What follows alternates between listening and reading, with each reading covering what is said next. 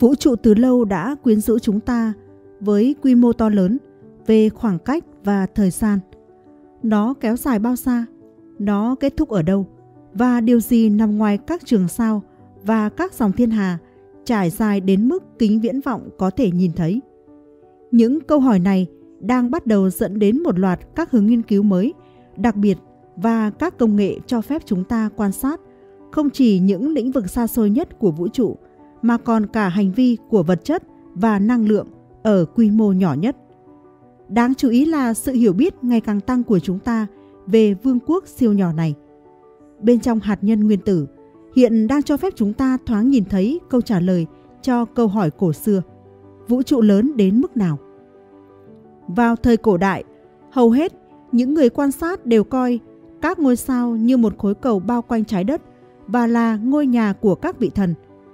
Người Hy Lạp là những người đầu tiên coi các sự kiện thiên thể là hiện tượng, chịu sự điều tra của con người chứ không phải là ý muốn bất chợt của các vị thần. Một triết gia và người quan sát bầu trời tên là Anas Sakura cho rằng các thiên thạch được tạo thành từ những vật liệu được tìm thấy trên trái đất và do đó thậm chí có thể đến từ trái đất. Những nhà thiên văn học đầu tiên đó đã xây dựng nên nền tảng của khoa học hiện đại. Nhưng họ sẽ bị sốc khi chứng kiến những khám phá của hậu thế ngày nay.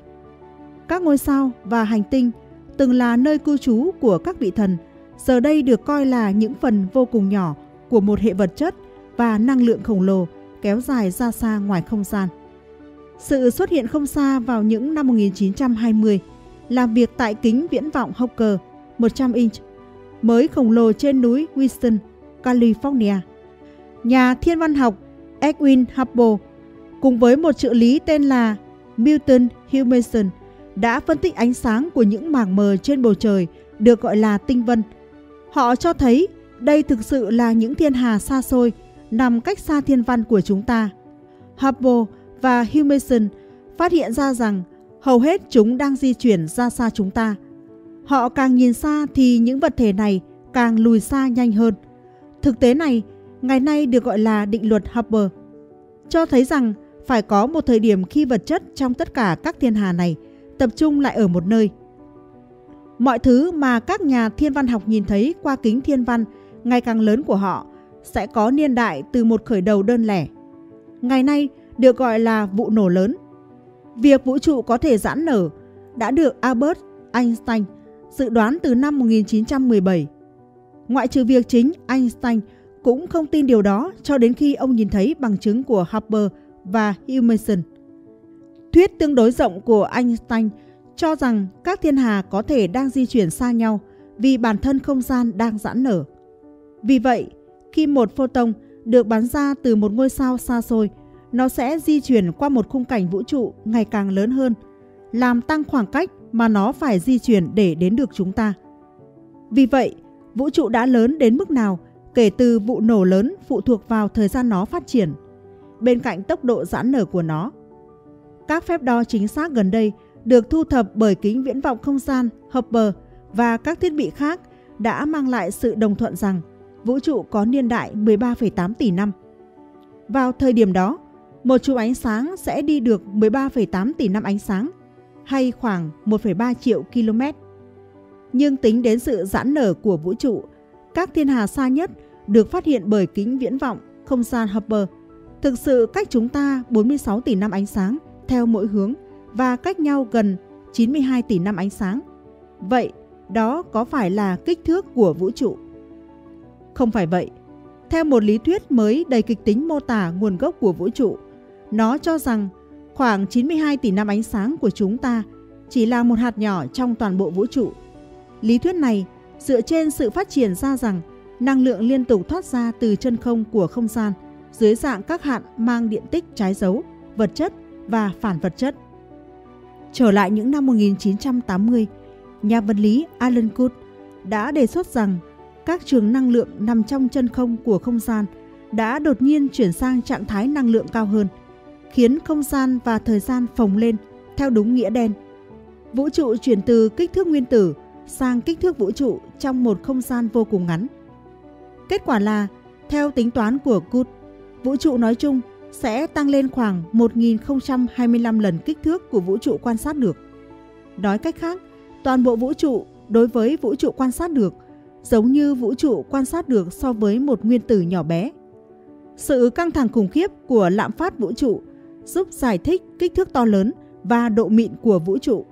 Nhưng để thành công, lý thuyết này cũng phải giải thích cách vũ trụ tạo ra những gì chúng ta thấy xung quanh chúng ta.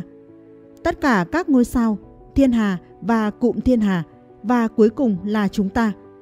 Các nhà khoa học hiện đang cố gắng ghép lại chuỗi sự kiện đã đưa vũ trụ của chúng ta vào những thời điểm đầu tiên bằng cách tạo ra cái mà bạn có thể gọi là vụ nổ nhỏ. Tại phòng thí nghiệm quốc gia Brookhaven ở New York, họ đang cho nổ các nguyên tử vàng theo các hướng ngược nhau xuống các đường hầm dài gần 2,5 dặm. Khi những nguyên tử này đạt vận tốc gần với tốc độ ánh sáng, chúng sẽ bị đẩy vào một vụ va chạm dữ dội. Một quả cầu lửa phun trào đạt nhiệt độ vượt quá 2.000 tỷ độ C. Theo những gì chúng ta biết, lần cuối cùng mọi thứ trong vũ trụ của chúng ta nóng như vậy là một phần triệu giây sau khi nó ra đời. Điều khiến các nhà khoa học quan tâm là sự bắn tung tóe của các hạt hạ nguyên tử, một hỗn hợp siêu nóng gồm quartz và gluon mà lý thuyết cho rằng đã tạo ra vật chất như chúng ta biết. Trong các thử nghiệm ban đầu, plasma quark gluon này đã thể hiện một đặc tính quan trọng, độ nhớt hoặc khả năng chống chảy cực thấp. Các nhà khoa học gọi nó là chất lỏng hoàn hảo. Để hiểu được tầm quan trọng của nó, chúng ta quay trở lại những trường năng lượng nguyên thủy mà lý thuyết cho rằng đã tạo ra vụ nổ lớn. Người ta cho rằng những trường đó chứa đựng những biến động nhỏ đã bị thổi phồng lên quy mô lớn trong thời kỳ lạm phát. Trong hỗn hợp quark gluon cực đậm đặc, những thăng sáng này tạo ra sóng áp suất hay gợn sóng. Khi vũ trụ phát triển, những gợn sóng này làm phát sinh những biến đổi về mật độ vật chất. Điều đáng ngạc nhiên là ngày nay, dấu vết của những gợn sóng nguyên thủy đó vẫn còn tồn tại dưới dạng tín hiệu mờ nhạt được phát hiện tình cờ vào những năm 1960. Làm việc cho công ty điện thoại Bell, các nhà vật lý Ando Penzias và Robert Wilson đã chế tạo một anten hình sừng khổng lồ nhưng bất cứ nơi nào họ chỉ ra, thiết bị này đều thu được tiếng ồn quá mức trong phần vi sóng của phổ điện tử. Tiếng ồn đó hóa ra trùng khớp với một dự đoán được đưa ra từ nhiều năm trước đó, rằng sau vụ nổ lớn, vũ trụ chứa đầy một đám mây khí cực nóng làm tán xạ toàn bộ ánh sáng. Khi vũ trụ nguội đi, đám mây tan dần. Sau đó, ánh sáng chiếu qua. Theo thời gian, dấu hiệu quang phổ của ánh sáng này sẽ dịch chuyển – khi vũ trụ giãn nở và nguội đi, đến mức mà Perseus và Wilson đã phát hiện được. Những gì họ nghe được cho là tiếng vang của vụ nổ lớn. Hình ảnh này cho thấy những đường nét mượt mà của ánh sáng được nhóm Bell ghi lại. Các nhà khoa học sẽ phải nhìn gần hơn để tìm ra dấu vết của lạm phát vũ trụ. Tàu con thoi Discovery đã đưa kính viễn vọng không gian Hubble lên quỹ đạo vào ngày 24 tháng 4 năm 1990 tại một trong những cột mốc khoa học quan trọng nhất của thời đại chúng ta. Một lần ra mắt khác, được cho là cũng quan trọng không kém, diễn ra trước đó 5 tháng. Tàu thám hiểm nền quan sát vũ trụ, viết tắt là COBE, được gửi lên để quan sát kỹ hơn bức xạ vi sóng do Penzias và Wilson phát hiện. Kết quả được đưa ra sau 2 năm rưỡi. Ánh sáng của vũ trụ sơ khai chứa đựng một mô hình các điểm nóng và lạnh. Trong hình ảnh này, không kém gì nguồn gốc của tất cả những gì chúng ta thấy xung quanh chúng ta ngày nay, mịn màng trên quy mô lớn. Nhưng có những khối đáng kể mà từ đó lực hấp dẫn sẽ hình thành nên các đám mây khí. Sau đó là các ngôi sao và thiên hà. Với mẫu vũ trụ này trong tay, các nhà thiên văn học bắt đầu khám phá các mô hình và kích thước của vũ trụ phát triển theo thời gian như thế nào. Trong thời đại kính viễn vọng, được điều khiển bằng máy tính và quan sát tự động, các nhà thiên văn học giờ đây có thể khởi động những hợp tác quốc tế quy mô lớn với mục tiêu lập bản đồ một phần lớn vũ trụ theo ba chiều.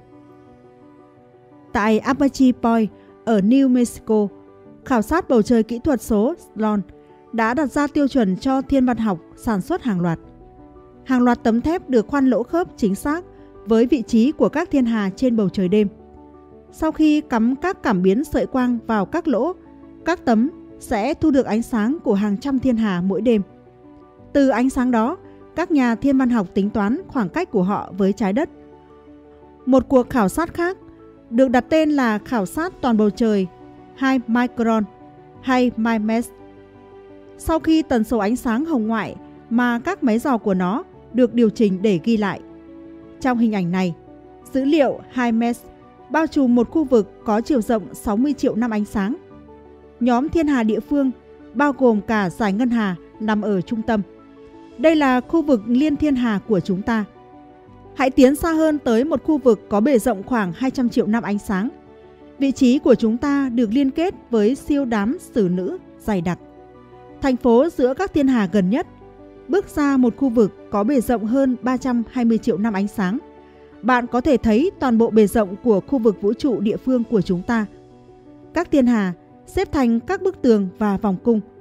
Ngoài kia là những khoảng trống dân cư thưa thớt, vùng nông thôn vũ trụ. Dựa trên dữ liệu, khu vực này có chiều rộng hơn 650 triệu năm ánh sáng, rồi gần 2 tỷ, 3,2 tỷ. Và cuối cùng, đến một khu vực cách đầu này đến đầu kia là 6,5 tỷ năm ánh sáng ở lục địa vũ trụ. Ở giữa tất cả, thiên hà của chúng ta rất rộng lớn theo quan điểm trái đất của chúng ta, chỉ nhỏ hơn một hạt bụi. Nghiên cứu HIMES, khảo sát bầu trời kỹ thuật số Sloan và khảo sát dịch truyền đỏ thiên hà 2DF ở Úc đã mở rộng bản đồ của chúng ta đến một phần tư chặng đường quay trở lại thời kỳ đầu của vũ trụ. Họ đã vạch ra một lộ trình vũ trụ vĩ đại người kế nhiệm của Kobe, tàu thăm dò dị hướng vi sóng Wilkinson hay WMAP đã được phóng để quét vũ trụ sơ khai để tìm nguồn gốc ở quy mô nhỏ của tập bản đồ vũ trụ này. WMAP đã vượt qua mọi sự can thiệp từ trái đất đến vị trí cân bằng giữa trái đất và mặt trời.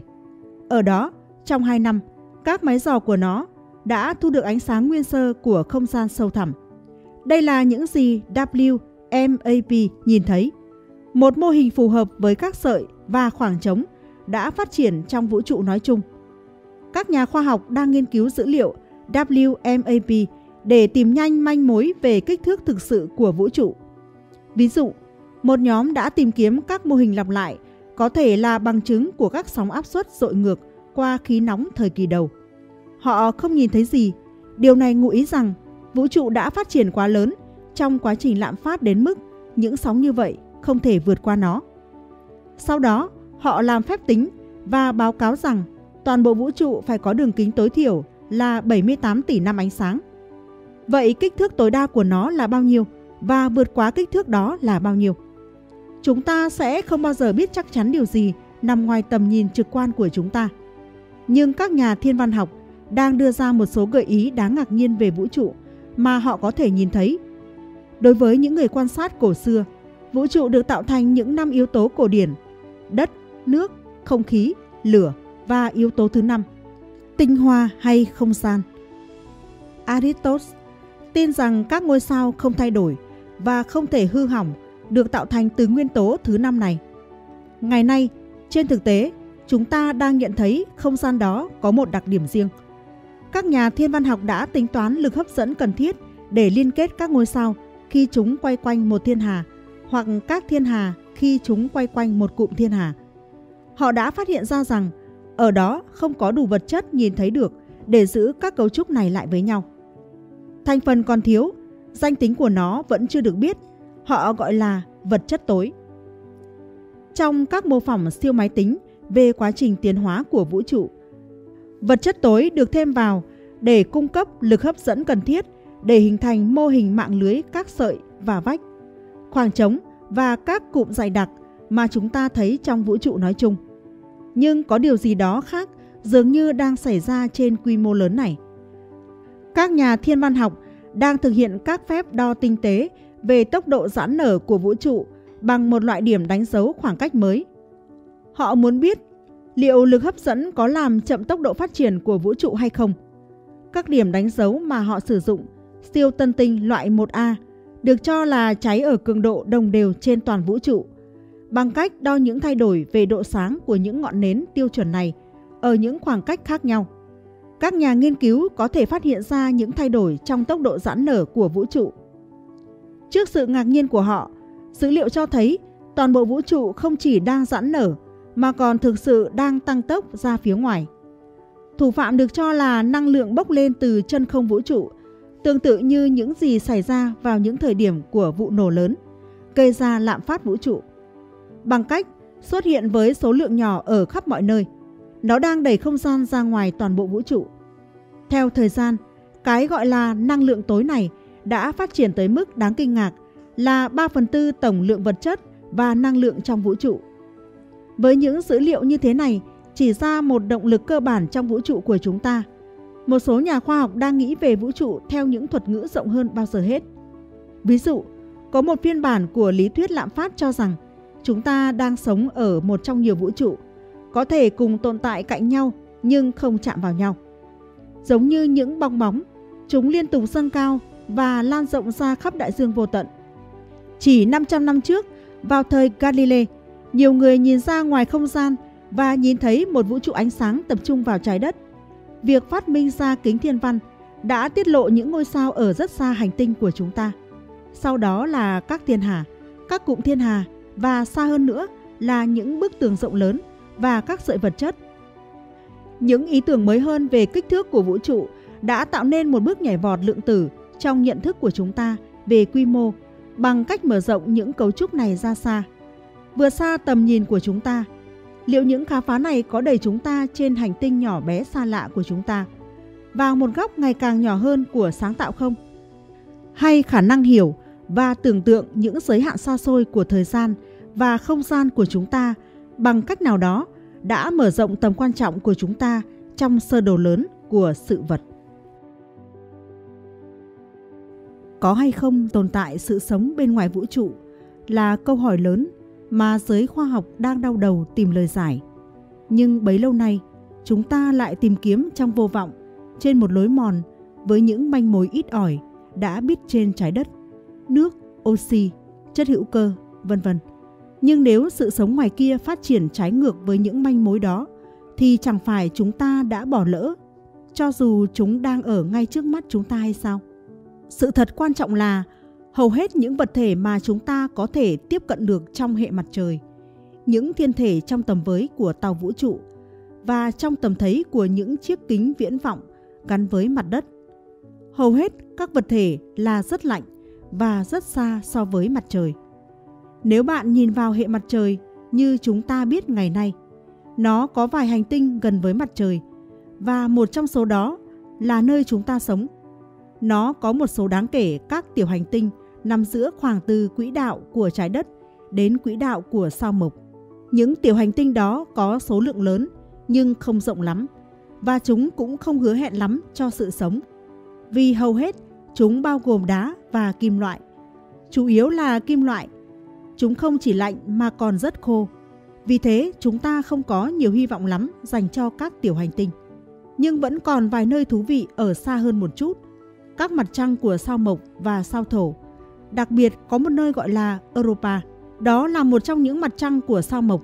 Nơi chúng ta thấy được một bề mặt băng rất bằng phẳng trông như thể nó đang trôi nổi trên mặt của một đại dương. Vì thế chúng ta tin rằng trên Europa thực chất có một đại dương sâu thẳm và điều đó biến nó thành một điểm khám phá thú vị lạ thường. Đại dương gần như là địa điểm lý tưởng nhất để khởi nguồn sự sống, hệt như cách sự sống bắt đầu trên trái đất. Vì thế, chúng ta muốn khám phá Europa, đào sâu qua lớp băng, tìm hiểu xem ai đang bơi lượn quanh đại dương, dù đó là cá hay là tàu biển hay những con quái vật biển. Bất kể thứ gì ở đó có thể sẽ lý thú như vậy, hoặc là các động vật thân mềm, nhưng rất khó để làm được điều đó. Rủi thay, lớp băng khá dày. Chúng ta không biết nó dày bao nhiêu, có thể đến hàng vài km. Vì thế sẽ rất tốn kém và khó khăn để xuống tận đó. Gửi theo tàu ngầm hoặc bất cứ thứ gì và khám phá. Đó là điều mà chúng ta chưa biết cách tiến hành. Có những kế hoạch để làm việc đó nhưng việc đó là rất khó. Đi ra xa một chút, bạn sẽ tìm thấy bên ngoài quỹ đạo của sao Hải Vương, xa hẳn so với mặt trời. Đó là nơi mà lãnh địa của các vật thể thực sự bắt đầu. Bạn sẽ tìm thấy hàng triệu hoặc hàng triệu triệu hoặc hàng tỷ các vật thể mà chúng ta gọi là vành đai Kuiper. Xa hơn nữa là đám mây thiên thạch Oort. Chúng là những đám vật thể nhỏ trông như sao chổi khi chúng rơi gần về phía mặt trời. Đa số chúng chỉ ở ngoài đó trong sự lạnh giá của bên ngoài hệ mặt trời. Nhưng về mặt sinh học, chúng lại rất thú vị bởi vì chúng đơn giản bao gồm băng và các khoáng chất khác. Những thứ cần thiết để phát triển sự sống. Vậy nên, sự sống có thể được thiết lập ở ngoài đó. Nó sẽ có đủ các yếu tố cần thiết, hóa chất và ánh sáng mặt trời, mọi thứ mà nó cần. Vậy là có những nơi mà chúng ta nên tìm kiếm sự sống hơn là trên sao hỏa. Mặc dù sao hỏa tất nhiên cũng là một nơi đầy hứa hẹn và thú vị, nhưng chúng ta có thể nhìn ra xa hơn, theo một cách rẻ hơn và đơn giản hơn. Hãy tưởng tượng là sự sống đã khởi nguồn trên Europa và nó đã ở trong lòng đại dương suốt hàng tỷ năm. Có khả năng rằng nó sẽ rời biển và lên đất liền, như là đã xảy ra trên trái đất, ẩn nấp trong lòng đại dương và tiến hóa ở đó suốt 2 tỷ năm. Cuối cùng, đặt chân lên đất liền và rồi tất nhiên nó có một cơ hội lớn, một cơ hội lớn hơn rất nhiều về sự tự do và sự đa dạng sinh vật phát triển trên mặt đất so với mọi lúc trước đó trong lòng đại dương. Và bước tiến từ đại dương lên đất liền không hề dễ dàng, nhưng nó đã xảy ra. Bây giờ, nếu cuộc sống đã bắt nguồn trên Europa, trong lòng đại dương, nó có thể đã tiến lên bề mặt. Sẽ không có không khí ở đó, đó là môi trường chân không. Nó bước ra với cái lạnh, nhưng nó vẫn bước ra. Bạn có thể tưởng tượng như các loài cây lớn lên như tảo bẹ qua các vết nứt trên mặt băng, phát triển trên bề mặt. Chúng sẽ cần cái gì để phát triển trên bề mặt? Trước hết, cần có một lớp da dày để bảo vệ chúng khỏi mất nước qua bề mặt. Vì thế, chúng sẽ có da như da ở loài bò sát. Nhưng quan trọng hơn là chúng sẽ phải tập trung ánh sáng mặt trời. Ánh sáng mặt trời ở sao mộc và các vệ tinh của nó yếu gấp 25 lần so với trên trái đất vì sao mộc xa mặt trời hơn chúng ta tới 5 lần. Vì thế, chúng sẽ phải có những sinh vật mà chúng ta có thể gọi là hoa hướng dương. Thứ mà chúng ta tưởng tượng là sẽ sống trên bề mặt của Europa sẽ phải có hoặc các thấu kính hoặc các tấm gương để tập trung ánh sáng mặt trời. Vì thế, chúng có thể tự làm ấm lên trên bề mặt. Nếu không, chúng sẽ ở nhiệt độ âm khoảng 150 độ chắc chắn là không thuận lợi để phát triển sự sống, ít nhất là như dạng sống của chúng ta biết. Nhưng nếu chúng có thể đơn giản phát triển như lá cây, những thấu kính và gương nhỏ, để tập trung ánh sáng mặt trời, thì chúng có thể giữ ấm trên bề mặt. Chúng có thể tận hưởng mọi lợi ích từ ánh sáng mặt trời và có dễ đâm sâu xuống đại dương. Sự sống khi ấy có thể đơm hoa kết trái hơn rất nhiều. Vì thế, tại sao chúng ta không tìm kiếm tất nhiên là không dễ xảy ra là có sự sống trên bề mặt của Europa. Chẳng thứ nào trong số đó là dễ xảy ra, nhưng có một triết lý rằng chúng ta tìm thứ có thể nhận dạng ra được, không phải là thứ có thể xảy ra được. Có một lịch sử dài trong ngành thiên văn về những thứ khó có thể xảy ra rốt cục lại xảy ra. Ví dụ chuẩn xác nhất chính là toàn thể ngành thiên văn vô tuyến. Ban đầu, khi ngành này mới ra đời kỹ sư vô tuyến người Mỹ Kagat Jansky ở phòng thí nghiệm Bell thu nhận được các sóng vô tuyến điện từ trên bầu trời và các nhà thiên văn học chính quy đã rất khinh miệt điều này. Họ nói rằng, ừ được rồi, ông có thể thu các sóng vô tuyến điện từ từ mặt trời, nhưng mặt trời là vật thể duy nhất trong vũ trụ đủ gần và đủ sáng để có thể thu nhận được. Ông có thể dễ dàng tính toán được rằng sóng vô tuyến điện từ mặt trời là khá yếu và mọi thứ khác trong vũ trụ còn xa hơn hàng triệu lần. Vì thế, chắc chắn sẽ không thể thu nhận được. Vậy tìm kiếm làm gì cho phí sức? Và điều đó đã kéo lùi sự tiến bộ của ngành thiên văn vô tuyến khoảng 20 năm. Vì chẳng có gì ở đó, bạn cũng chẳng cần tìm. Và tất nhiên, ngay khi có người tìm, khoảng 20 năm sau đó, khi ngành thiên văn vô tuyến thực sự cất cánh, bởi vì hóa ra rằng vũ trụ tràn ngập mọi điều kỳ thú, phóng xạ, những giải sóng vô tuyến điện rõ hơn rất nhiều so với mặt trời. Và điều tương tự có thể đúng với dạng sống này. Dạng mà chúng ta đang nói tới trên các vật thể lạnh. Điều có thể là rất phong phú trên khắp vũ trụ, và chưa được phát hiện bởi vì chúng ta vẫn chưa bận tâm đi tìm. Vậy làm thế nào để phát hiện ra nó? Nếu những sinh vật này đang sống trên các bề mặt lạnh giá, có thể Europa hoặc xa hơn, bất cứ nơi nào bạn có thể sống trên một bề mặt lạnh giá, những sinh vật đó buộc phải có những quang cụ phản chiếu. Để tập trung được ánh sáng mặt trời, chúng phải có những thấu kính và những tấm gương để có thể giữ ấm cho bản thân. Và khi bạn chiếu ánh sáng mặt trời vào chúng, ánh sáng sẽ bị phản chiếu lại như khi phản chiếu từ mắt của một con vật. Vì thế, những sinh vật này sẽ sáng nổi bật so với môi trường lạnh giá quanh chúng. Và bạn càng đi xa so với mặt trời, sự phản chiếu này sẽ rõ nét hơn. Vì thế, thực ra, cách săn tìm sự sống này càng hiệu quả hơn khi bạn càng đi xa hơn. Bởi vì các quang cụ phản chiếu phải mạnh hơn để ánh sáng phản chiếu sáng mạnh hơn so với khung nền tối phía sau. Vì thế, khi bạn đi càng xa mặt trời thì điều này càng rõ nét. Vậy thực tế, bạn có thể tìm kiếm những sinh vật này với kính viễn vọng từ trái đất. Tại sao chúng ta không đang dùng cách này? Đơn giản vì chưa ai nghĩ tới nó. Nhưng hy vọng rằng một ngày không xa chúng ta sẽ tìm. Có thể chúng ta chẳng tìm được gì. Không phỏng đoán nào trong số trên có một cơ sở thực tiễn. Nhưng đó vẫn là một cơ hội tốt. Và tất nhiên, nếu nó xảy ra, nó sẽ thay đổi hoàn toàn cách nhìn nhận của chúng ta về sự sống. Bởi vì nó có nghĩa là cách sự sống diễn ra ngoài kia, nó có những lợi thế to lớn nếu đem so sánh với việc sống trên một hành tinh. Vô cùng khó để truyền từ hành tinh này sang hành tinh khác. Chúng ta đang gặp rất nhiều khó khăn hiện nay và bất kỳ sinh vật nào sống trên một hành tinh đều gần như bị kẹt tại đó. Đặc biệt, nếu bạn hít thở không khí thì rất khó để đi từ hành tinh A sang hành tinh B vì không có không khí ở khoảng giữa. Nhưng nếu bạn hít thở, bạn có thể sẽ chết ngay khi bạn rời hành tinh, trừ khi bạn có một phi thuyền vũ trụ.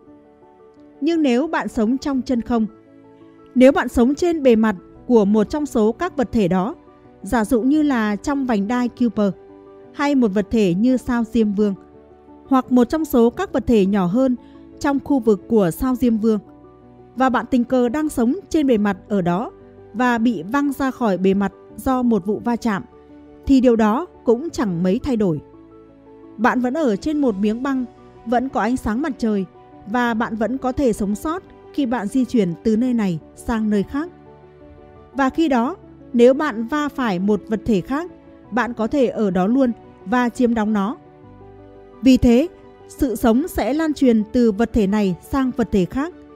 Vì thế, nếu nó có tồn tại dù là một chút trong vành đai Kuiper, nó sẽ dễ dàng lan rộng. Và khi ấy, bạn sẽ có một cuộc đấu tranh lớn giữa các loài tiến hóa theo thuyết Darwin. Vì thế, sẽ có một thuận lợi lớn cho các loài có khả năng nhảy từ nơi này sang nơi khác mà không phải chờ đợi một sự va chạm. Và sẽ có lợi thế khi phát tán những thảm thực vật giống như tảo bẹ, hoa hướng dương. Chúng phải hướng về mặt trời mọi lúc và sẽ có thể lan rộng trong không gian bởi trọng lực trên những vật thể này khá yếu. Vì thế, chúng có thể thu được ánh sáng mặt trời trên diện rộng. Do đó, trên thực tế, khá dễ dàng cho chúng ta để phát hiện ra. Nếu trong vòng 10 năm tới, chúng ta tìm thấy những sinh vật này và sau đó, tất nhiên toàn bộ quan điểm về sự sống trong vũ trụ sẽ bị phá vỡ. Nếu không tìm được chúng, thì chúng ta có thể tự sáng tạo ra chúng. Đó là một cơ hội kỳ diệu đang hé mở. Chúng ta có thể, ngay khi chúng ta hiểu thêm về công nghệ gen, để thiết kế một sinh vật có thể sống trên một vệ tinh lạnh lẽo một nơi như Europa, để chúng ta có thể chiếm giữ Europa với chính những sinh vật của mình. Sẽ là một công việc hay ho để làm. Sau cùng, tất nhiên nó sẽ giúp chúng ta chuyển ra ngoài đó. Điều sẽ xảy đến cuối cùng sẽ không chỉ là con người chiếm đóng không gian, sẽ là sự sống dịch chuyển từ trái đất tới vương quốc của nó. Và vương quốc của sự sống, tất nhiên sẽ là toàn thể vũ trụ.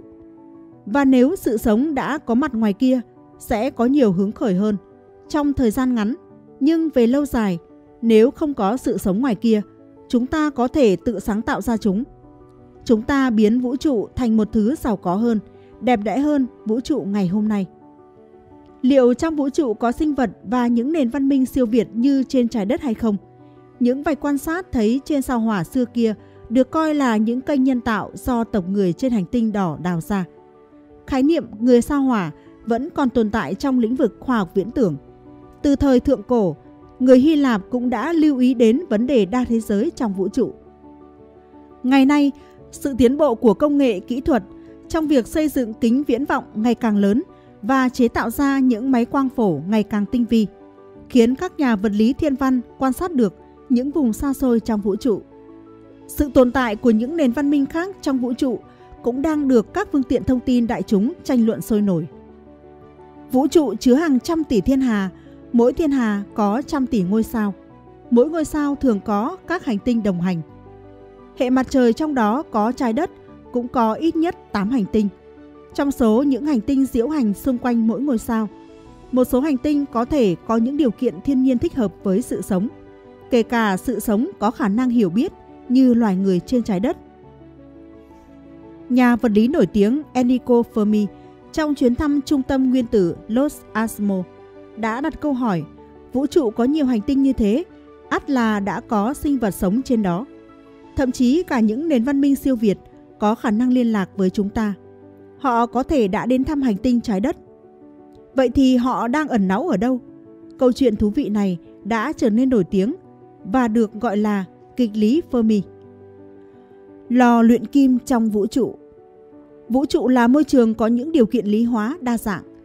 Dựa trên kết quả quan sát bằng kính viễn vọng và những mô hình lý thuyết, các nhà thiên văn đã mô phỏng được quá trình tiến hóa của vụ nổ tạo ra từ vụ nổ lớn Big Bang cách đây đã 13,8 tỷ năm. Thuở sơ khai, vũ trụ chỉ chứa những hạt nguyên tử nhẹ như hydro và heli. Những đám khí nhẹ này dần dần tập hợp với nhau và nóng đặc lên để tạo ra những ngôi sao và những thiên hà. Đến giai đoạn cuối của quá trình tiến hóa, những ngôi sao khổng lồ nóng đặc bùng nổ thành siêu tân tinh và tạo ra những nguyên tử nặng hơn như carbon, oxy, sắt cùng những phân tử hữu cơ phức tạp. Quá trình quay và rung động làm phân tử phát ra những vạch phổ trên bước sóng vô tuyến. Các nhà thiên văn sử dụng kính viễn vọng vô tuyến ngày càng lớn với độ phân giải cao để thu tín hiệu của phân tử. Săn tìm những phân tử hữu cơ sinh học liên quan đến sự sống. Những ngôi sao trong thiên hà là những phòng thí nghiệm lý hóa sinh, phong phú. Axit amin là một loại phân tử hữu cơ sinh học và là thành phần cốt yếu trong cơ thể con người. Sinh vật có thể được coi là hậu duệ của những ngôi sao.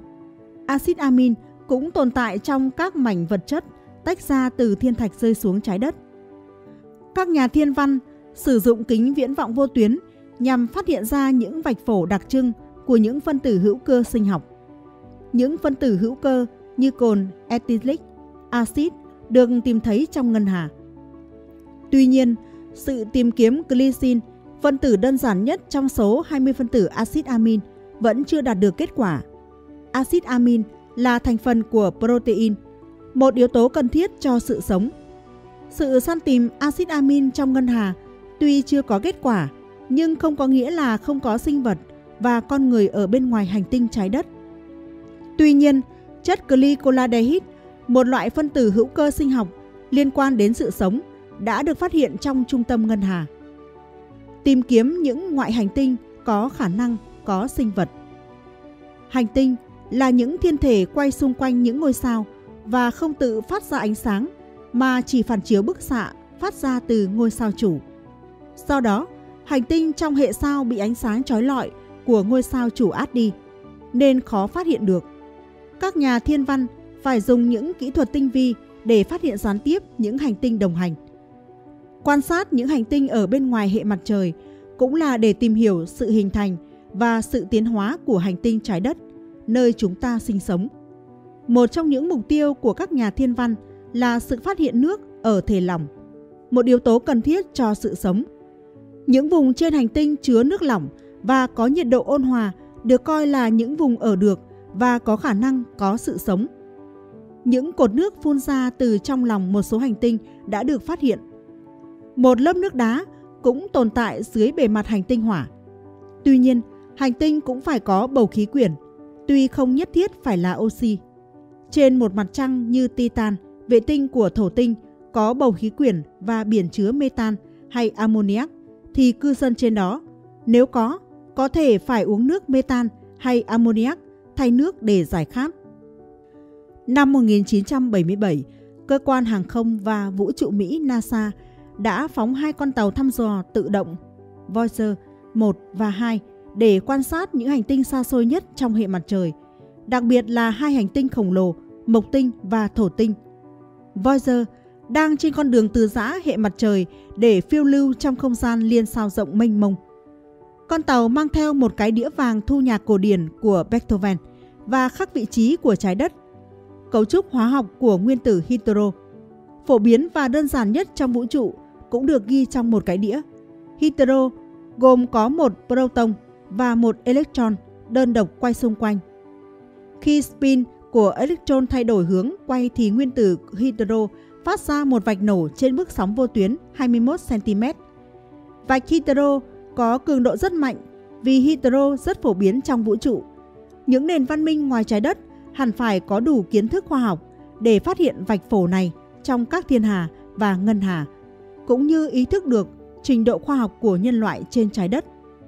Quan sát hành tinh trong những hệ sao. Hành tinh thường không quá nóng, do đó thân thiện với sự sống và có thể là nơi sinh sống của sinh vật.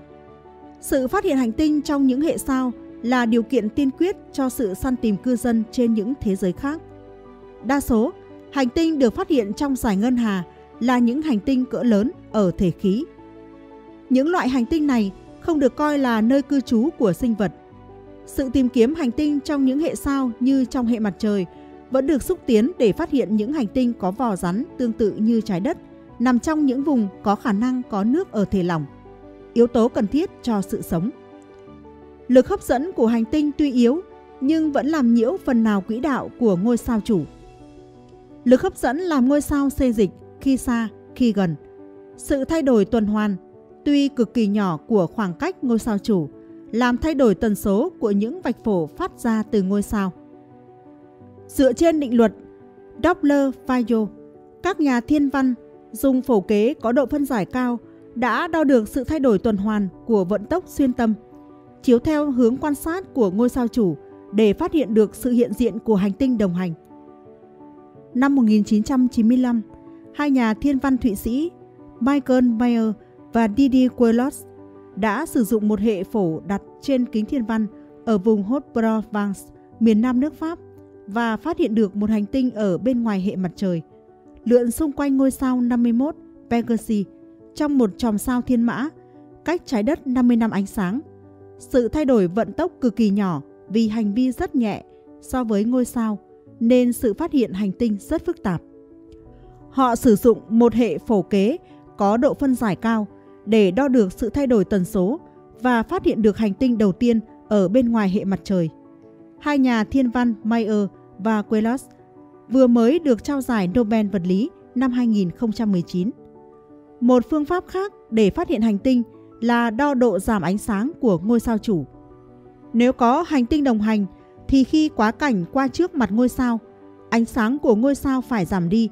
Chẳng hạn, một hành tinh cỡ trái đất khi lượn qua trước mặt mặt trời cũng chỉ giảm ánh sáng mặt trời khoảng 0,008%.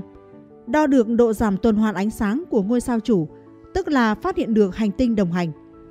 Các nhà thiên văn của NASA dùng vệ tinh TESS vừa mới phát hiện được một siêu địa cầu được gọi là TORS 1338b nặng bằng gần 7 lần trái đất và quay xung quanh một hệ sao đôi cách xa trái đất 1.300 năm ánh sáng.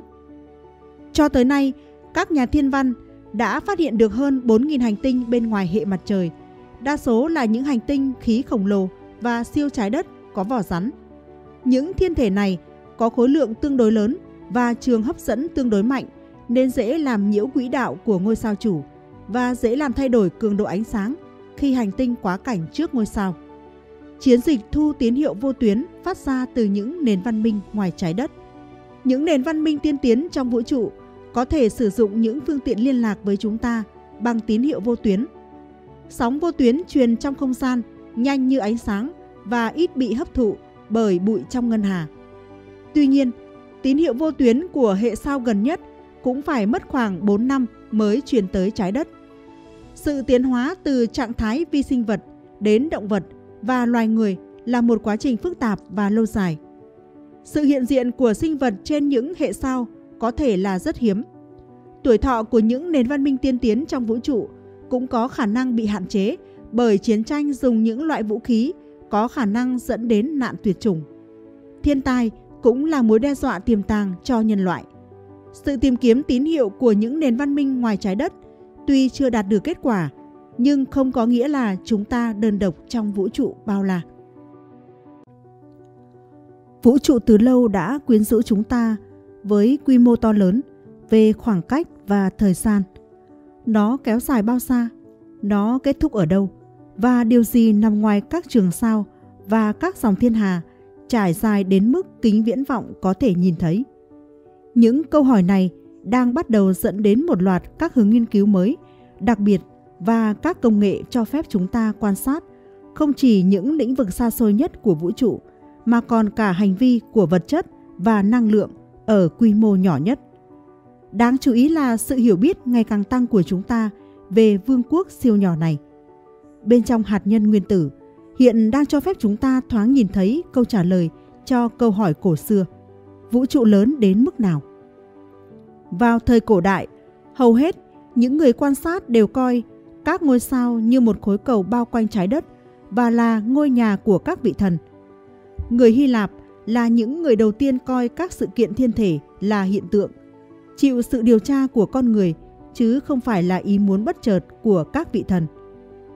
Một triết gia và người quan sát bầu trời tên là Anas Sakura cho rằng các thiên thạch được tạo thành từ những vật liệu được tìm thấy trên trái đất và do đó thậm chí có thể đến từ trái đất.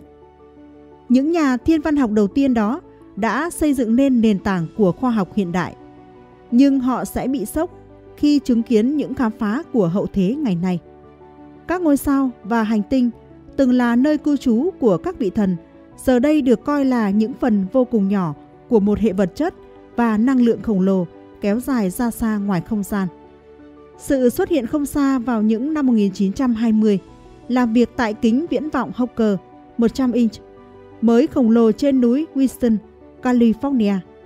Nhà thiên văn học Edwin Hubble cùng với một trợ lý tên là Milton Humason đã phân tích ánh sáng của những mảng mờ trên bầu trời được gọi là tinh vân. Họ cho thấy đây thực sự là những thiên hà xa xôi nằm cách xa thiên văn của chúng ta. Hubble và Humason phát hiện ra rằng hầu hết chúng đang di chuyển ra xa chúng ta. Họ càng nhìn xa thì những vật thể này càng lùi xa nhanh hơn. Thực tế này ngày nay được gọi là định luật Hubble, cho thấy rằng phải có một thời điểm khi vật chất trong tất cả các thiên hà này tập trung lại ở một nơi. Mọi thứ mà các nhà thiên văn học nhìn thấy qua kính thiên văn ngày càng lớn của họ sẽ có niên đại từ một khởi đầu đơn lẻ. Ngày nay được gọi là vụ nổ lớn. Việc vũ trụ có thể giãn nở đã được Albert Einstein dự đoán từ năm 1917. Ngoại trừ việc chính Einstein cũng không tin điều đó cho đến khi ông nhìn thấy bằng chứng của Hubble và Humason. Thuyết tương đối rộng của Einstein cho rằng các thiên hà có thể đang di chuyển xa nhau vì bản thân không gian đang giãn nở. Vì vậy, khi một photon được bắn ra từ một ngôi sao xa xôi, nó sẽ di chuyển qua một khung cảnh vũ trụ ngày càng lớn hơn, làm tăng khoảng cách mà nó phải di chuyển để đến được chúng ta. Vì vậy, vũ trụ đã lớn đến mức nào kể từ vụ nổ lớn phụ thuộc vào thời gian nó phát triển, bên cạnh tốc độ giãn nở của nó. Các phép đo chính xác gần đây được thu thập bởi kính viễn vọng không gian Hubble và các thiết bị khác đã mang lại sự đồng thuận rằng vũ trụ có niên đại 13,8 tỷ năm. Vào thời điểm đó, một chùm ánh sáng sẽ đi được 13,8 tỷ năm ánh sáng, hay khoảng 1,3 triệu km. Nhưng tính đến sự giãn nở của vũ trụ, các thiên hà xa nhất được phát hiện bởi kính viễn vọng không gian Hubble thực sự cách chúng ta 46 tỷ năm ánh sáng theo mỗi hướng và cách nhau gần 92 tỷ năm ánh sáng. Vậy, đó có phải là kích thước của vũ trụ? Không phải vậy. Theo một lý thuyết mới đầy kịch tính mô tả nguồn gốc của vũ trụ, nó cho rằng Khoảng 92 tỷ năm ánh sáng của chúng ta chỉ là một hạt nhỏ trong toàn bộ vũ trụ. Lý thuyết này dựa trên sự phát triển ra rằng năng lượng liên tục thoát ra từ chân không của không gian dưới dạng các hạn mang điện tích trái dấu, vật chất và phản vật chất. Trở lại những năm 1980, nhà vật lý Alan Guth đã đề xuất rằng các trường năng lượng nằm trong chân không của không gian đã đột nhiên chuyển sang trạng thái năng lượng cao hơn, khiến không gian và thời gian phồng lên theo đúng nghĩa đen. Vũ trụ chuyển từ kích thước nguyên tử sang kích thước vũ trụ trong một không gian vô cùng ngắn. Kết quả là, theo tính toán của Good, vũ trụ nói chung sẽ tăng lên khoảng 1025 lần kích thước của vũ trụ quan sát được. Nói cách khác, toàn bộ vũ trụ đối với vũ trụ quan sát được giống như vũ trụ quan sát được so với một nguyên tử nhỏ bé. Sự căng thẳng khủng khiếp của lạm phát vũ trụ giúp giải thích kích thước to lớn và độ mịn của vũ trụ. Nhưng để thành công, lý thuyết này cũng phải giải thích cách vũ trụ tạo ra những gì chúng ta thấy xung quanh chúng ta. Tất cả các ngôi sao, thiên hà và cụm thiên hà và cuối cùng là chúng ta. Các nhà khoa học hiện đang cố gắng ghép lại chuỗi sự kiện đã đưa vũ trụ của chúng ta vào những thời điểm đầu tiên bằng cách tạo ra cái mà bạn có thể gọi là vụ nổ nhỏ.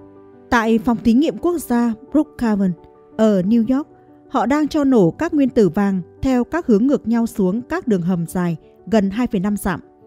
Khi những nguyên tử này đạt vận tốc gần với tốc độ ánh sáng, chúng sẽ bị đẩy vào một vụ va chạm dữ dội. Một quả cầu lửa phun trào, đạt nhiệt độ vượt quá 2.000 tỷ độ C. Theo những gì chúng ta biết, lần cuối cùng mọi thứ trong vũ trụ của chúng ta nóng như vậy là một phần triệu giây sau khi nó ra đời. Điều khiến các nhà khoa học quan tâm là sự bắn tung tóe của các hạt hạ nguyên tử, một hỗn hợp siêu nóng gồm quartz và gluon mà lý thuyết cho rằng đã tạo ra vật chất như chúng ta biết. Trong các thử nghiệm ban đầu, plasma quark gluon này đã thể hiện một đặc tính quan trọng, độ nhớt hoặc khả năng chống chảy cực thấp. Các nhà khoa học gọi nó là chất lỏng hoàn hảo. Để hiểu được tầm quan trọng của nó, chúng ta quay trở lại những trường năng lượng nguyên thủy mà lý thuyết cho rằng đã tạo ra vụ nổ lớn. Người ta cho rằng những trường đó chứa đựng những biến động nhỏ đã bị thổi phồng lên quy mô lớn trong thời kỳ lạm phát. Trong hỗn hợp quark gluon cực đậm đặc, những thăng sáng này tạo ra sóng áp suất hay gợn sóng. Khi vũ trụ phát triển, những gợn sóng này làm phát sinh những biến đổi về mật độ vật chất. Điều đáng ngạc nhiên là ngày nay, dấu vết của những gợn sóng nguyên thủy đó vẫn còn tồn tại dưới dạng tín hiệu mờ nhạt được phát hiện tình cờ vào những năm 1960. Làm việc cho công ty điện thoại Bell, các nhà vật lý Ando Penzias và Robert Wilson đã chế tạo một anten hình sừng khổng lồ. Nhưng bất cứ nơi nào họ chỉ ra, thiết bị này đều thu được tiếng ồn quá mức trong phần vi sóng của phổ điện tử. Tiếng ồn đó hóa ra trùng khớp với một dự đoán được đưa ra từ nhiều năm trước đó, rằng sau vụ nổ lớn, vũ trụ chứa đầy một đám mây khí cực nóng làm tán xạ toàn bộ ánh sáng. Khi vũ trụ nguội đi, đám mây tan dần. Sau đó, ánh sáng chiếu qua. Theo thời gian, dấu hiệu quang phổ của ánh sáng này sẽ dịch chuyển khi vũ trụ giãn nở và nguội đi, đến mức mà Perseus và Wilson đã phát hiện được. Những gì họ nghe được cho là tiếng vang của vụ nổ lớn. Hình ảnh này cho thấy những đường nét mượt mà của ánh sáng được nhóm Bell ghi lại. Các nhà khoa học sẽ phải nhìn gần hơn để tìm ra dấu vết của lạm phát vũ trụ. Tàu con thoi Discovery đã đưa kính viễn vọng không gian Hubble lên quỹ đạo vào ngày 24 tháng 4 năm 1990 tại một trong những cột mốc khoa học quan trọng nhất của thời đại chúng ta. Một lần ra mắt khác được cho là cũng quan trọng không kém, diễn ra trước đó 5 tháng. Tàu thám hiểm nền quan sát vũ trụ, viết tắt là COBE, được gửi lên để quan sát kỹ hơn bức xạ vi sóng do Penzias và Wilson phát hiện. Kết quả được đưa ra sau 2 năm rưỡi. Ánh sáng của vũ trụ sơ khai chứa đựng một mô hình các điểm nóng và lạnh. Trong hình ảnh này, không kém gì nguồn gốc của tất cả những gì chúng ta thấy xung quanh chúng ta ngày nay, mịn màng trên quy mô lớn. Nhưng có những khối đáng kể mà từ đó lực hấp dẫn sẽ hình thành nên các đám mây khí. Sau đó là các ngôi sao và thiên hà. Với mẫu vũ trụ này trong tay, các nhà thiên văn học bắt đầu khám phá các mô hình và kích thước của vũ trụ phát triển theo thời gian như thế nào. Trong thời đại kính viễn vọng được điều khiển bằng máy tính và quan sát tự động, các nhà thiên văn học giờ đây có thể khởi động những hợp tác quốc tế quy mô lớn với mục tiêu lập bản đồ một phần lớn vũ trụ theo ba chiều. Tại Apache Point ở New Mexico, khảo sát bầu trời kỹ thuật số SLON đã đặt ra tiêu chuẩn cho thiên văn học sản xuất hàng loạt. Hàng loạt tấm thép được khoan lỗ khớp chính xác với vị trí của các thiên hà trên bầu trời đêm. Sau khi cắm các cảm biến sợi quang vào các lỗ, các tấm sẽ thu được ánh sáng của hàng trăm thiên hà mỗi đêm. Từ ánh sáng đó, các nhà thiên văn học tính toán khoảng cách của họ với trái đất. Một cuộc khảo sát khác được đặt tên là khảo sát toàn bầu trời 2 micron hay MIMES. Sau khi tần số ánh sáng hồng ngoại mà các máy dò của nó được điều chỉnh để ghi lại. Trong hình ảnh này, dữ liệu 2MES bao trùm một khu vực có chiều rộng 60 triệu năm ánh sáng. Nhóm thiên hà địa phương bao gồm cả giải ngân hà nằm ở trung tâm. Đây là khu vực liên thiên hà của chúng ta.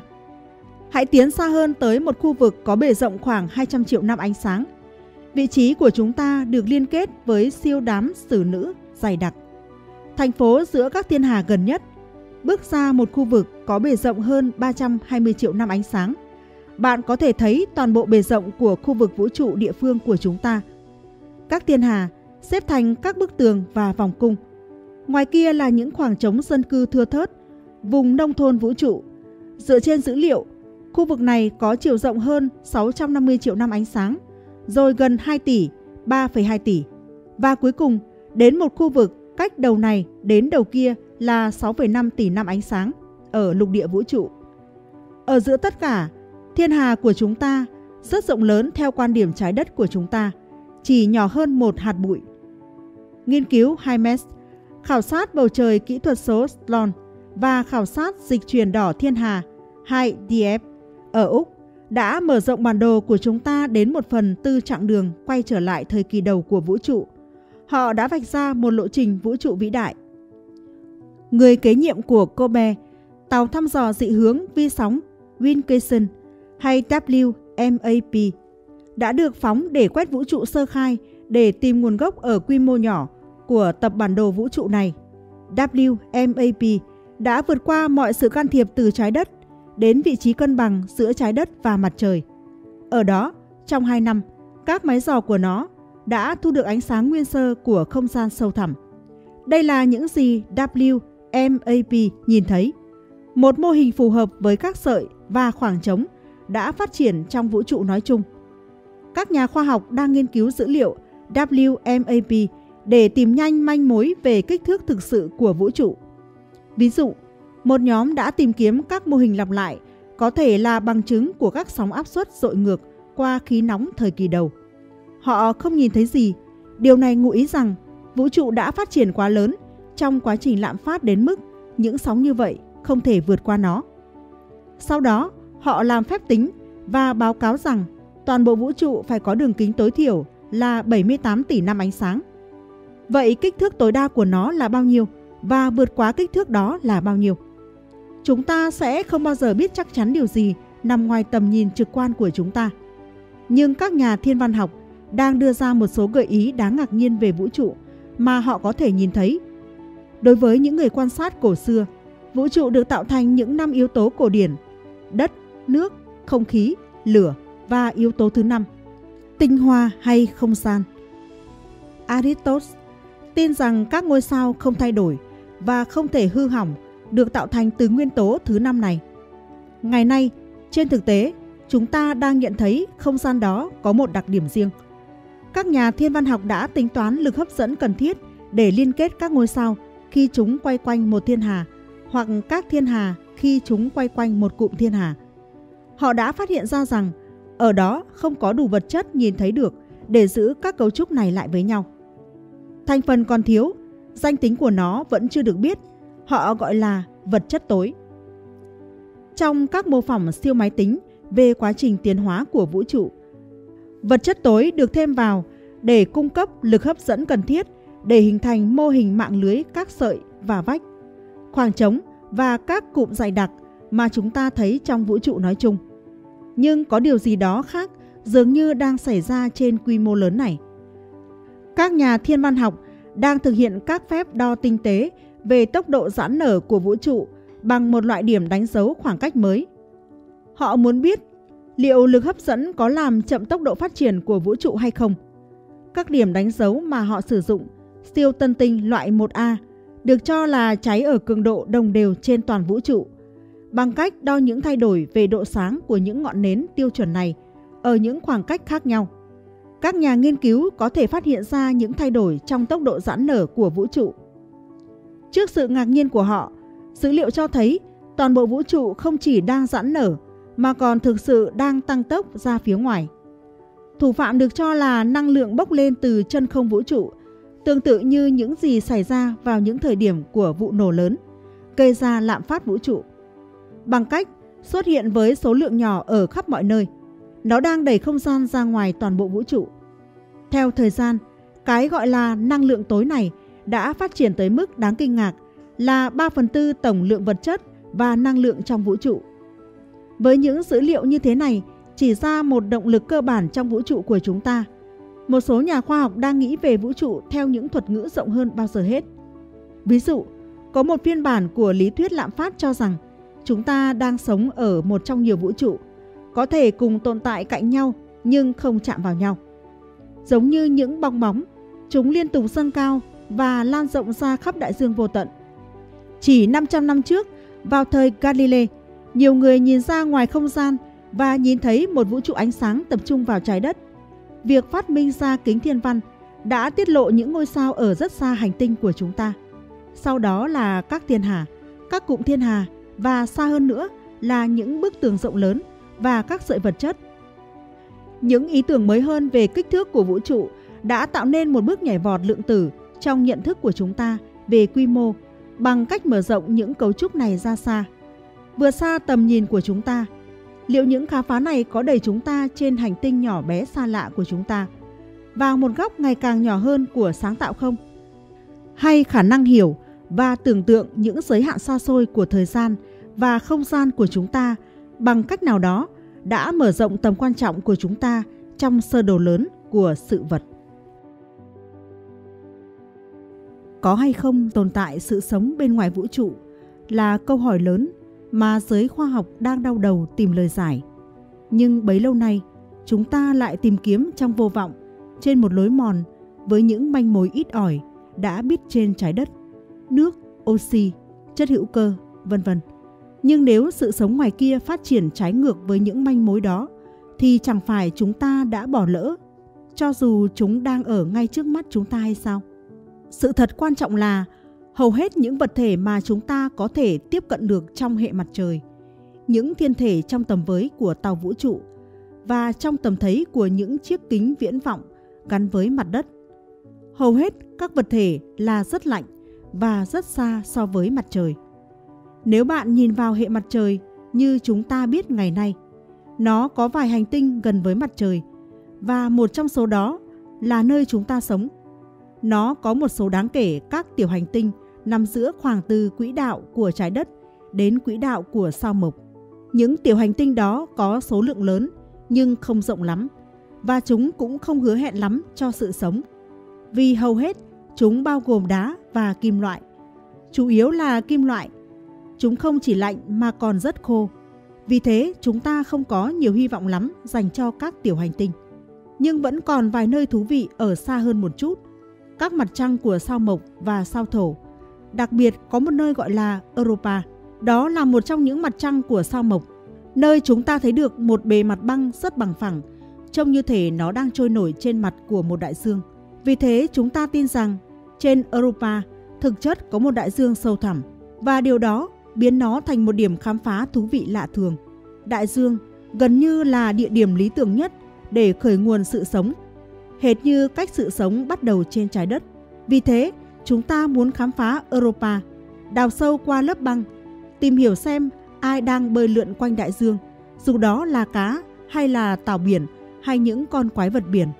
Bất kể thứ gì ở đó có thể sẽ lý thú như vậy, hoặc là các động vật thân mềm.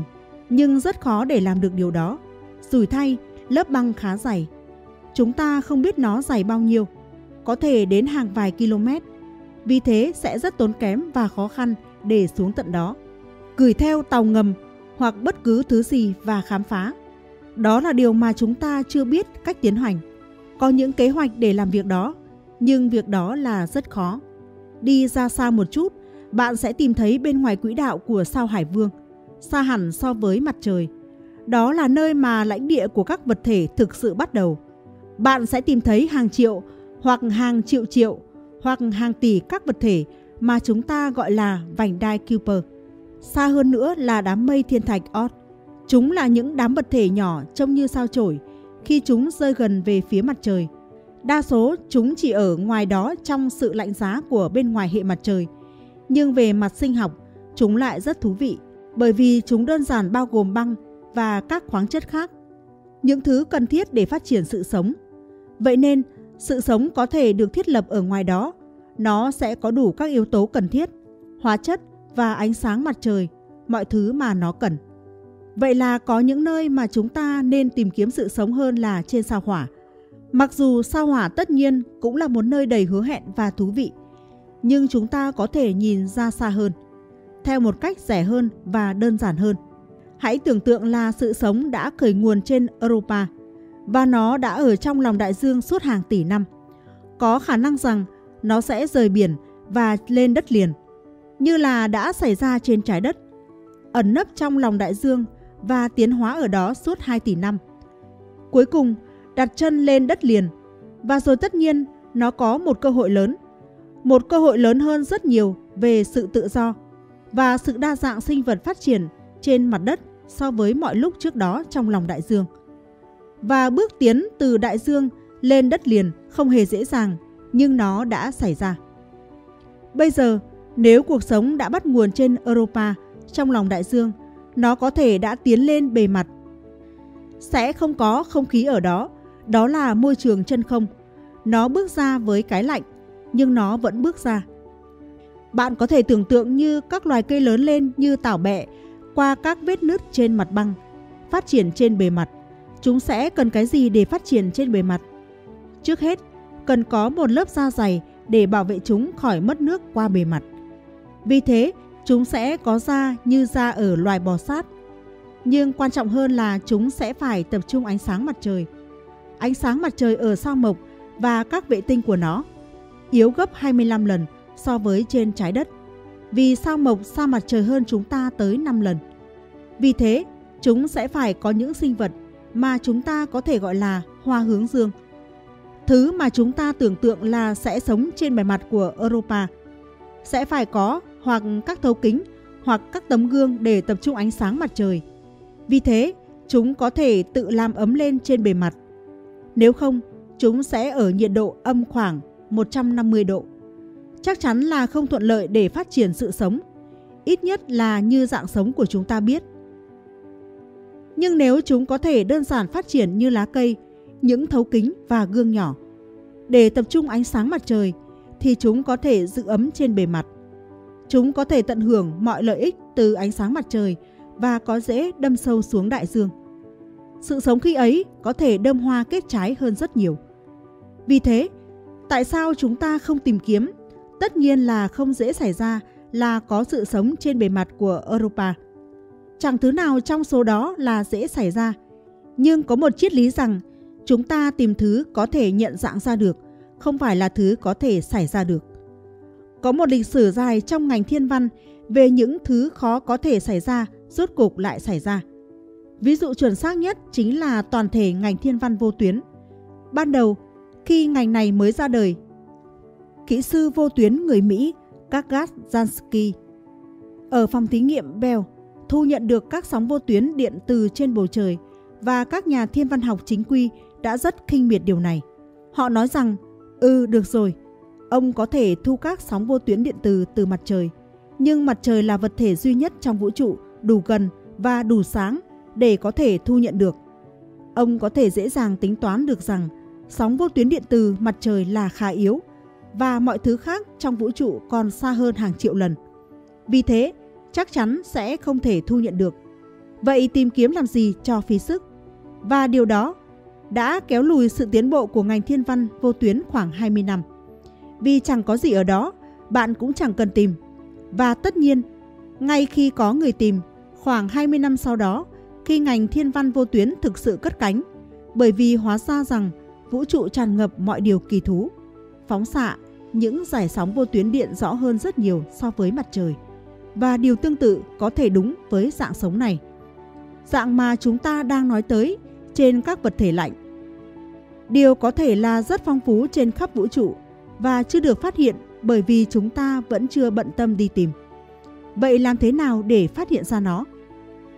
Nếu những sinh vật này đang sống trên các bề mặt lạnh giá, có thể Europa hoặc xa hơn, bất cứ nơi nào bạn có thể sống trên một bề mặt lạnh giá, những sinh vật đó buộc phải có những quang cụ phản chiếu.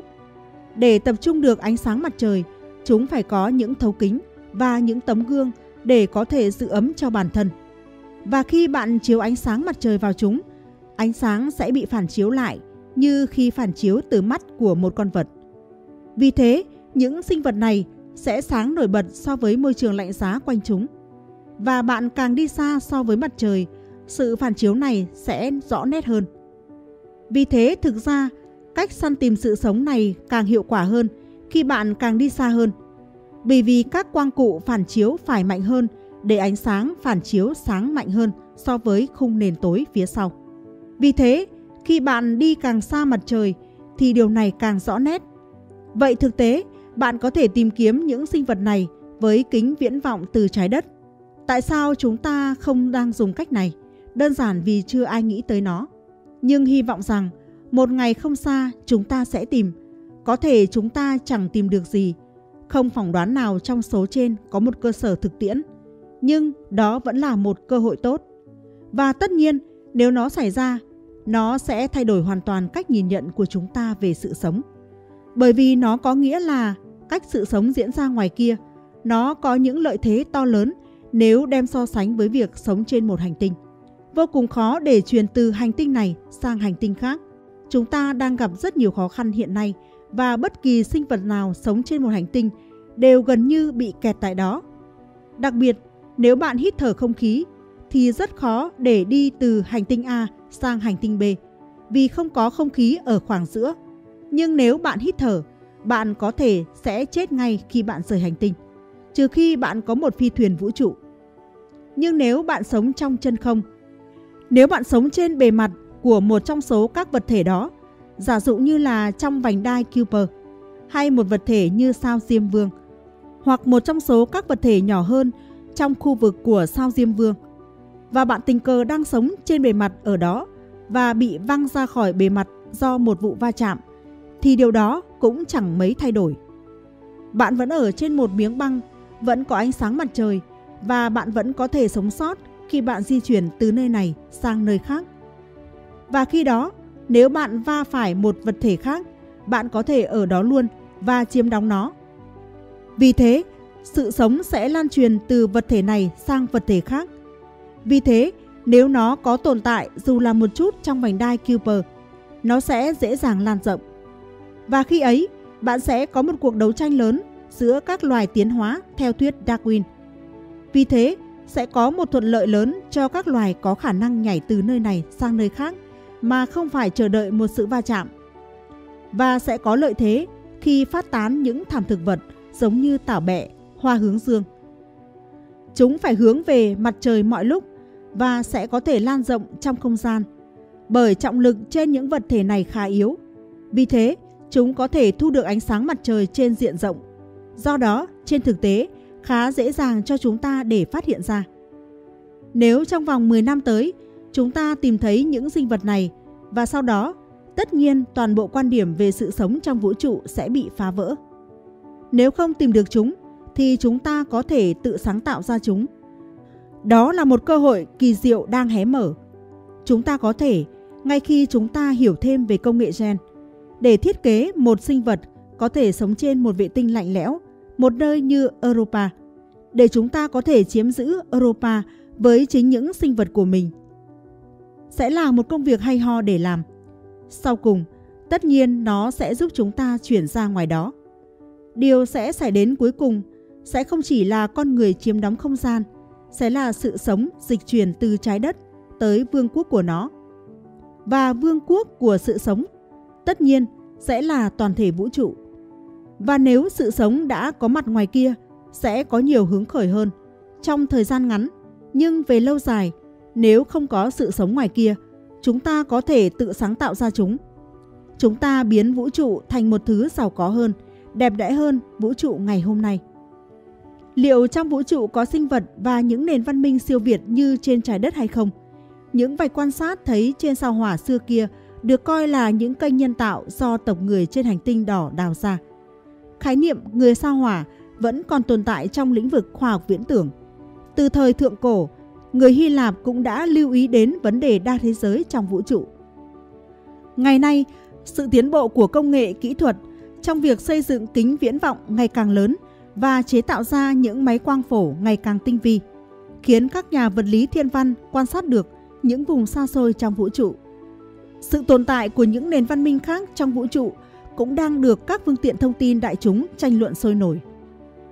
Vũ trụ chứa hàng trăm tỷ thiên hà, mỗi thiên hà có trăm tỷ ngôi sao. Mỗi ngôi sao thường có các hành tinh đồng hành. Hệ mặt trời trong đó có trái đất cũng có ít nhất 8 hành tinh. Trong số những hành tinh diễu hành xung quanh mỗi ngôi sao, một số hành tinh có thể có những điều kiện thiên nhiên thích hợp với sự sống, kể cả sự sống có khả năng hiểu biết như loài người trên trái đất. Nhà vật lý nổi tiếng Enrico Fermi trong chuyến thăm trung tâm nguyên tử Los Alamos đã đặt câu hỏi vũ trụ có nhiều hành tinh như thế, ắt là đã có sinh vật sống trên đó. Thậm chí cả những nền văn minh siêu việt có khả năng liên lạc với chúng ta. Họ có thể đã đến thăm hành tinh trái đất. Vậy thì họ đang ẩn náu ở đâu? Câu chuyện thú vị này đã trở nên nổi tiếng và được gọi là kịch lý Fermi. Lò luyện kim trong vũ trụ Vũ trụ là môi trường có những điều kiện lý hóa đa dạng. Dựa trên kết quả quan sát bằng kính viễn vọng và những mô hình lý thuyết, các nhà thiên văn đã mô phỏng được quá trình tiến hóa của vụ nổ tạo ra từ vụ nổ lớn Big Bang cách đây đã 13,8 tỷ năm. Thủa sơ khai, vũ trụ chỉ chứa những hạt nguyên tử nhẹ như hydro và heli. Những đám khí nhẹ này dần dần tập hợp với nhau và nóng đặc lên để tạo ra những ngôi sao và những thiên hà. Đến giai đoạn cuối của quá trình tiến hóa, những ngôi sao khổng lồ nóng đặc bùng nổ thành siêu tân tinh và tạo ra những nguyên tử nặng hơn như carbon, oxy, sắt cùng những phân tử hữu cơ phức tạp. Quá trình quay và rung động làm phân tử phát ra những vạch phổ trên bước sóng vô tuyến. Các nhà thiên văn sử dụng kính viễn vọng vô tuyến ngày càng lớn với độ phân giải cao để thu tín hiệu của phân tử. Săn tìm những phân tử hữu cơ sinh học liên quan đến sự sống. Những ngôi sao trong thiên hà là những phòng thí nghiệm lý hóa sinh phong phú. Axit amin là một loại phân tử hữu cơ sinh học và là thành phần cốt yếu trong cơ thể con người. Sinh vật có thể được coi là hậu duệ của những ngôi sao. Axit amin cũng tồn tại trong các mảnh vật chất tách ra từ thiên thạch rơi xuống trái đất. Các nhà thiên văn sử dụng kính viễn vọng vô tuyến nhằm phát hiện ra những vạch phổ đặc trưng của những phân tử hữu cơ sinh học. Những phân tử hữu cơ như cồn ethylic, axit được tìm thấy trong ngân hà. Tuy nhiên, sự tìm kiếm glycine, phân tử đơn giản nhất trong số 20 phân tử axit amin, vẫn chưa đạt được kết quả. Axit amin là thành phần của protein, một yếu tố cần thiết cho sự sống. Sự săn tìm axit amin trong ngân hà tuy chưa có kết quả, nhưng không có nghĩa là không có sinh vật và con người ở bên ngoài hành tinh trái đất.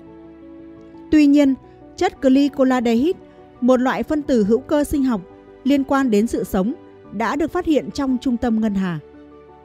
Tìm kiếm những ngoại hành tinh có khả năng có sinh vật. Hành tinh là những thiên thể quay xung quanh những ngôi sao và không tự phát ra ánh sáng mà chỉ phản chiếu bức xạ phát ra từ ngôi sao chủ. Sau đó, hành tinh trong hệ sao bị ánh sáng chói lọi của ngôi sao chủ át đi, nên khó phát hiện được. Các nhà thiên văn phải dùng những kỹ thuật tinh vi để phát hiện gián tiếp những hành tinh đồng hành. Quan sát những hành tinh ở bên ngoài hệ mặt trời cũng là để tìm hiểu sự hình thành và sự tiến hóa của hành tinh trái đất, nơi chúng ta sinh sống.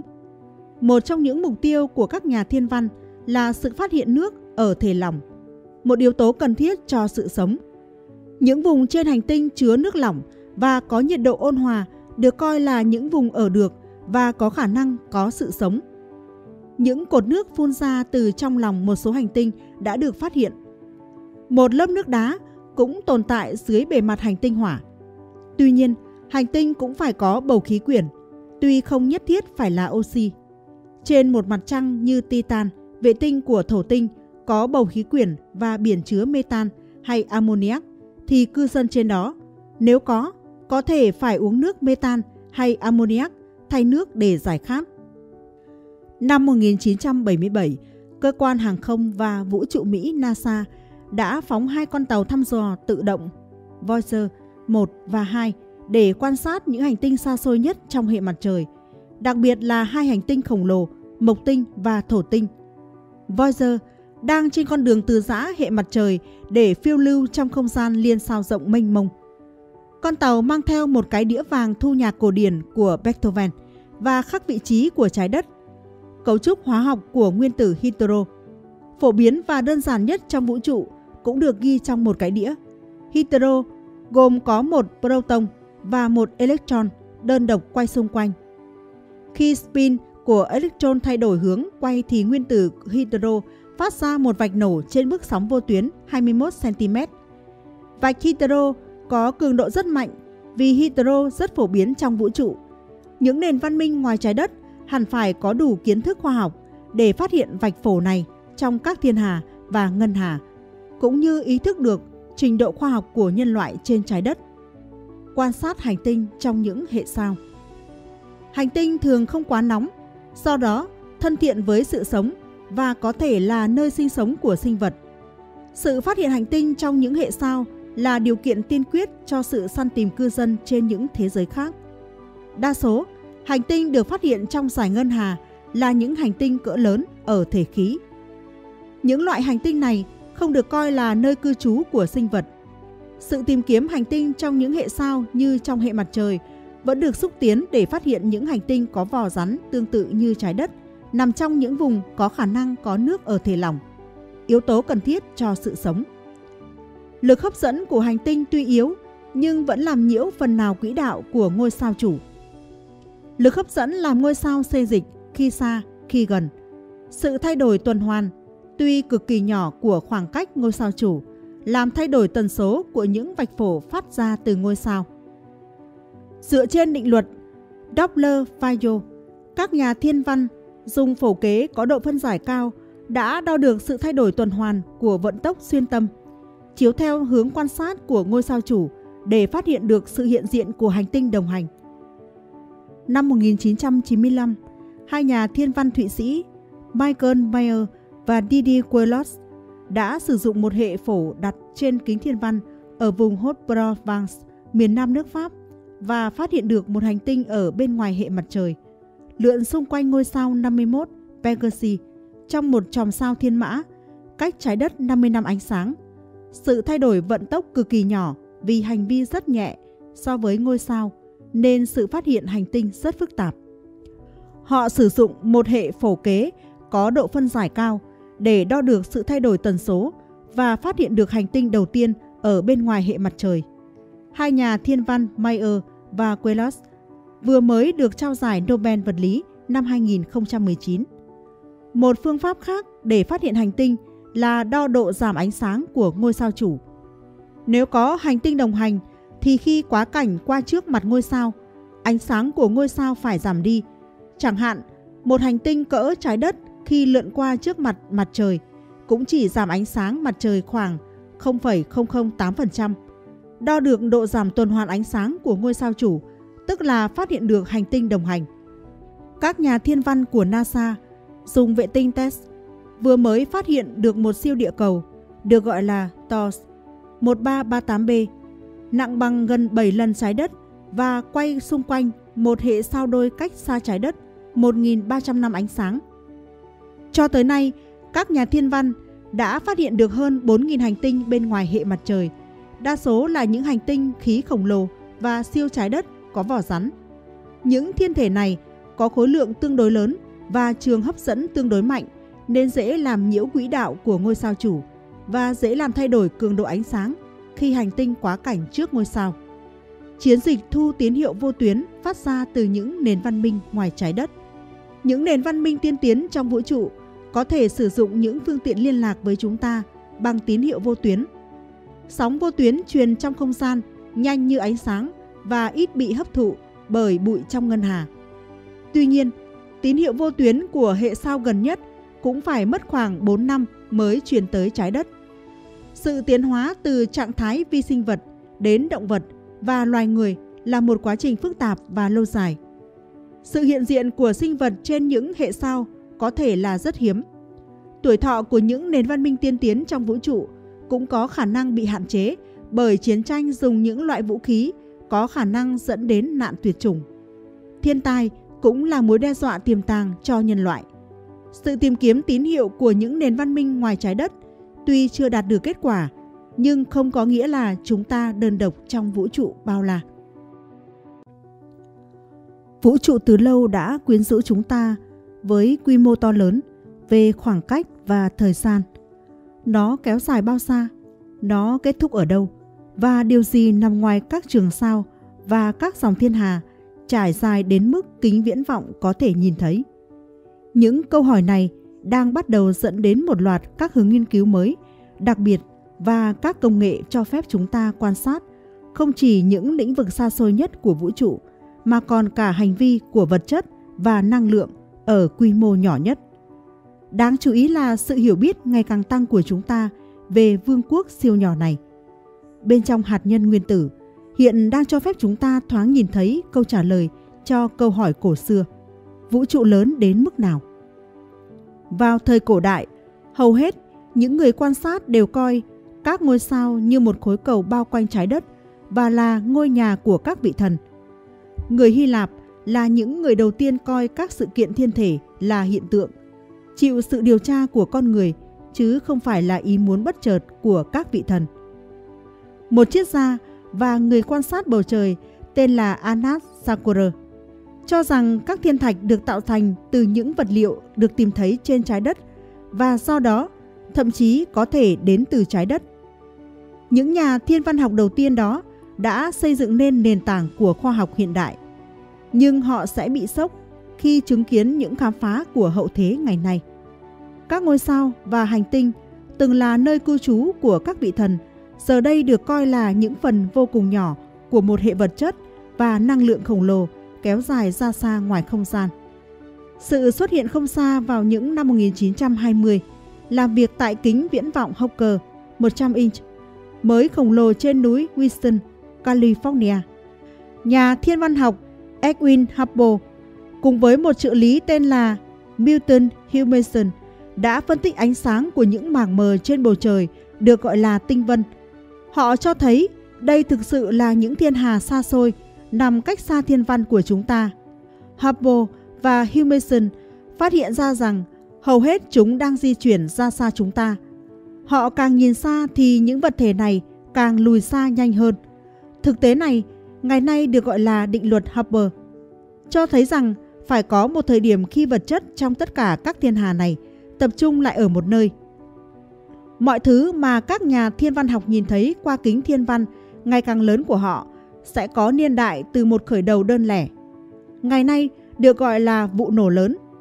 Việc vũ trụ có thể giãn nở đã được Albert Einstein dự đoán từ năm 1917. Ngoại trừ việc chính Einstein cũng không tin điều đó cho đến khi ông nhìn thấy bằng chứng của Hubble và Humason. Thuyết tương đối rộng của Einstein cho rằng các thiên hà có thể đang di chuyển xa nhau vì bản thân không gian đang giãn nở. Vì vậy, khi một photon được bắn ra từ một ngôi sao xa xôi, nó sẽ di chuyển qua một khung cảnh vũ trụ ngày càng lớn hơn, làm tăng khoảng cách mà nó phải di chuyển để đến được chúng ta.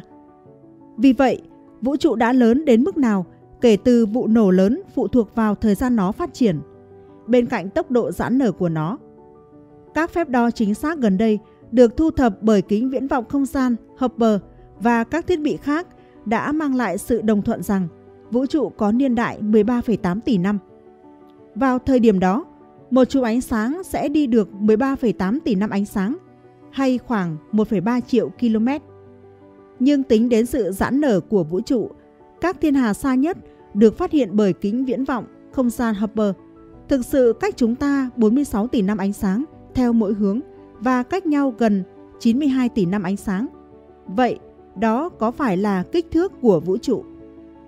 Không phải vậy. Theo một lý thuyết mới đầy kịch tính mô tả nguồn gốc của vũ trụ, nó cho rằng khoảng 92 tỷ năm ánh sáng của chúng ta chỉ là một hạt nhỏ trong toàn bộ vũ trụ.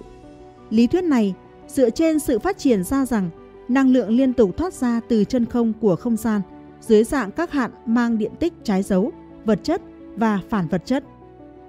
Trở lại những năm 1980, nhà vật lý Alan Guth đã đề xuất rằng các trường năng lượng nằm trong chân không của không gian đã đột nhiên chuyển sang trạng thái năng lượng cao hơn, khiến không gian và thời gian phồng lên theo đúng nghĩa đen. Vũ trụ chuyển từ kích thước nguyên tử sang kích thước vũ trụ trong một không gian vô cùng ngắn. Kết quả là, theo tính toán của Good, vũ trụ nói chung sẽ tăng lên khoảng 1025 lần kích thước của vũ trụ quan sát được. Nói cách khác, toàn bộ vũ trụ đối với vũ trụ quan sát được giống như vũ trụ quan sát được so với một nguyên tử nhỏ bé. Sự căng thẳng khủng khiếp của lạm phát vũ trụ giúp giải thích kích thước to lớn và độ mịn của vũ trụ. Nhưng để thành công, lý thuyết này cũng phải giải thích cách vũ trụ tạo ra những gì chúng ta thấy xung quanh chúng ta. Tất cả các ngôi sao, thiên hà và cụm thiên hà và cuối cùng là chúng ta. Các nhà khoa học hiện đang cố gắng ghép lại chuỗi sự kiện đã đưa vũ trụ của chúng ta vào những thời điểm đầu tiên bằng cách tạo ra cái mà bạn có thể gọi là vụ nổ nhỏ. Tại phòng thí nghiệm quốc gia Brookhaven ở New York, họ đang cho nổ các nguyên tử vàng theo các hướng ngược nhau xuống các đường hầm dài gần 2,5 dặm. Khi những nguyên tử này đạt vận tốc gần với tốc độ ánh sáng, chúng sẽ bị đẩy vào một vụ va chạm dữ dội. Một quả cầu lửa phun trào, đạt nhiệt độ vượt quá 2.000 tỷ độ C. Theo những gì chúng ta biết, lần cuối cùng mọi thứ trong vũ trụ của chúng ta nóng như vậy là một phần triệu giây sau khi nó ra đời. Điều khiến các nhà khoa học quan tâm là sự bắn tung tóe của các hạt hạ nguyên tử, một hỗn hợp siêu nóng gồm quartz và gluon mà lý thuyết cho rằng đã tạo ra vật chất như chúng ta biết. Trong các thử nghiệm ban đầu, plasma quark gluon này đã thể hiện một đặc tính quan trọng, độ nhớt hoặc khả năng chống chảy cực thấp. Các nhà khoa học gọi nó là chất lỏng hoàn hảo. Để hiểu được tầm quan trọng của nó, chúng ta quay trở lại những trường năng lượng nguyên thủy mà lý thuyết cho rằng đã tạo ra vụ nổ lớn. Người ta cho rằng những trường đó chứa đựng những biến động nhỏ đã bị thổi phồng lên quy mô lớn trong thời kỳ lạm phát. Trong hỗn hợp quark gluon cực đậm đặc, những thăng sáng này tạo ra sóng áp suất hay gợn sóng. Khi vũ trụ phát triển, những gợn sóng này làm phát sinh những biến đổi về mật độ vật chất. Điều đáng ngạc nhiên là ngày nay, dấu vết của những gợn sóng nguyên thủy đó vẫn còn tồn tại dưới dạng tín hiệu mờ nhạt được phát hiện tình cờ vào những năm 1960.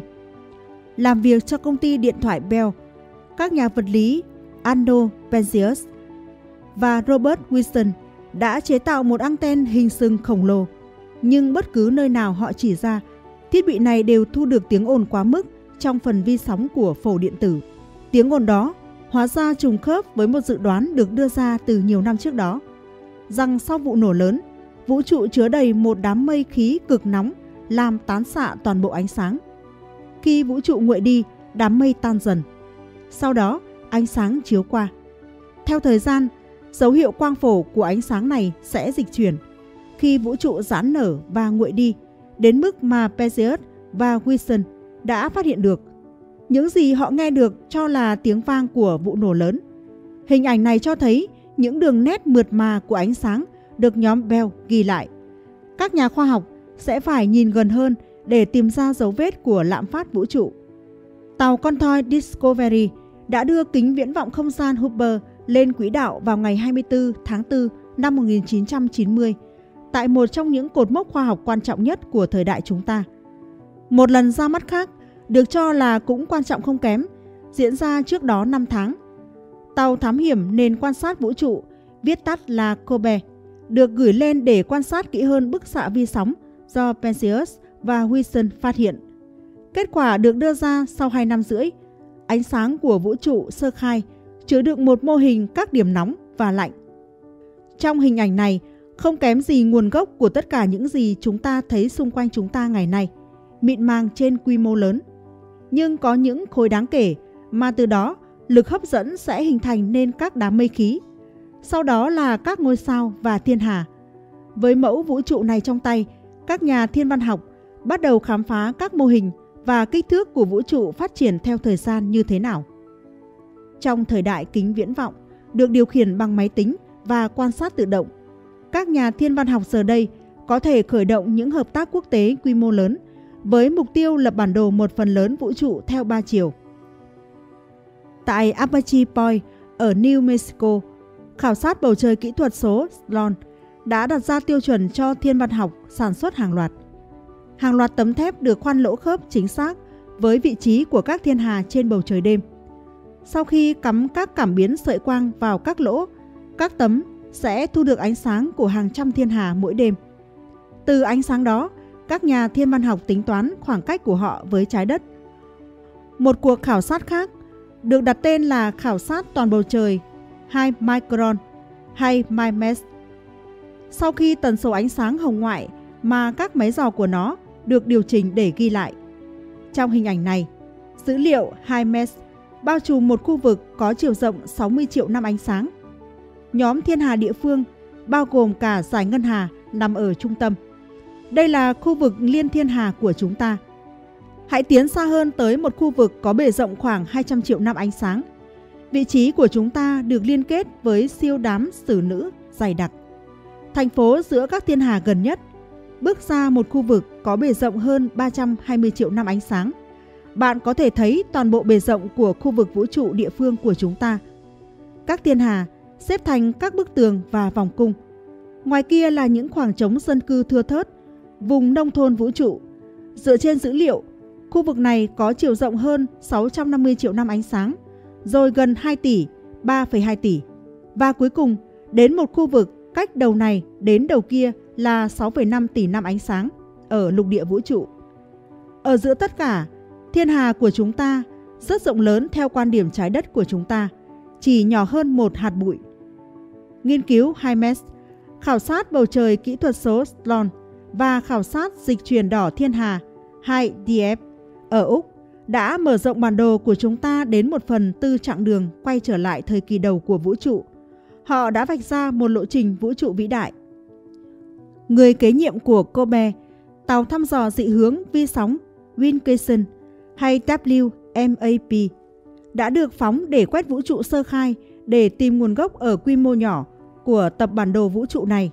WMAP đã vượt qua mọi sự can thiệp từ trái đất đến vị trí cân bằng giữa trái đất và mặt trời. Ở đó, trong 2 năm, các máy dò của nó đã thu được ánh sáng nguyên sơ của không gian sâu thẳm. Đây là những gì WMAP nhìn thấy. Một mô hình phù hợp với các sợi và khoảng trống đã phát triển trong vũ trụ nói chung. Các nhà khoa học đang nghiên cứu dữ liệu WMAP để tìm nhanh manh mối về kích thước thực sự của vũ trụ. Ví dụ, một nhóm đã tìm kiếm các mô hình lặp lại có thể là bằng chứng của các sóng áp suất dội ngược qua khí nóng thời kỳ đầu. Họ không nhìn thấy gì, điều này ngụ ý rằng vũ trụ đã phát triển quá lớn trong quá trình lạm phát đến mức những sóng như vậy không thể vượt qua nó. Sau đó, họ làm phép tính và báo cáo rằng toàn bộ vũ trụ phải có đường kính tối thiểu là 78 tỷ năm ánh sáng. Vậy kích thước tối đa của nó là bao nhiêu và vượt quá kích thước đó là bao nhiêu? Chúng ta sẽ không bao giờ biết chắc chắn điều gì nằm ngoài tầm nhìn trực quan của chúng ta. Nhưng các nhà thiên văn học đang đưa ra một số gợi ý đáng ngạc nhiên về vũ trụ mà họ có thể nhìn thấy Đối với những người quan sát cổ xưa, vũ trụ được tạo thành những năm yếu tố cổ điển: đất, nước, không khí, lửa và yếu tố thứ năm, tinh hoa hay không gian. Aristotle tin rằng các ngôi sao không thay đổi và không thể hư hỏng được tạo thành từ nguyên tố thứ năm này. Ngày nay, trên thực tế, chúng ta đang nhận thấy không gian đó có một đặc điểm riêng. Các nhà thiên văn học đã tính toán lực hấp dẫn cần thiết để liên kết các ngôi sao khi chúng quay quanh một thiên hà hoặc các thiên hà khi chúng quay quanh một cụm thiên hà. Họ đã phát hiện ra rằng ở đó không có đủ vật chất nhìn thấy được để giữ các cấu trúc này lại với nhau. Thành phần còn thiếu, danh tính của nó vẫn chưa được biết, họ gọi là vật chất tối. Trong các mô phỏng siêu máy tính về quá trình tiến hóa của vũ trụ, vật chất tối được thêm vào để cung cấp lực hấp dẫn cần thiết để hình thành mô hình mạng lưới các sợi và vách, khoảng trống và các cụm dày đặc mà chúng ta thấy trong vũ trụ nói chung. Nhưng có điều gì đó khác dường như đang xảy ra trên quy mô lớn này. Các nhà thiên văn học đang thực hiện các phép đo tinh tế về tốc độ giãn nở của vũ trụ bằng một loại điểm đánh dấu khoảng cách mới. Họ muốn biết liệu lực hấp dẫn có làm chậm tốc độ phát triển của vũ trụ hay không. Các điểm đánh dấu mà họ sử dụng, siêu tân tinh loại 1A, được cho là cháy ở cường độ đồng đều trên toàn vũ trụ. Bằng cách đo những thay đổi về độ sáng của những ngọn nến tiêu chuẩn này ở những khoảng cách khác nhau. Các nhà nghiên cứu có thể phát hiện ra những thay đổi trong tốc độ giãn nở của vũ trụ. Trước sự ngạc nhiên của họ, dữ liệu cho thấy toàn bộ vũ trụ không chỉ đang giãn nở mà còn thực sự đang tăng tốc ra phía ngoài. Thủ phạm được cho là năng lượng bốc lên từ chân không vũ trụ, tương tự như những gì xảy ra vào những thời điểm của vụ nổ lớn, gây ra lạm phát vũ trụ. Bằng cách xuất hiện với số lượng nhỏ ở khắp mọi nơi, nó đang đẩy không gian ra ngoài toàn bộ vũ trụ. Theo thời gian, cái gọi là năng lượng tối này đã phát triển tới mức đáng kinh ngạc là 3 phần tư tổng lượng vật chất và năng lượng trong vũ trụ. Với những dữ liệu như thế này, chỉ ra một động lực cơ bản trong vũ trụ của chúng ta. Một số nhà khoa học đang nghĩ về vũ trụ theo những thuật ngữ rộng hơn bao giờ hết. Ví dụ, có một phiên bản của lý thuyết lạm phát cho rằng chúng ta đang sống ở một trong nhiều vũ trụ, có thể cùng tồn tại cạnh nhau nhưng không chạm vào nhau. Giống như những bong bóng, chúng liên tục dâng cao và lan rộng ra khắp đại dương vô tận. Chỉ 500 năm trước, vào thời Galilei, nhiều người nhìn ra ngoài không gian và nhìn thấy một vũ trụ ánh sáng tập trung vào trái đất. Việc phát minh ra kính thiên văn đã tiết lộ những ngôi sao ở rất xa hành tinh của chúng ta. Sau đó là các thiên hà, các cụm thiên hà và xa hơn nữa là những bức tường rộng lớn và các sợi vật chất. Những ý tưởng mới hơn về kích thước của vũ trụ đã tạo nên một bước nhảy vọt lượng tử trong nhận thức của chúng ta về quy mô bằng cách mở rộng những cấu trúc này ra xa, vượt xa tầm nhìn của chúng ta. Liệu những khám phá này có đẩy chúng ta trên hành tinh nhỏ bé xa lạ của chúng ta vào một góc ngày càng nhỏ hơn của sáng tạo không? Hay khả năng hiểu và tưởng tượng những giới hạn xa xôi của thời gian và không gian của chúng ta bằng cách nào đó đã mở rộng tầm quan trọng của chúng ta trong sơ đồ lớn của sự vật. Có hay không tồn tại sự sống bên ngoài vũ trụ là câu hỏi lớn mà giới khoa học đang đau đầu tìm lời giải. Nhưng bấy lâu nay, chúng ta lại tìm kiếm trong vô vọng trên một lối mòn với những manh mối ít ỏi đã biết trên trái đất, nước, oxy, chất hữu cơ, vân vân. Nhưng nếu sự sống ngoài kia phát triển trái ngược với những manh mối đó thì chẳng phải chúng ta đã bỏ lỡ cho dù chúng đang ở ngay trước mắt chúng ta hay sao?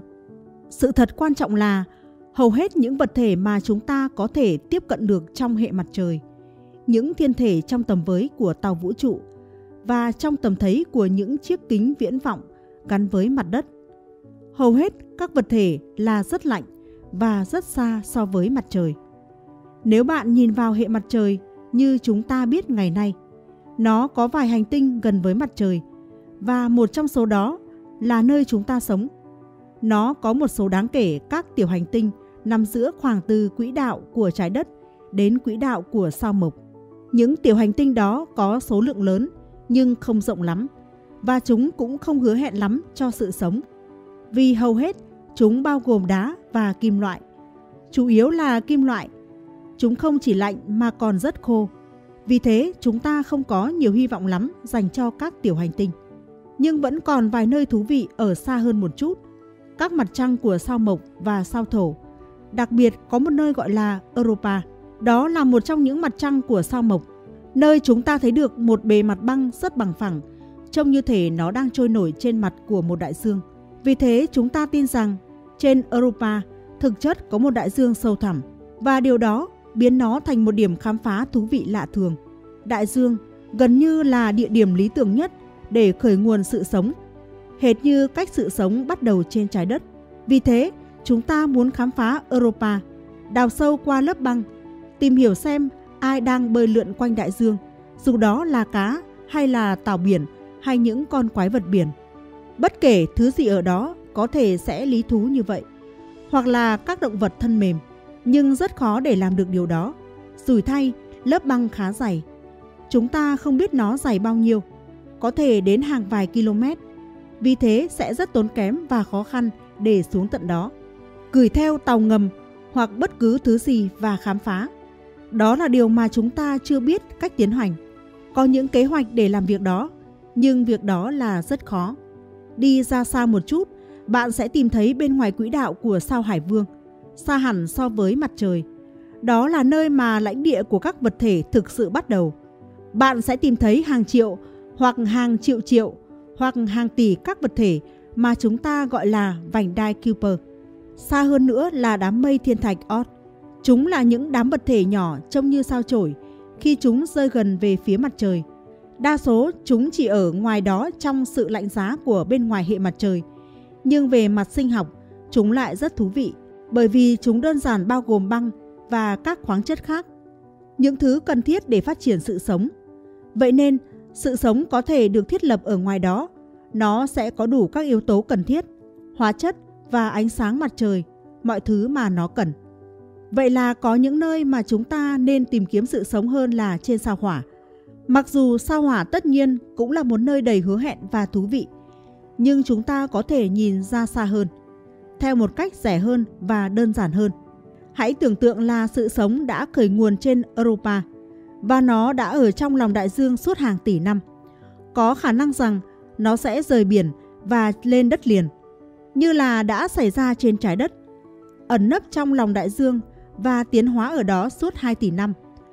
Cuối cùng, đặt chân lên đất liền và rồi tất nhiên nó có một cơ hội lớn, một cơ hội lớn hơn rất nhiều về sự tự do và sự đa dạng sinh vật phát triển trên mặt đất so với mọi lúc trước đó trong lòng đại dương. Và bước tiến từ đại dương lên đất liền không hề dễ dàng, nhưng nó đã xảy ra. Bây giờ, nếu cuộc sống đã bắt nguồn trên Europa trong lòng đại dương, nó có thể đã tiến lên bề mặt. Sẽ không có không khí ở đó, đó là môi trường chân không. Nó bước ra với cái lạnh, nhưng nó vẫn bước ra. Bạn có thể tưởng tượng như các loài cây lớn lên như tảo bẹ qua các vết nứt trên mặt băng, phát triển trên bề mặt. Chúng sẽ cần cái gì để phát triển trên bề mặt? Trước hết, cần có một lớp da dày để bảo vệ chúng khỏi mất nước qua bề mặt. Vì thế, chúng sẽ có da như da ở loài bò sát. Nhưng quan trọng hơn là chúng sẽ phải tập trung ánh sáng mặt trời. Ánh sáng mặt trời ở sao mộc và các vệ tinh của nó yếu gấp 25 lần so với trên trái đất. Vì sao mộc xa mặt trời hơn chúng ta tới 5 lần. Vì thế, chúng sẽ phải có những sinh vật mà chúng ta có thể gọi là hoa hướng dương. Thứ mà chúng ta tưởng tượng là sẽ sống trên bề mặt của Europa sẽ phải có hoặc các thấu kính hoặc các tấm gương để tập trung ánh sáng mặt trời. Vì thế, chúng có thể tự làm ấm lên trên bề mặt. Nếu không, chúng sẽ ở nhiệt độ âm khoảng 150 độ. Chắc chắn là không thuận lợi để phát triển sự sống, ít nhất là như dạng sống của chúng ta biết. Nhưng nếu chúng có thể đơn giản phát triển như lá cây, những thấu kính và gương nhỏ, để tập trung ánh sáng mặt trời, thì chúng có thể giữ ấm trên bề mặt. Chúng có thể tận hưởng mọi lợi ích từ ánh sáng mặt trời và có dễ đâm sâu xuống đại dương. Sự sống khi ấy có thể đơm hoa kết trái hơn rất nhiều. Vì thế, tại sao chúng ta không tìm kiếm? Tất nhiên là không dễ xảy ra là có sự sống trên bề mặt của Europa. Chẳng thứ nào trong số đó là dễ xảy ra. Nhưng có một triết lý rằng chúng ta tìm thứ có thể nhận dạng ra được, không phải là thứ có thể xảy ra được. Có một lịch sử dài trong ngành thiên văn về những thứ khó có thể xảy ra rốt cục lại xảy ra.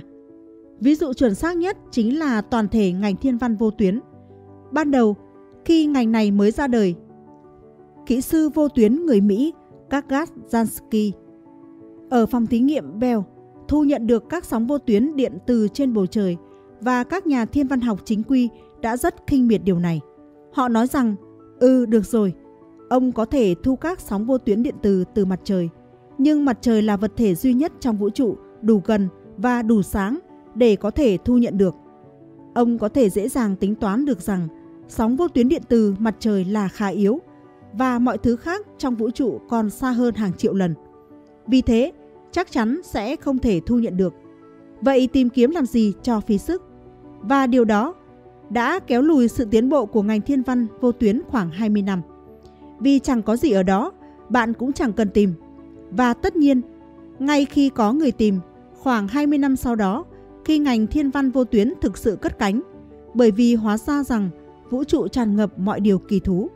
Phóng xạ, những giải sóng vô tuyến điện rõ hơn rất nhiều so với mặt trời. Và điều tương tự có thể đúng với dạng sống này. Dạng mà chúng ta đang nói tới trên các vật thể lạnh. Điều có thể là rất phong phú trên khắp vũ trụ và chưa được phát hiện bởi vì chúng ta vẫn chưa bận tâm đi tìm. Vậy làm thế nào để phát hiện ra nó? Nếu những sinh vật này đang sống trên các bề mặt lạnh giá, có thể Europa hoặc xa hơn, bất cứ nơi nào bạn có thể sống trên một bề mặt lạnh giá, những sinh vật đó buộc phải có những quang cụ phản chiếu. Để tập trung được ánh sáng mặt trời, chúng phải có những thấu kính và những tấm gương để có thể giữ ấm cho bản thân. Và khi bạn chiếu ánh sáng mặt trời vào chúng, ánh sáng sẽ bị phản chiếu lại như khi phản chiếu từ mắt của một con vật. Vì thế, những sinh vật này sẽ sáng nổi bật so với môi trường lạnh giá quanh chúng. Và bạn càng đi xa so với mặt trời, sự phản chiếu này sẽ rõ nét hơn. Vì thế, thực ra, cách săn tìm sự sống này càng hiệu quả hơn khi bạn càng đi xa hơn. Bởi vì các quang cụ phản chiếu phải mạnh hơn để ánh sáng phản chiếu sáng mạnh hơn so với khung nền tối phía sau. Vì thế, khi bạn đi càng xa mặt trời thì điều này càng rõ nét. Vậy thực tế, bạn có thể tìm kiếm những sinh vật này với kính viễn vọng từ trái đất. Tại sao chúng ta không đang dùng cách này? Đơn giản vì chưa ai nghĩ tới nó. Nhưng hy vọng rằng một ngày không xa chúng ta sẽ tìm. Có thể chúng ta chẳng tìm được gì. Không phỏng đoán nào trong số trên có một cơ sở thực tiễn. Nhưng đó vẫn là một cơ hội tốt. Và tất nhiên, nếu nó xảy ra, nó sẽ thay đổi hoàn toàn cách nhìn nhận của chúng ta về sự sống. Bởi vì nó có nghĩa là cách sự sống diễn ra ngoài kia, nó có những lợi thế to lớn nếu đem so sánh với việc sống trên một hành tinh. Vô cùng khó để truyền từ hành tinh này sang hành tinh khác. Chúng ta đang gặp rất nhiều khó khăn hiện nay và bất kỳ sinh vật nào sống trên một hành tinh đều gần như bị kẹt tại đó. Đặc biệt, nếu bạn hít thở không khí thì rất khó để đi từ hành tinh A sang hành tinh B vì không có không khí ở khoảng giữa. Nhưng nếu bạn hít thở, bạn có thể sẽ chết ngay khi bạn rời hành tinh, trừ khi bạn có một phi thuyền vũ trụ. Nhưng nếu bạn sống trong chân không, nếu bạn sống trên bề mặt của một trong số các vật thể đó, giả dụ như là trong vành đai Kuiper, hay một vật thể như sao Diêm Vương, hoặc một trong số các vật thể nhỏ hơn trong khu vực của sao Diêm Vương, và bạn tình cờ đang sống trên bề mặt ở đó và bị văng ra khỏi bề mặt do một vụ va chạm, thì điều đó cũng chẳng mấy thay đổi. Bạn vẫn ở trên một miếng băng, vẫn có ánh sáng mặt trời và bạn vẫn có thể sống sót khi bạn di chuyển từ nơi này sang nơi khác. Và khi đó, nếu bạn va phải một vật thể khác, bạn có thể ở đó luôn và chiếm đóng nó. Vì thế, sự sống sẽ lan truyền từ vật thể này sang vật thể khác. Vì thế, nếu nó có tồn tại dù là một chút trong vành đai Kuiper, nó sẽ dễ dàng lan rộng. Và khi ấy, bạn sẽ có một cuộc đấu tranh lớn giữa các loài tiến hóa theo thuyết Darwin. Vì thế, sẽ có một thuận lợi lớn cho các loài có khả năng nhảy từ nơi này sang nơi khác mà không phải chờ đợi một sự va chạm. Và sẽ có lợi thế khi phát tán những thảm thực vật giống như tảo bẹ, hoa hướng dương. Chúng phải hướng về mặt trời mọi lúc và sẽ có thể lan rộng trong không gian bởi trọng lực trên những vật thể này khá yếu. Vì thế, chúng có thể thu được ánh sáng mặt trời trên diện rộng. Do đó, trên thực tế, khá dễ dàng cho chúng ta để phát hiện ra. Nếu trong vòng 10 năm tới, chúng ta tìm thấy những sinh vật này và sau đó tất nhiên toàn bộ quan điểm về sự sống trong vũ trụ sẽ bị phá vỡ. Nếu không tìm được chúng thì chúng ta có thể tự sáng tạo ra chúng. Đó là một cơ hội kỳ diệu đang hé mở. Chúng ta có thể, ngay khi chúng ta hiểu thêm về công nghệ gen, để thiết kế một sinh vật có thể sống trên một vệ tinh lạnh lẽo, một nơi như Europa, để chúng ta có thể chiếm giữ Europa với chính những sinh vật của mình. Sẽ là một công việc hay ho để làm. Sau cùng, tất nhiên nó sẽ giúp chúng ta chuyển ra ngoài đó. Điều sẽ xảy đến cuối cùng sẽ không chỉ là con người chiếm đóng không gian, sẽ là sự sống dịch chuyển từ trái đất tới vương quốc của nó. Và vương quốc của sự sống, tất nhiên sẽ là toàn thể vũ trụ. Và nếu sự sống đã có mặt ngoài kia, sẽ có nhiều hướng khởi hơn trong thời gian ngắn, nhưng về lâu dài, nếu không có sự sống ngoài kia, chúng ta có thể tự sáng tạo ra chúng. Chúng ta biến vũ trụ thành một thứ giàu có hơn, đẹp đẽ hơn vũ trụ ngày hôm nay. Liệu trong vũ trụ có sinh vật và những nền văn minh siêu việt như trên trái đất hay không? Những vạch quan sát thấy trên sao hỏa xưa kia được coi là những kênh nhân tạo do tộc người trên hành tinh đỏ đào ra. Khái niệm người sao hỏa vẫn còn tồn tại trong lĩnh vực khoa học viễn tưởng. Từ thời thượng cổ, người Hy Lạp cũng đã lưu ý đến vấn đề đa thế giới trong vũ trụ. Ngày nay, sự tiến bộ của công nghệ kỹ thuật trong việc xây dựng kính viễn vọng ngày càng lớn và chế tạo ra những máy quang phổ ngày càng tinh vi, khiến các nhà vật lý thiên văn quan sát được những vùng xa xôi trong vũ trụ. Sự tồn tại của những nền văn minh khác trong vũ trụ cũng đang được các phương tiện thông tin đại chúng tranh luận sôi nổi. Vũ trụ chứa hàng trăm tỷ thiên hà, mỗi thiên hà có trăm tỷ ngôi sao. Mỗi ngôi sao thường có các hành tinh đồng hành. Hệ mặt trời trong đó có trái đất cũng có ít nhất 8 hành tinh. Trong số những hành tinh diễu hành xung quanh mỗi ngôi sao, một số hành tinh có thể có những điều kiện thiên nhiên thích hợp với sự sống, kể cả sự sống có khả năng hiểu biết như loài người trên trái đất. Nhà vật lý nổi tiếng Enrico Fermi trong chuyến thăm trung tâm nguyên tử Los Alamos đã đặt câu hỏi vũ trụ có nhiều hành tinh như thế, ắt là đã có sinh vật sống trên đó. Thậm chí cả những nền văn minh siêu việt có khả năng liên lạc với chúng ta. Họ có thể đã đến thăm hành tinh trái đất. Vậy thì họ đang ẩn náu ở đâu? Câu chuyện thú vị này đã trở nên nổi tiếng và được gọi là kịch lý Fermi. Lò luyện kim trong vũ trụ Vũ trụ là môi trường có những điều kiện lý hóa đa dạng. Dựa trên kết quả quan sát bằng kính viễn vọng và những mô hình lý thuyết, các nhà thiên văn đã mô phỏng được quá trình tiến hóa của vụ nổ tạo ra từ vụ nổ lớn Big Bang cách đây đã 13,8 tỷ năm. thủa sơ khai, vũ trụ chỉ chứa những hạt nguyên tử nhẹ như hydro và heli. Những đám khí nhẹ này dần dần tập hợp với nhau và nóng đặc lên để tạo ra những ngôi sao và những thiên hà. Đến giai đoạn cuối của quá trình tiến hóa, những ngôi sao khổng lồ nóng đặc bùng nổ thành siêu tân tinh và tạo ra những nguyên tử nặng hơn như carbon, oxy, sắt cùng những phân tử hữu cơ phức tạp. Quá trình quay và rung động làm phân tử phát ra những vạch phổ trên bước sóng vô tuyến. Các nhà thiên văn sử dụng kính viễn vọng vô tuyến ngày càng lớn với độ phân giải cao để thu tín hiệu của phân tử. Săn tìm những phân tử hữu cơ sinh học liên quan đến sự sống. Những ngôi sao trong thiên hà là những phòng thí nghiệm lý hóa sinh phong phú. Axit amin là một loại phân tử hữu cơ sinh học và là thành phần cốt yếu trong cơ thể con người. Sinh vật có thể được coi là hậu duệ của những ngôi sao. Axit amin cũng tồn tại trong các mảnh vật chất tách ra từ thiên thạch rơi xuống trái đất. Các nhà thiên văn sử dụng kính viễn vọng vô tuyến nhằm phát hiện ra những vạch phổ đặc trưng của những phân tử hữu cơ sinh học. Những phân tử hữu cơ như cồn ethylic acid được tìm thấy trong ngân hà.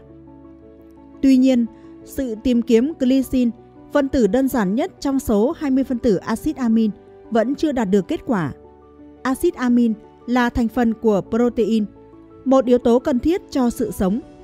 Sự săn tìm axit amin trong ngân hà tuy chưa có kết quả, nhưng không có nghĩa là không có sinh vật và con người ở bên ngoài hành tinh trái đất. Tuy nhiên, chất glycolaldehyde, một loại phân tử hữu cơ sinh học liên quan đến sự sống, đã được phát hiện trong trung tâm ngân hà. Tìm kiếm những ngoại hành tinh có khả năng có sinh vật. Hành tinh là những thiên thể quay xung quanh những ngôi sao và không tự phát ra ánh sáng mà chỉ phản chiếu bức xạ phát ra từ ngôi sao chủ. Do đó, hành tinh trong hệ sao bị ánh sáng chói lọi của ngôi sao chủ át đi nên khó phát hiện được. Các nhà thiên văn phải dùng những kỹ thuật tinh vi để phát hiện gián tiếp những hành tinh đồng hành. Quan sát những hành tinh ở bên ngoài hệ mặt trời cũng là để tìm hiểu sự hình thành và sự tiến hóa của hành tinh trái đất, nơi chúng ta sinh sống. Một trong những mục tiêu của các nhà thiên văn là sự phát hiện nước ở thể lỏng, một yếu tố cần thiết cho sự sống. Những vùng trên hành tinh chứa nước lỏng và có nhiệt độ ôn hòa được coi là những vùng ở được và có khả năng có sự sống. Những cột nước phun ra từ trong lòng một số hành tinh đã được phát hiện. Một lớp nước đá cũng tồn tại dưới bề mặt hành tinh hỏa. Tuy nhiên, hành tinh cũng phải có bầu khí quyển, tuy không nhất thiết phải là oxy. Trên một mặt trăng như Titan, vệ tinh của thổ tinh có bầu khí quyển và biển chứa metan hay ammoniac thì cư dân trên đó, nếu có, có thể phải uống nước metan hay ammoniac thay nước để giải khát. Năm 1977, cơ quan hàng không và vũ trụ Mỹ NASA đã phóng hai con tàu thăm dò tự động Voyager 1 và 2 để quan sát những hành tinh xa xôi nhất trong hệ mặt trời, đặc biệt là hai hành tinh khổng lồ Mộc tinh và Thổ tinh. Voyager đang trên con đường từ giã hệ mặt trời để phiêu lưu trong không gian liên sao rộng mênh mông. Con tàu mang theo một cái đĩa vàng thu nhạc cổ điển của Beethoven và khắc vị trí của trái đất. Cấu trúc hóa học của nguyên tử hydro, phổ biến và đơn giản nhất trong vũ trụ, cũng được ghi trong một cái đĩa. Hydro gồm có một proton và một electron đơn độc quay xung quanh. Khi spin của electron thay đổi hướng quay thì nguyên tử hydro phát ra một vạch nổ trên bức sóng vô tuyến 21 cm. Vạch hydro có cường độ rất mạnh vì hydro rất phổ biến trong vũ trụ. Những nền văn minh ngoài trái đất hẳn phải có đủ kiến thức khoa học để phát hiện vạch phổ này trong các thiên hà và ngân hà, cũng như ý thức được trình độ khoa học của nhân loại trên trái đất. Quan sát hành tinh trong những hệ sao. Hành tinh thường không quá nóng, do đó thân thiện với sự sống và có thể là nơi sinh sống của sinh vật. Sự phát hiện hành tinh trong những hệ sao là điều kiện tiên quyết cho sự săn tìm cư dân trên những thế giới khác. Đa số, hành tinh được phát hiện trong giải ngân hà là những hành tinh cỡ lớn ở thể khí. Những loại hành tinh này không được coi là nơi cư trú của sinh vật. Sự tìm kiếm hành tinh trong những hệ sao như trong hệ mặt trời vẫn được xúc tiến để phát hiện những hành tinh có vỏ rắn tương tự như trái đất, nằm trong những vùng có khả năng có nước ở thể lỏng, yếu tố cần thiết cho sự sống. Lực hấp dẫn của hành tinh tuy yếu nhưng vẫn làm nhiễu phần nào quỹ đạo của ngôi sao chủ. Lực hấp dẫn làm ngôi sao xê dịch khi xa, khi gần. Sự thay đổi tuần hoàn, tuy cực kỳ nhỏ của khoảng cách ngôi sao chủ, làm thay đổi tần số của những vạch phổ phát ra từ ngôi sao. Dựa trên định luật Doppler-Fayol, các nhà thiên văn dùng phổ kế có độ phân giải cao đã đo được sự thay đổi tuần hoàn của vận tốc xuyên tâm chiếu theo hướng quan sát của ngôi sao chủ để phát hiện được sự hiện diện của hành tinh đồng hành. Năm 1995, hai nhà thiên văn Thụy Sĩ Michael Mayer và Didier Queloz đã sử dụng một hệ phổ đặt trên kính thiên văn ở vùng Haute-Provence, miền nam nước Pháp và phát hiện được một hành tinh ở bên ngoài hệ mặt trời, lượn xung quanh ngôi sao 51 Pegasi trong một chòm sao thiên mã, cách trái đất 50 năm ánh sáng – sự thay đổi vận tốc cực kỳ nhỏ vì hành vi rất nhẹ so với ngôi sao nên sự phát hiện hành tinh rất phức tạp. Họ sử dụng một hệ phổ kế có độ phân giải cao để đo được sự thay đổi tần số và phát hiện được hành tinh đầu tiên ở bên ngoài hệ mặt trời. Hai nhà thiên văn Mayer và Queloz vừa mới được trao giải Nobel vật lý năm 2019. Một phương pháp khác để phát hiện hành tinh là đo độ giảm ánh sáng của ngôi sao chủ. Nếu có hành tinh đồng hành thì khi quá cảnh qua trước mặt ngôi sao, ánh sáng của ngôi sao phải giảm đi. Chẳng hạn, một hành tinh cỡ trái đất khi lượn qua trước mặt mặt trời cũng chỉ giảm ánh sáng mặt trời khoảng 0,008%. đo được độ giảm tuần hoàn ánh sáng của ngôi sao chủ, tức là phát hiện được hành tinh đồng hành. Các nhà thiên văn của NASA dùng vệ tinh TESS vừa mới phát hiện được một siêu địa cầu được gọi là TORS 1338b, nặng bằng gần 7 lần trái đất và quay xung quanh một hệ sao đôi cách xa trái đất 1.300 năm ánh sáng. Cho tới nay, các nhà thiên văn đã phát hiện được hơn 4.000 hành tinh bên ngoài hệ mặt trời, đa số là những hành tinh khí khổng lồ và siêu trái đất có vỏ rắn. Những thiên thể này có khối lượng tương đối lớn và trường hấp dẫn tương đối mạnh, nên dễ làm nhiễu quỹ đạo của ngôi sao chủ và dễ làm thay đổi cường độ ánh sáng khi hành tinh quá cảnh trước ngôi sao. Chiến dịch thu tín hiệu vô tuyến phát ra từ những nền văn minh ngoài trái đất. Những nền văn minh tiên tiến trong vũ trụ có thể sử dụng những phương tiện liên lạc với chúng ta bằng tín hiệu vô tuyến. Sóng vô tuyến truyền trong không gian nhanh như ánh sáng và ít bị hấp thụ bởi bụi trong ngân hà. Tuy nhiên, tín hiệu vô tuyến của hệ sao gần nhất cũng phải mất khoảng 4 năm mới truyền tới trái đất. Sự tiến hóa từ trạng thái vi sinh vật đến động vật và loài người là một quá trình phức tạp và lâu dài. Sự hiện diện của sinh vật trên những hệ sao có thể là rất hiếm. Tuổi thọ của những nền văn minh tiên tiến trong vũ trụ cũng có khả năng bị hạn chế bởi chiến tranh dùng những loại vũ khí có khả năng dẫn đến nạn tuyệt chủng. Thiên tai cũng là mối đe dọa tiềm tàng cho nhân loại. Sự tìm kiếm tín hiệu của những nền văn minh ngoài trái đất tuy chưa đạt được kết quả, nhưng không có nghĩa là chúng ta đơn độc trong vũ trụ bao la. Vũ trụ từ lâu đã quyến rũ chúng ta với quy mô to lớn về khoảng cách và thời gian. Nó kéo dài bao xa? Nó kết thúc ở đâu? Và điều gì nằm ngoài các trường sao và các dòng thiên hà trải dài đến mức kính viễn vọng có thể nhìn thấy? Những câu hỏi này đang bắt đầu dẫn đến một loạt các hướng nghiên cứu mới, đặc biệt và các công nghệ cho phép chúng ta quan sát không chỉ những lĩnh vực xa xôi nhất của vũ trụ mà còn cả hành vi của vật chất và năng lượng ở quy mô nhỏ nhất. Đáng chú ý là sự hiểu biết ngày càng tăng của chúng ta về vương quốc siêu nhỏ này. Bên trong hạt nhân nguyên tử, hiện đang cho phép chúng ta thoáng nhìn thấy câu trả lời cho câu hỏi cổ xưa – vũ trụ lớn đến mức nào. Vào thời cổ đại, hầu hết những người quan sát đều coi các ngôi sao như một khối cầu bao quanh trái đất và là ngôi nhà của các vị thần. Người Hy Lạp là những người đầu tiên coi các sự kiện thiên thể là hiện tượng, chịu sự điều tra của con người chứ không phải là ý muốn bất chợt của các vị thần. Một triết gia và người quan sát bầu trời tên là Anas Sakura cho rằng các thiên thạch được tạo thành từ những vật liệu được tìm thấy trên trái đất và do đó thậm chí có thể đến từ trái đất. Những nhà thiên văn học đầu tiên đó đã xây dựng nên nền tảng của khoa học hiện đại. Nhưng họ sẽ bị sốc khi chứng kiến những khám phá của hậu thế ngày nay. Các ngôi sao và hành tinh từng là nơi cư trú của các vị thần, giờ đây được coi là những phần vô cùng nhỏ của một hệ vật chất và năng lượng khổng lồ kéo dài ra xa ngoài không gian. Sự xuất hiện không xa vào những năm 1920, làm việc tại kính viễn vọng Hawker 100 inch, mới khổng lồ trên núi Wilson, California. Nhà thiên văn học Edwin Hubble cùng với một trợ lý tên là Milton Humason đã phân tích ánh sáng của những mảng mờ trên bầu trời được gọi là tinh vân. Họ cho thấy đây thực sự là những thiên hà xa xôi nằm cách xa thiên văn của chúng ta. Hubble và Humason phát hiện ra rằng hầu hết chúng đang di chuyển ra xa chúng ta. Họ càng nhìn xa thì những vật thể này càng lùi xa nhanh hơn.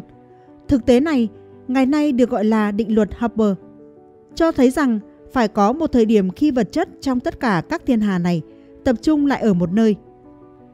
Mọi thứ mà các nhà thiên văn học nhìn thấy qua kính thiên văn, ngày càng lớn của họ, sẽ có niên đại từ một khởi đầu đơn lẻ. Ngày nay được gọi là vụ nổ lớn. Việc vũ trụ có thể giãn nở đã được Albert Einstein dự đoán từ năm 1917. Ngoại trừ việc chính Einstein cũng không tin điều đó cho đến khi ông nhìn thấy bằng chứng của Hubble và Humason.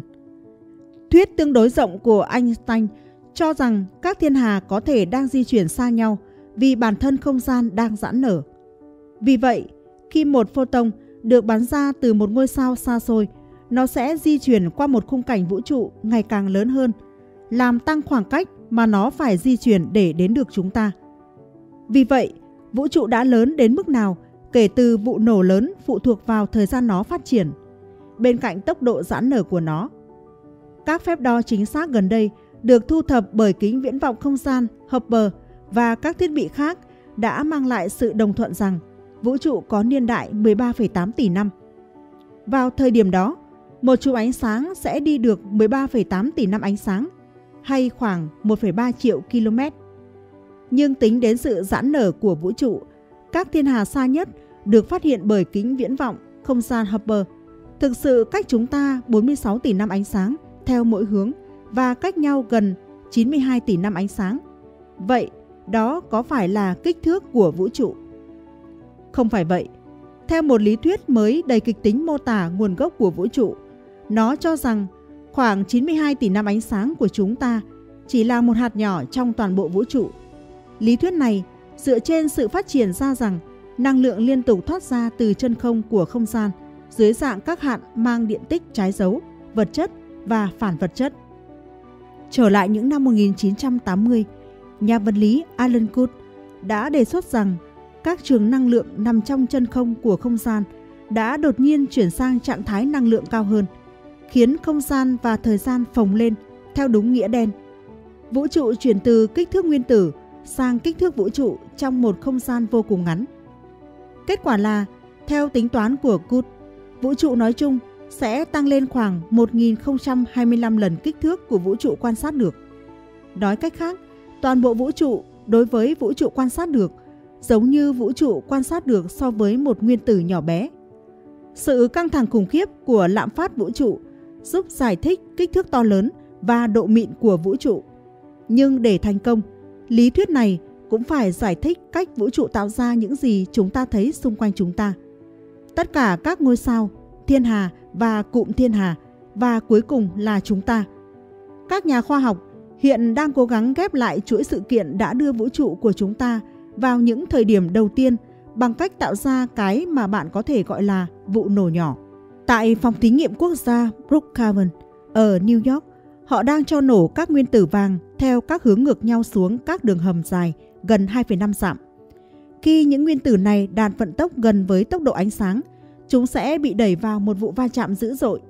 Một quả cầu lửa phun trào, đạt nhiệt độ vượt quá 2.000 tỷ độ C.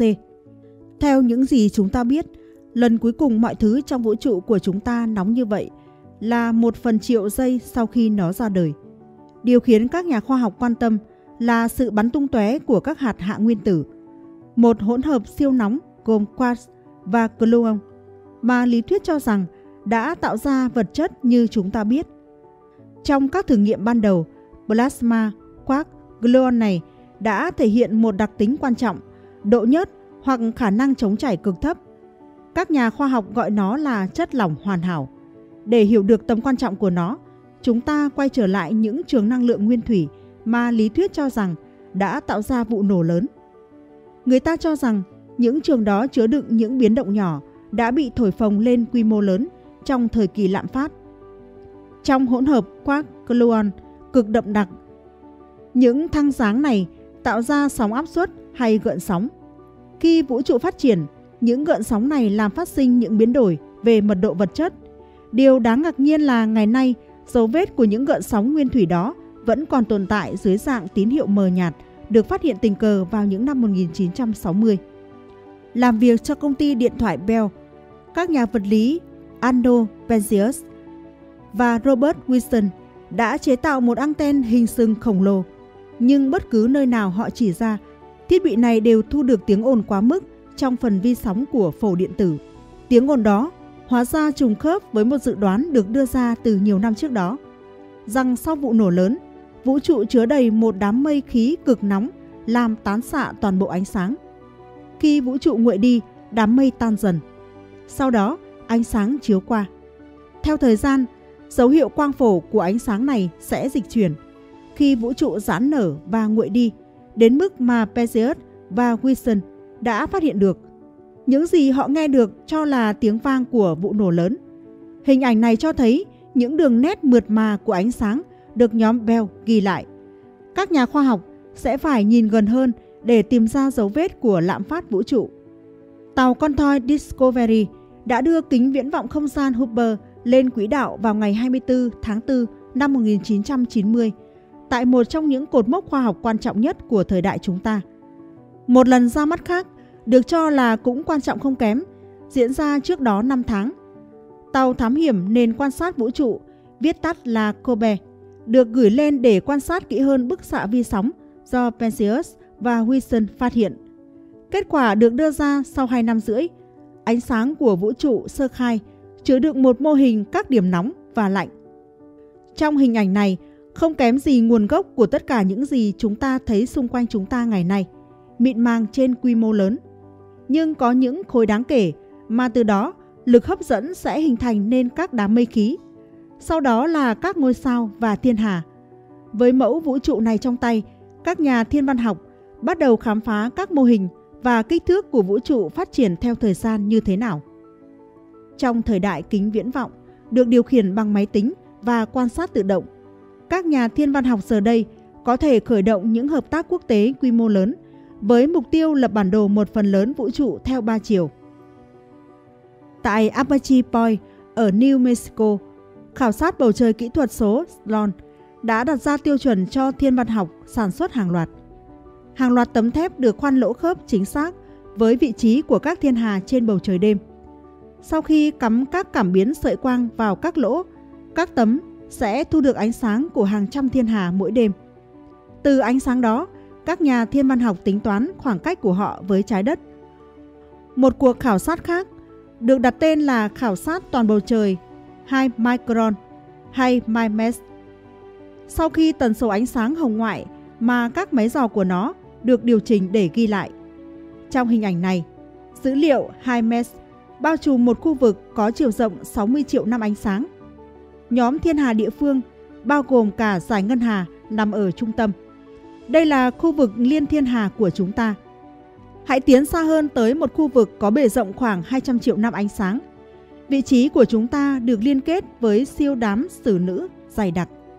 Thành phố giữa các thiên hà gần nhất bước ra một khu vực có bề rộng hơn 320 triệu năm ánh sáng. Bạn có thể thấy toàn bộ bề rộng của khu vực vũ trụ địa phương của chúng ta. Các thiên hà xếp thành các bức tường và vòng cung. Ngoài kia là những khoảng trống dân cư thưa thớt, vùng nông thôn vũ trụ. Dựa trên dữ liệu, khu vực này có chiều rộng hơn 650 triệu năm ánh sáng, rồi gần 2 tỷ, 3,2 tỷ. Và cuối cùng, đến một khu vực cách đầu này đến đầu kia là 6,5 tỷ năm ánh sáng ở lục địa vũ trụ. Ở giữa tất cả, thiên hà của chúng ta rất rộng lớn theo quan điểm trái đất của chúng ta, chỉ nhỏ hơn một hạt bụi. Nghiên cứu HIMES, khảo sát bầu trời kỹ thuật số Sloan và khảo sát dịch truyền đỏ thiên hà 2DF ở Úc đã mở rộng bản đồ của chúng ta đến một phần tư chặng đường quay trở lại thời kỳ đầu của vũ trụ. Họ đã vạch ra một lộ trình vũ trụ vĩ đại người kế nhiệm của Kobe, tàu thăm dò dị hướng vi sóng Wilkinson hay WMAP đã được phóng để quét vũ trụ sơ khai để tìm nguồn gốc ở quy mô nhỏ của tập bản đồ vũ trụ này. WMAP đã vượt qua mọi sự can thiệp từ trái đất đến vị trí cân bằng giữa trái đất và mặt trời. Ở đó, trong 2 năm, các máy dò của nó đã thu được ánh sáng nguyên sơ của không gian sâu thẳm. Đây là những gì WMAP nhìn thấy một mô hình phù hợp với các sợi và khoảng trống đã phát triển trong vũ trụ nói chung. Các nhà khoa học đang nghiên cứu dữ liệu WMAP để tìm nhanh manh mối về kích thước thực sự của vũ trụ. Ví dụ, một nhóm đã tìm kiếm các mô hình lặp lại có thể là bằng chứng của các sóng áp suất dội ngược qua khí nóng thời kỳ đầu. Họ không nhìn thấy gì, điều này ngụ ý rằng vũ trụ đã phát triển quá lớn trong quá trình lạm phát đến mức những sóng như vậy không thể vượt qua nó. Sau đó, họ làm phép tính và báo cáo rằng toàn bộ vũ trụ phải có đường kính tối thiểu là 78 tỷ năm ánh sáng. Vậy kích thước tối đa của nó là bao nhiêu và vượt quá kích thước đó là bao nhiêu? Chúng ta sẽ không bao giờ biết chắc chắn điều gì nằm ngoài tầm nhìn trực quan của chúng ta. Nhưng các nhà thiên văn học đang đưa ra một số gợi ý đáng ngạc nhiên về vũ trụ mà họ có thể nhìn thấy. Đối với những người quan sát cổ xưa, vũ trụ được tạo thành những năm yếu tố cổ điển: đất, nước, không khí, lửa và yếu tố thứ năm, tinh hoa hay không gian. Aristotle tin rằng các ngôi sao không thay đổi và không thể hư hỏng được tạo thành từ nguyên tố thứ năm này. Ngày nay, trên thực tế, chúng ta đang nhận thấy không gian đó có một đặc điểm riêng. Các nhà thiên văn học đã tính toán lực hấp dẫn cần thiết để liên kết các ngôi sao khi chúng quay quanh một thiên hà hoặc các thiên hà khi chúng quay quanh một cụm thiên hà. Họ đã phát hiện ra rằng ở đó không có đủ vật chất nhìn thấy được để giữ các cấu trúc này lại với nhau. Thành phần còn thiếu, danh tính của nó vẫn chưa được biết, họ gọi là vật chất tối.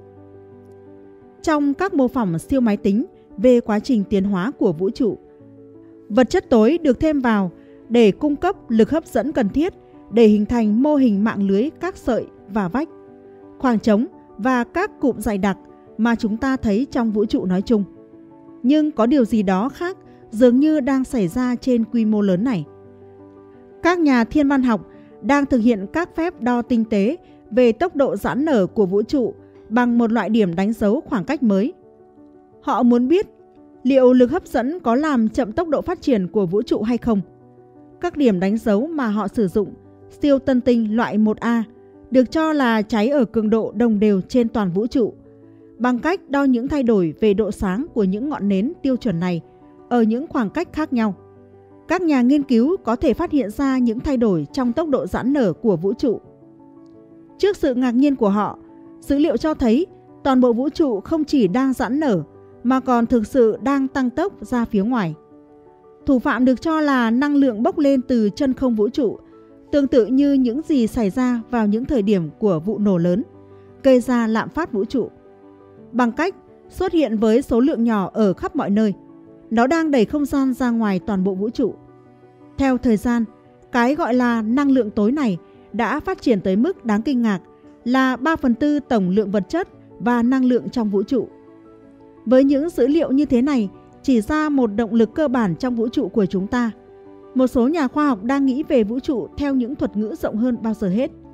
Ví dụ, có một phiên bản của lý thuyết lạm phát cho rằng chúng ta đang sống ở một trong nhiều vũ trụ, có thể cùng tồn tại cạnh nhau nhưng không chạm vào nhau.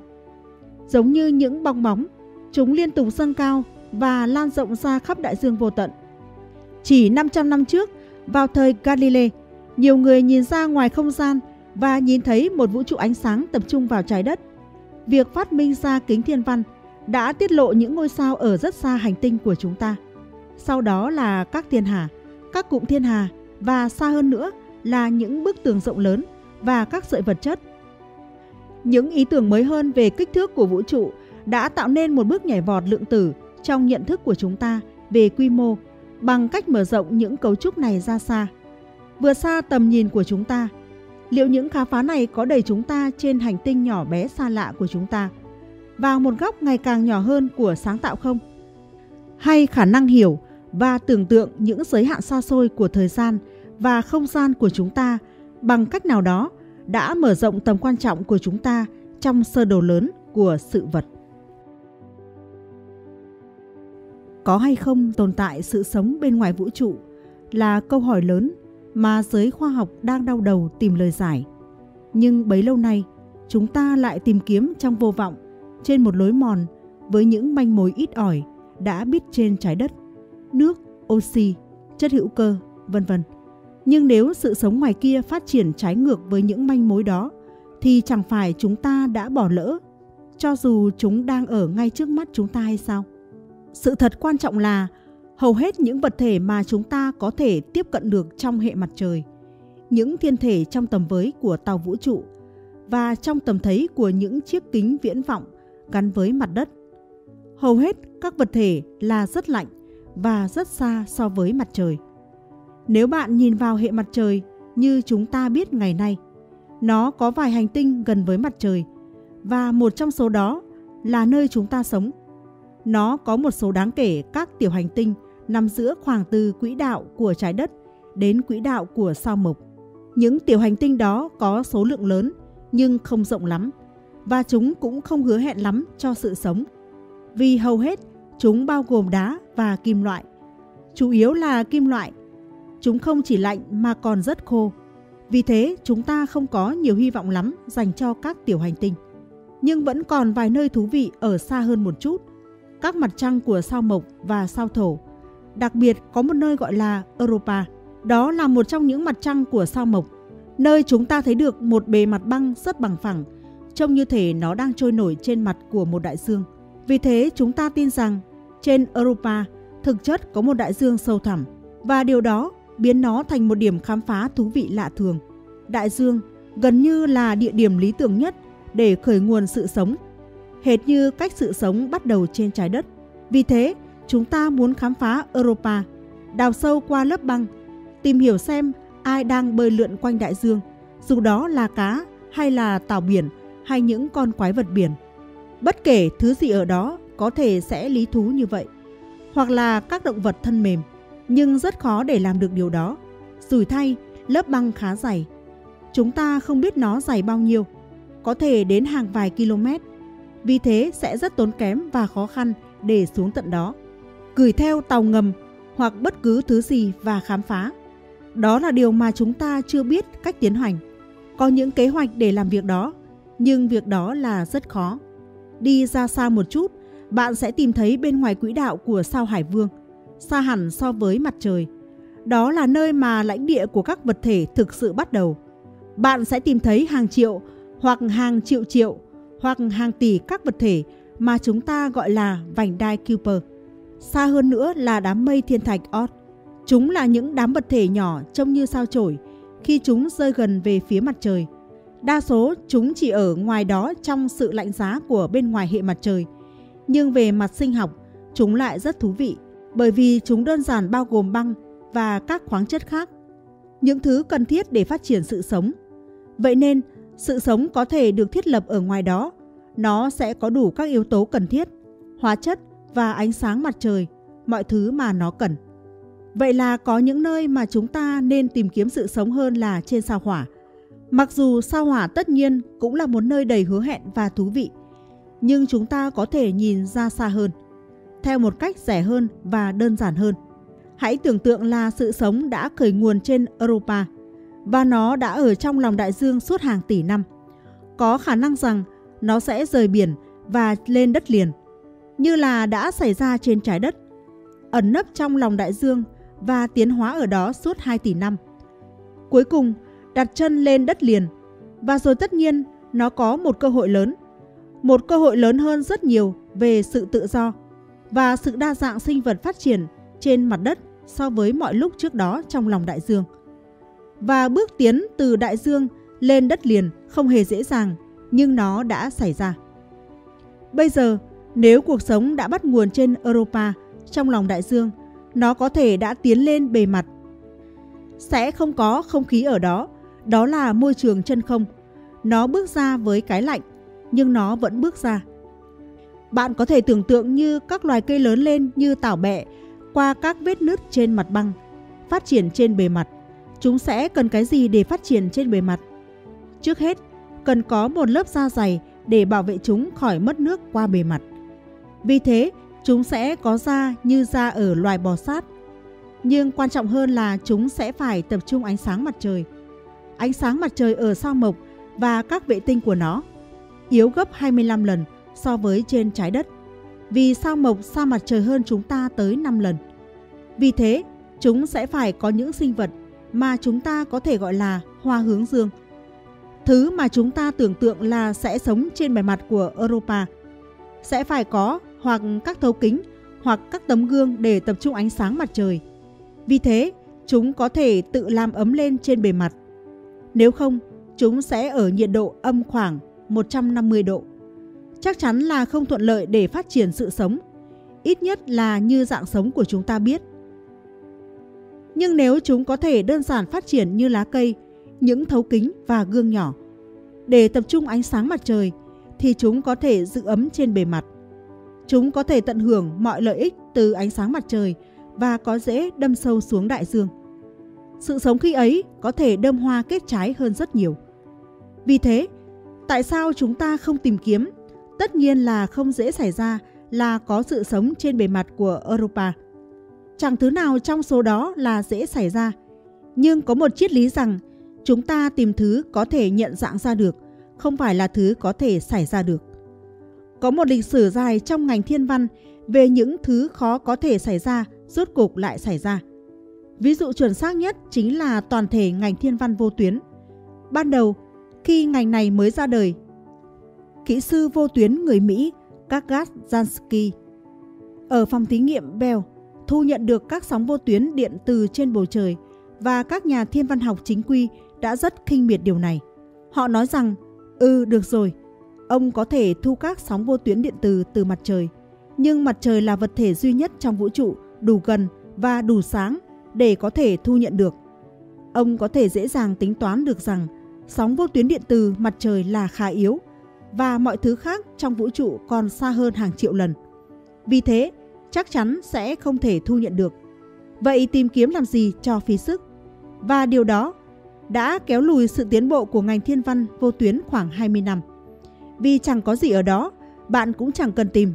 Và tất nhiên, ngay khi có người tìm, khoảng 20 năm sau đó, khi ngành thiên văn vô tuyến thực sự cất cánh, bởi vì hóa ra rằng vũ trụ tràn ngập mọi điều kỳ thú.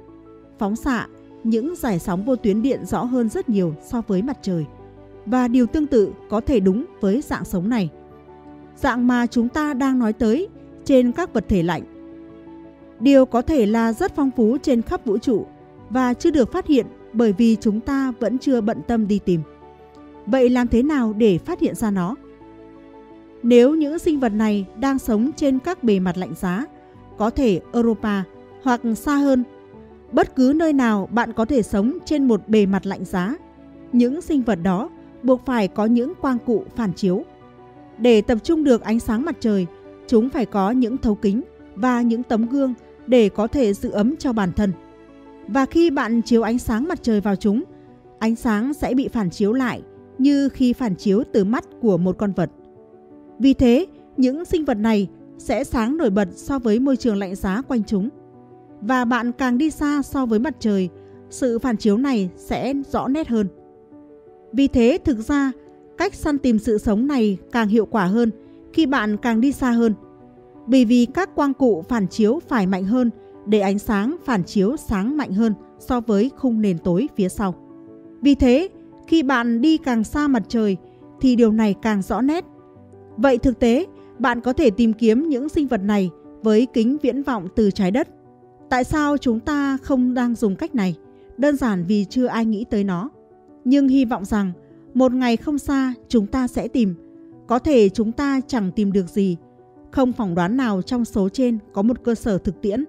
Nhưng đó vẫn là một cơ hội tốt.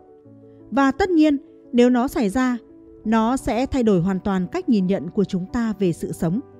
Bởi vì nó có nghĩa là cách sự sống diễn ra ngoài kia, nó có những lợi thế to lớn nếu đem so sánh với việc sống trên một hành tinh. Vô cùng khó để truyền từ hành tinh này sang hành tinh khác. Chúng ta đang gặp rất nhiều khó khăn hiện nay và bất kỳ sinh vật nào sống trên một hành tinh đều gần như bị kẹt tại đó. Đặc biệt, nếu bạn hít thở không khí thì rất khó để đi từ hành tinh A sang hành tinh B vì không có không khí ở khoảng giữa. Nhưng nếu bạn hít thở, bạn có thể sẽ chết ngay khi bạn rời hành tinh, trừ khi bạn có một phi thuyền vũ trụ. Nhưng nếu bạn sống trong chân không, nếu bạn sống trên bề mặt của một trong số các vật thể đó, giả dụ như là trong vành đai Kuiper, hay một vật thể như sao Diêm Vương, hoặc một trong số các vật thể nhỏ hơn trong khu vực của sao Diêm Vương, và bạn tình cờ đang sống trên bề mặt ở đó và bị văng ra khỏi bề mặt do một vụ va chạm, thì điều đó cũng chẳng mấy thay đổi. Bạn vẫn ở trên một miếng băng, vẫn có ánh sáng mặt trời và bạn vẫn có thể sống sót khi bạn di chuyển từ nơi này sang nơi khác. Và khi đó, nếu bạn va phải một vật thể khác, bạn có thể ở đó luôn và chiếm đóng nó. Vì thế, sự sống sẽ lan truyền từ vật thể này sang vật thể khác. Vì thế, nếu nó có tồn tại dù là một chút trong vành đai Kuiper, nó sẽ dễ dàng lan rộng. Và khi ấy, bạn sẽ có một cuộc đấu tranh lớn giữa các loài tiến hóa theo thuyết Darwin. Vì thế, sẽ có một thuận lợi lớn cho các loài có khả năng nhảy từ nơi này sang nơi khác mà không phải chờ đợi một sự va chạm. Và sẽ có lợi thế khi phát tán những thảm thực vật giống như tảo bẹ, hoa hướng dương. Chúng phải hướng về mặt trời mọi lúc và sẽ có thể lan rộng trong không gian bởi trọng lực trên những vật thể này khá yếu. Vì thế, chúng có thể thu được ánh sáng mặt trời trên diện rộng. Do đó, trên thực tế, khá dễ dàng cho chúng ta để phát hiện ra. Nếu trong vòng 10 năm tới, chúng ta tìm thấy những sinh vật này và sau đó, tất nhiên toàn bộ quan điểm về sự sống trong vũ trụ sẽ bị phá vỡ. Nếu không tìm được chúng, thì chúng ta có thể tự sáng tạo ra chúng. Đó là một cơ hội kỳ diệu đang hé mở. Chúng ta có thể, ngay khi chúng ta hiểu thêm về công nghệ gen, để thiết kế một sinh vật có thể sống trên một vệ tinh lạnh lẽo, một nơi như Europa, để chúng ta có thể chiếm giữ Europa với chính những sinh vật của mình. Sẽ là một công việc hay ho để làm. Sau cùng, tất nhiên nó sẽ giúp chúng ta chuyển ra ngoài đó. Điều sẽ xảy đến cuối cùng sẽ không chỉ là con người chiếm đóng không gian, sẽ là sự sống dịch chuyển từ trái đất tới vương quốc của nó. Và vương quốc của sự sống, tất nhiên sẽ là toàn thể vũ trụ. Và nếu sự sống đã có mặt ngoài kia, sẽ có nhiều hướng khởi hơn trong thời gian ngắn, nhưng về lâu dài, nếu không có sự sống ngoài kia, chúng ta có thể tự sáng tạo ra chúng. Chúng ta biến vũ trụ thành một thứ giàu có hơn, đẹp đẽ hơn vũ trụ ngày hôm nay. Liệu trong vũ trụ có sinh vật và những nền văn minh siêu việt như trên trái đất hay không? Những vài quan sát thấy trên sao hỏa xưa kia được coi là những kênh nhân tạo do tộc người trên hành tinh đỏ đào ra. Khái niệm người sao hỏa vẫn còn tồn tại trong lĩnh vực khoa học viễn tưởng. Từ thời thượng cổ, người Hy Lạp cũng đã lưu ý đến vấn đề đa thế giới trong vũ trụ. Ngày nay, sự tiến bộ của công nghệ kỹ thuật trong việc xây dựng kính viễn vọng ngày càng lớn và chế tạo ra những máy quang phổ ngày càng tinh vi, khiến các nhà vật lý thiên văn quan sát được những vùng xa xôi trong vũ trụ. Sự tồn tại của những nền văn minh khác trong vũ trụ cũng đang được các phương tiện thông tin đại chúng tranh luận sôi nổi. Vũ trụ chứa hàng trăm tỷ thiên hà, mỗi thiên hà có trăm tỷ ngôi sao. Mỗi ngôi sao thường có các hành tinh đồng hành. Hệ mặt trời trong đó có trái đất cũng có ít nhất 8 hành tinh. Trong số những hành tinh diễu hành xung quanh mỗi ngôi sao, một số hành tinh có thể có những điều kiện thiên nhiên thích hợp với sự sống, kể cả sự sống có khả năng hiểu biết như loài người trên trái đất. Nhà vật lý nổi tiếng Enrico Fermi trong chuyến thăm trung tâm nguyên tử Los Alamos đã đặt câu hỏi vũ trụ có nhiều hành tinh như thế, ắt là đã có sinh vật sống trên đó. Thậm chí cả những nền văn minh siêu việt có khả năng liên lạc với chúng ta. Họ có thể đã đến thăm hành tinh trái đất. Vậy thì họ đang ẩn náu ở đâu? Câu chuyện thú vị này đã trở nên nổi tiếng và được gọi là kịch lý Fermi. Lò luyện kim trong vũ trụ Vũ trụ là môi trường có những điều kiện lý hóa đa dạng. Dựa trên kết quả quan sát bằng kính viễn vọng và những mô hình lý thuyết, các nhà thiên văn đã mô phỏng được quá trình tiến hóa của vụ nổ tạo ra từ vụ nổ lớn Big Bang cách đây đã 13,8 tỷ năm. Thủa sơ khai, vũ trụ chỉ chứa những hạt nguyên tử nhẹ như hydro và heli. Những đám khí nhẹ này dần dần tập hợp với nhau và nóng đặc lên để tạo ra những ngôi sao và những thiên hà. Đến giai đoạn cuối của quá trình tiến hóa, những ngôi sao khổng lồ nóng đặc bùng nổ thành siêu tân tinh và tạo ra những nguyên tử nặng hơn như carbon, oxy, sắt cùng những phân tử hữu cơ phức tạp. Quá trình quay và rung động làm phân tử phát ra những vạch phổ trên bước sóng vô tuyến. Các nhà thiên văn sử dụng kính viễn vọng vô tuyến ngày càng lớn với độ phân giải cao để thu tín hiệu của phân tử. Săn tìm những phân tử hữu cơ sinh học liên quan đến sự sống. Những ngôi sao trong thiên hà là những phòng thí nghiệm lý hóa sinh phong phú. Axit amin là một loại phân tử hữu cơ sinh học và là thành phần cốt yếu trong cơ thể con người. Sinh vật có thể được coi là hậu duệ của những ngôi sao. Axit amin cũng tồn tại trong các mảnh vật chất tách ra từ thiên thạch rơi xuống trái đất. Các nhà thiên văn sử dụng kính viễn vọng vô tuyến nhằm phát hiện ra những vạch phổ đặc trưng của những phân tử hữu cơ sinh học. Những phân tử hữu cơ như cồn ethylic, axit, được tìm thấy trong ngân hà. Tuy nhiên, sự tìm kiếm glycine, phân tử đơn giản nhất trong số 20 phân tử axit amin, vẫn chưa đạt được kết quả. Axit amin là thành phần của protein, một yếu tố cần thiết cho sự sống. Sự săn tìm axit amin trong ngân hà tuy chưa có kết quả, nhưng không có nghĩa là không có sinh vật và con người ở bên ngoài hành tinh trái đất. Tuy nhiên, chất glycolaldehyde, một loại phân tử hữu cơ sinh học liên quan đến sự sống, đã được phát hiện trong trung tâm ngân hà. Tìm kiếm những ngoại hành tinh có khả năng có sinh vật. Hành tinh là những thiên thể quay xung quanh những ngôi sao và không tự phát ra ánh sáng mà chỉ phản chiếu bức xạ phát ra từ ngôi sao chủ. Do đó, hành tinh trong hệ sao bị ánh sáng chói lọi của ngôi sao chủ át đi, nên khó phát hiện được. Các nhà thiên văn phải dùng những kỹ thuật tinh vi để phát hiện gián tiếp những hành tinh đồng hành. Quan sát những hành tinh ở bên ngoài hệ mặt trời cũng là để tìm hiểu sự hình thành và sự tiến hóa của hành tinh trái đất, nơi chúng ta sinh sống. Một trong những mục tiêu của các nhà thiên văn là sự phát hiện nước ở thể lỏng, một yếu tố cần thiết cho sự sống. Những vùng trên hành tinh chứa nước lỏng và có nhiệt độ ôn hòa được coi là những vùng ở được và có khả năng có sự sống. Những cột nước phun ra từ trong lòng một số hành tinh đã được phát hiện. Một lớp nước đá cũng tồn tại dưới bề mặt hành tinh hỏa. Tuy nhiên, hành tinh cũng phải có bầu khí quyển, tuy không nhất thiết phải là oxy. Trên một mặt trăng như Titan, vệ tinh của thổ tinh có bầu khí quyển và biển chứa metan hay ammoniac thì cư dân trên đó, nếu có, có thể phải uống nước metan hay ammoniac thay nước để giải khát.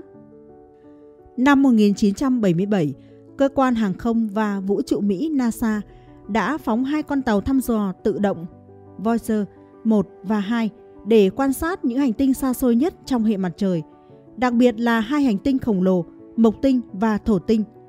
Voyager đang trên con đường từ giã hệ mặt trời để phiêu lưu trong không gian liên sao rộng mênh mông.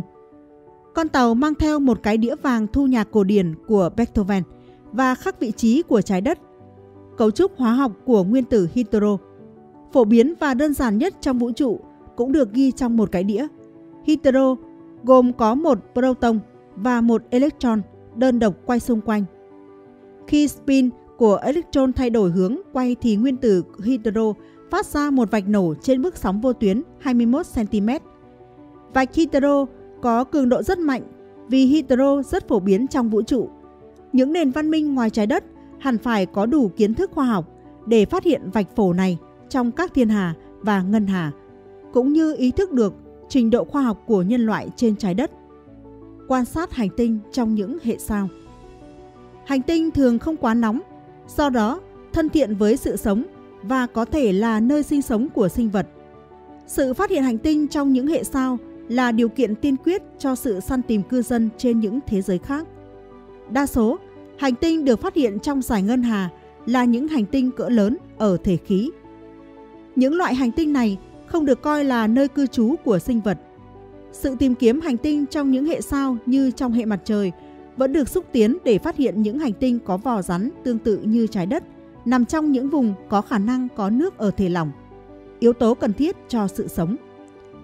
Lực hấp dẫn của hành tinh tuy yếu nhưng vẫn làm nhiễu phần nào quỹ đạo của ngôi sao chủ. Lực hấp dẫn làm ngôi sao xê dịch khi xa, khi gần.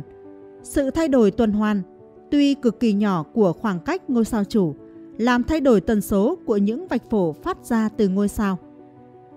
Dựa trên định luật Doppler-Fayo, các nhà thiên văn dùng phổ kế có độ phân giải cao đã đo được sự thay đổi tuần hoàn của vận tốc xuyên tâm, chiếu theo hướng quan sát của ngôi sao chủ để phát hiện được sự hiện diện của hành tinh đồng hành. Năm 1995, hai nhà thiên văn Thụy Sĩ Michael Mayer và Didier Queloz đã sử dụng một hệ phổ đặt trên kính thiên văn ở vùng Haute-Provence, miền nam nước Pháp và phát hiện được một hành tinh ở bên ngoài hệ mặt trời, lượn xung quanh ngôi sao 51 Pegasi trong một chòm sao thiên mã, cách trái đất 50 năm ánh sáng. Sự thay đổi vận tốc cực kỳ nhỏ vì hành vi rất nhẹ so với ngôi sao, nên sự phát hiện hành tinh rất phức tạp. Họ sử dụng một hệ phổ kế có độ phân giải cao để đo được sự thay đổi tần số và phát hiện được hành tinh đầu tiên ở bên ngoài hệ mặt trời. Hai nhà thiên văn Mayer và Queloz vừa mới được trao giải Nobel vật lý năm 2019. Một phương pháp khác để phát hiện hành tinh là đo độ giảm ánh sáng của ngôi sao chủ. Nếu có hành tinh đồng hành thì khi quá cảnh qua trước mặt ngôi sao, ánh sáng của ngôi sao phải giảm đi. Chẳng hạn, một hành tinh cỡ trái đất khi lượn qua trước mặt mặt trời cũng chỉ giảm ánh sáng mặt trời khoảng 0,008%. Đo được độ giảm tuần hoàn ánh sáng của ngôi sao chủ, tức là phát hiện được hành tinh đồng hành. Các nhà thiên văn của NASA dùng vệ tinh TESS vừa mới phát hiện được một siêu địa cầu được gọi là TORS 1338b, nặng bằng gần 7 lần trái đất và quay xung quanh một hệ sao đôi cách xa trái đất 1.300 năm ánh sáng. Cho tới nay, các nhà thiên văn đã phát hiện được hơn 4.000 hành tinh bên ngoài hệ mặt trời, đa số là những hành tinh khí khổng lồ và siêu trái đất có vỏ rắn. Những thiên thể này có khối lượng tương đối lớn và trường hấp dẫn tương đối mạnh, nên dễ làm nhiễu quỹ đạo của ngôi sao chủ và dễ làm thay đổi cường độ ánh sáng khi hành tinh quá cảnh trước ngôi sao. Chiến dịch thu tín hiệu vô tuyến phát ra từ những nền văn minh ngoài trái đất. Những nền văn minh tiên tiến trong vũ trụ có thể sử dụng những phương tiện liên lạc với chúng ta bằng tín hiệu vô tuyến. Sóng vô tuyến truyền trong không gian nhanh như ánh sáng và ít bị hấp thụ bởi bụi trong ngân hà. Tuy nhiên, tín hiệu vô tuyến của hệ sao gần nhất cũng phải mất khoảng 4 năm mới truyền tới trái đất. Sự tiến hóa từ trạng thái vi sinh vật đến động vật và loài người là một quá trình phức tạp và lâu dài. Sự hiện diện của sinh vật trên những hệ sao có thể là rất hiếm. Tuổi thọ của những nền văn minh tiên tiến trong vũ trụ cũng có khả năng bị hạn chế bởi chiến tranh dùng những loại vũ khí có khả năng dẫn đến nạn tuyệt chủng. Thiên tai cũng là mối đe dọa tiềm tàng cho nhân loại. Sự tìm kiếm tín hiệu của những nền văn minh ngoài trái đất tuy chưa đạt được kết quả, nhưng không có nghĩa là chúng ta đơn độc trong vũ trụ bao la. Vũ trụ từ lâu đã quyến rũ chúng ta với quy mô to lớn về khoảng cách và thời gian. Nó kéo dài bao xa? Nó kết thúc ở đâu? Và điều gì nằm ngoài các trường sao và các dòng thiên hà trải dài đến mức kính viễn vọng có thể nhìn thấy? Những câu hỏi này đang bắt đầu dẫn đến một loạt các hướng nghiên cứu mới, đặc biệt và các công nghệ cho phép chúng ta quan sát không chỉ những lĩnh vực xa xôi nhất của vũ trụ mà còn cả hành vi của vật chất và năng lượng ở quy mô nhỏ nhất. Đáng chú ý là sự hiểu biết ngày càng tăng của chúng ta về vương quốc siêu nhỏ này. Bên trong hạt nhân nguyên tử, hiện đang cho phép chúng ta thoáng nhìn thấy câu trả lời cho câu hỏi cổ xưa – vũ trụ lớn đến mức nào. Vào thời cổ đại, hầu hết những người quan sát đều coi các ngôi sao như một khối cầu bao quanh trái đất và là ngôi nhà của các vị thần. Người Hy Lạp là những người đầu tiên coi các sự kiện thiên thể là hiện tượng, chịu sự điều tra của con người chứ không phải là ý muốn bất chợt của các vị thần. Một triết gia và người quan sát bầu trời tên là Anas Sakura cho rằng các thiên thạch được tạo thành từ những vật liệu được tìm thấy trên trái đất và do đó thậm chí có thể đến từ trái đất. Những nhà thiên văn học đầu tiên đó đã xây dựng nên nền tảng của khoa học hiện đại. Nhưng họ sẽ bị sốc khi chứng kiến những khám phá của hậu thế ngày nay. Các ngôi sao và hành tinh từng là nơi cư trú của các vị thần, giờ đây được coi là những phần vô cùng nhỏ của một hệ vật chất và năng lượng khổng lồ kéo dài ra xa ngoài không gian. Sự xuất hiện không xa vào những năm 1920, làm việc tại kính viễn vọng Hawker 100 inch, mới khổng lồ trên núi Wilson, California. Nhà thiên văn học Edwin Hubble cùng với một trợ lý tên là Milton Humason đã phân tích ánh sáng của những mảng mờ trên bầu trời được gọi là tinh vân. Họ cho thấy đây thực sự là những thiên hà xa xôi nằm cách xa thiên văn của chúng ta. Hubble và Humason phát hiện ra rằng hầu hết chúng đang di chuyển ra xa chúng ta. Họ càng nhìn xa thì những vật thể này càng lùi xa nhanh hơn. Thực tế này ngày nay được gọi là định luật Hubble, cho thấy rằng phải có một thời điểm khi vật chất trong tất cả các thiên hà này, tập trung lại ở một nơi. Mọi thứ mà các nhà thiên văn học nhìn thấy qua kính thiên văn, ngày càng lớn của họ, sẽ có niên đại từ một khởi đầu đơn lẻ. Ngày nay được gọi là vụ nổ lớn. Việc vũ trụ có thể giãn nở đã được Albert Einstein dự đoán từ năm 1917. Ngoại trừ việc chính Einstein cũng không tin điều đó cho đến khi ông nhìn thấy bằng chứng của Hubble và Humason. Thuyết tương đối rộng của Einstein cho rằng các thiên hà có thể đang di chuyển xa nhau vì bản thân không gian đang giãn nở. Vì vậy, khi một photon được bắn ra từ một ngôi sao xa xôi, nó sẽ di chuyển qua một khung cảnh vũ trụ ngày càng lớn hơn, làm tăng khoảng cách mà nó phải di chuyển để đến được chúng ta. Vì vậy, vũ trụ đã lớn đến mức nào kể từ vụ nổ lớn phụ thuộc vào thời gian nó phát triển, bên cạnh tốc độ giãn nở của nó. Các phép đo chính xác gần đây được thu thập bởi kính viễn vọng không gian Hubble và các thiết bị khác đã mang lại sự đồng thuận rằng vũ trụ có niên đại 13,8 tỷ năm. Vào thời điểm đó, một chùm ánh sáng sẽ đi được 13,8 tỷ năm ánh sáng hay khoảng 1,3 triệu km. Nhưng tính đến sự giãn nở của vũ trụ, các thiên hà xa nhất được phát hiện bởi kính viễn vọng không gian Hubble thực sự cách chúng ta 46 tỷ năm ánh sáng theo mỗi hướng và cách nhau gần 92 tỷ năm ánh sáng. Vậy, đó có phải là kích thước của vũ trụ? Không phải vậy. Theo một lý thuyết mới đầy kịch tính mô tả nguồn gốc của vũ trụ, nó cho rằng khoảng 92 tỷ năm ánh sáng của chúng ta chỉ là một hạt nhỏ trong toàn bộ vũ trụ. Lý thuyết này dựa trên sự phát triển ra rằng năng lượng liên tục thoát ra từ chân không của không gian dưới dạng các hạn mang điện tích trái dấu, vật chất và phản vật chất.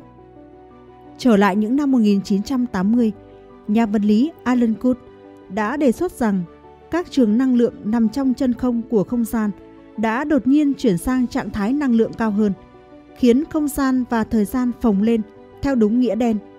Vũ trụ chuyển từ kích thước nguyên tử sang kích thước vũ trụ trong một không gian vô cùng ngắn. Kết quả là, theo tính toán của Kut, vũ trụ nói chung sẽ tăng lên khoảng 1025 lần kích thước của vũ trụ quan sát được. Nói cách khác, toàn bộ vũ trụ đối với vũ trụ quan sát được giống như vũ trụ quan sát được so với một nguyên tử nhỏ bé. Sự căng thẳng khủng khiếp của lạm phát vũ trụ giúp giải thích kích thước to lớn và độ mịn của vũ trụ. Nhưng để thành công, lý thuyết này cũng phải giải thích cách vũ trụ tạo ra những gì chúng ta thấy xung quanh chúng ta. Tất cả các ngôi sao, thiên hà và cụm thiên hà và cuối cùng là chúng ta. Các nhà khoa học hiện đang cố gắng ghép lại chuỗi sự kiện đã đưa vũ trụ của chúng ta vào những thời điểm đầu tiên bằng cách tạo ra cái mà bạn có thể gọi là vụ nổ nhỏ. Tại phòng thí nghiệm quốc gia Brookhaven ở New York, họ đang cho nổ các nguyên tử vàng theo các hướng ngược nhau xuống các đường hầm dài gần 2,5 dặm. Khi những nguyên tử này đạt vận tốc gần với tốc độ ánh sáng, chúng sẽ bị đẩy vào một vụ va chạm dữ dội. Một quả cầu lửa phun trào, đạt nhiệt độ vượt quá 2.000 tỷ độ C. Theo những gì chúng ta biết, lần cuối cùng mọi thứ trong vũ trụ của chúng ta nóng như vậy là một phần triệu giây sau khi nó ra đời. Điều khiến các nhà khoa học quan tâm là sự bắn tung tóe của các hạt hạ nguyên tử, một hỗn hợp siêu nóng gồm quartz và gluon mà lý thuyết cho rằng đã tạo ra vật chất như chúng ta biết. Trong các thử nghiệm ban đầu, plasma quark gluon này đã thể hiện một đặc tính quan trọng, độ nhớt hoặc khả năng chống chảy cực thấp. Các nhà khoa học gọi nó là chất lỏng hoàn hảo. Để hiểu được tầm quan trọng của nó, chúng ta quay trở lại những trường năng lượng nguyên thủy mà lý thuyết cho rằng đã tạo ra vụ nổ lớn. Người ta cho rằng những trường đó chứa đựng những biến động nhỏ đã bị thổi phồng lên quy mô lớn trong thời kỳ lạm phát. Trong hỗn hợp quark gluon cực đậm đặc, những thăng sáng này tạo ra sóng áp suất hay gợn sóng. Khi vũ trụ phát triển, những gợn sóng này làm phát sinh những biến đổi về mật độ vật chất. Điều đáng ngạc nhiên là ngày nay, dấu vết của những gợn sóng nguyên thủy đó vẫn còn tồn tại dưới dạng tín hiệu mờ nhạt được phát hiện tình cờ vào những năm 1960. Làm việc cho công ty điện thoại Bell, các nhà vật lý Ando Penzias và Robert Wilson đã chế tạo một anten hình sừng khổng lồ, nhưng bất cứ nơi nào họ chỉ ra Thiết bị này đều thu được tiếng ồn quá mức trong phần vi sóng của phổ điện tử. Tiếng ồn đó hóa ra trùng khớp với một dự đoán được đưa ra từ nhiều năm trước đó, rằng sau vụ nổ lớn, vũ trụ chứa đầy một đám mây khí cực nóng làm tán xạ toàn bộ ánh sáng. Khi vũ trụ nguội đi, đám mây tan dần. Sau đó, ánh sáng chiếu qua. Theo thời gian, dấu hiệu quang phổ của ánh sáng này sẽ dịch chuyển. Khi vũ trụ giãn nở và nguội đi, đến mức mà Perseus và Wilson đã phát hiện được. Những gì họ nghe được cho là tiếng vang của vụ nổ lớn. Hình ảnh này cho thấy những đường nét mượt mà của ánh sáng được nhóm Bell ghi lại.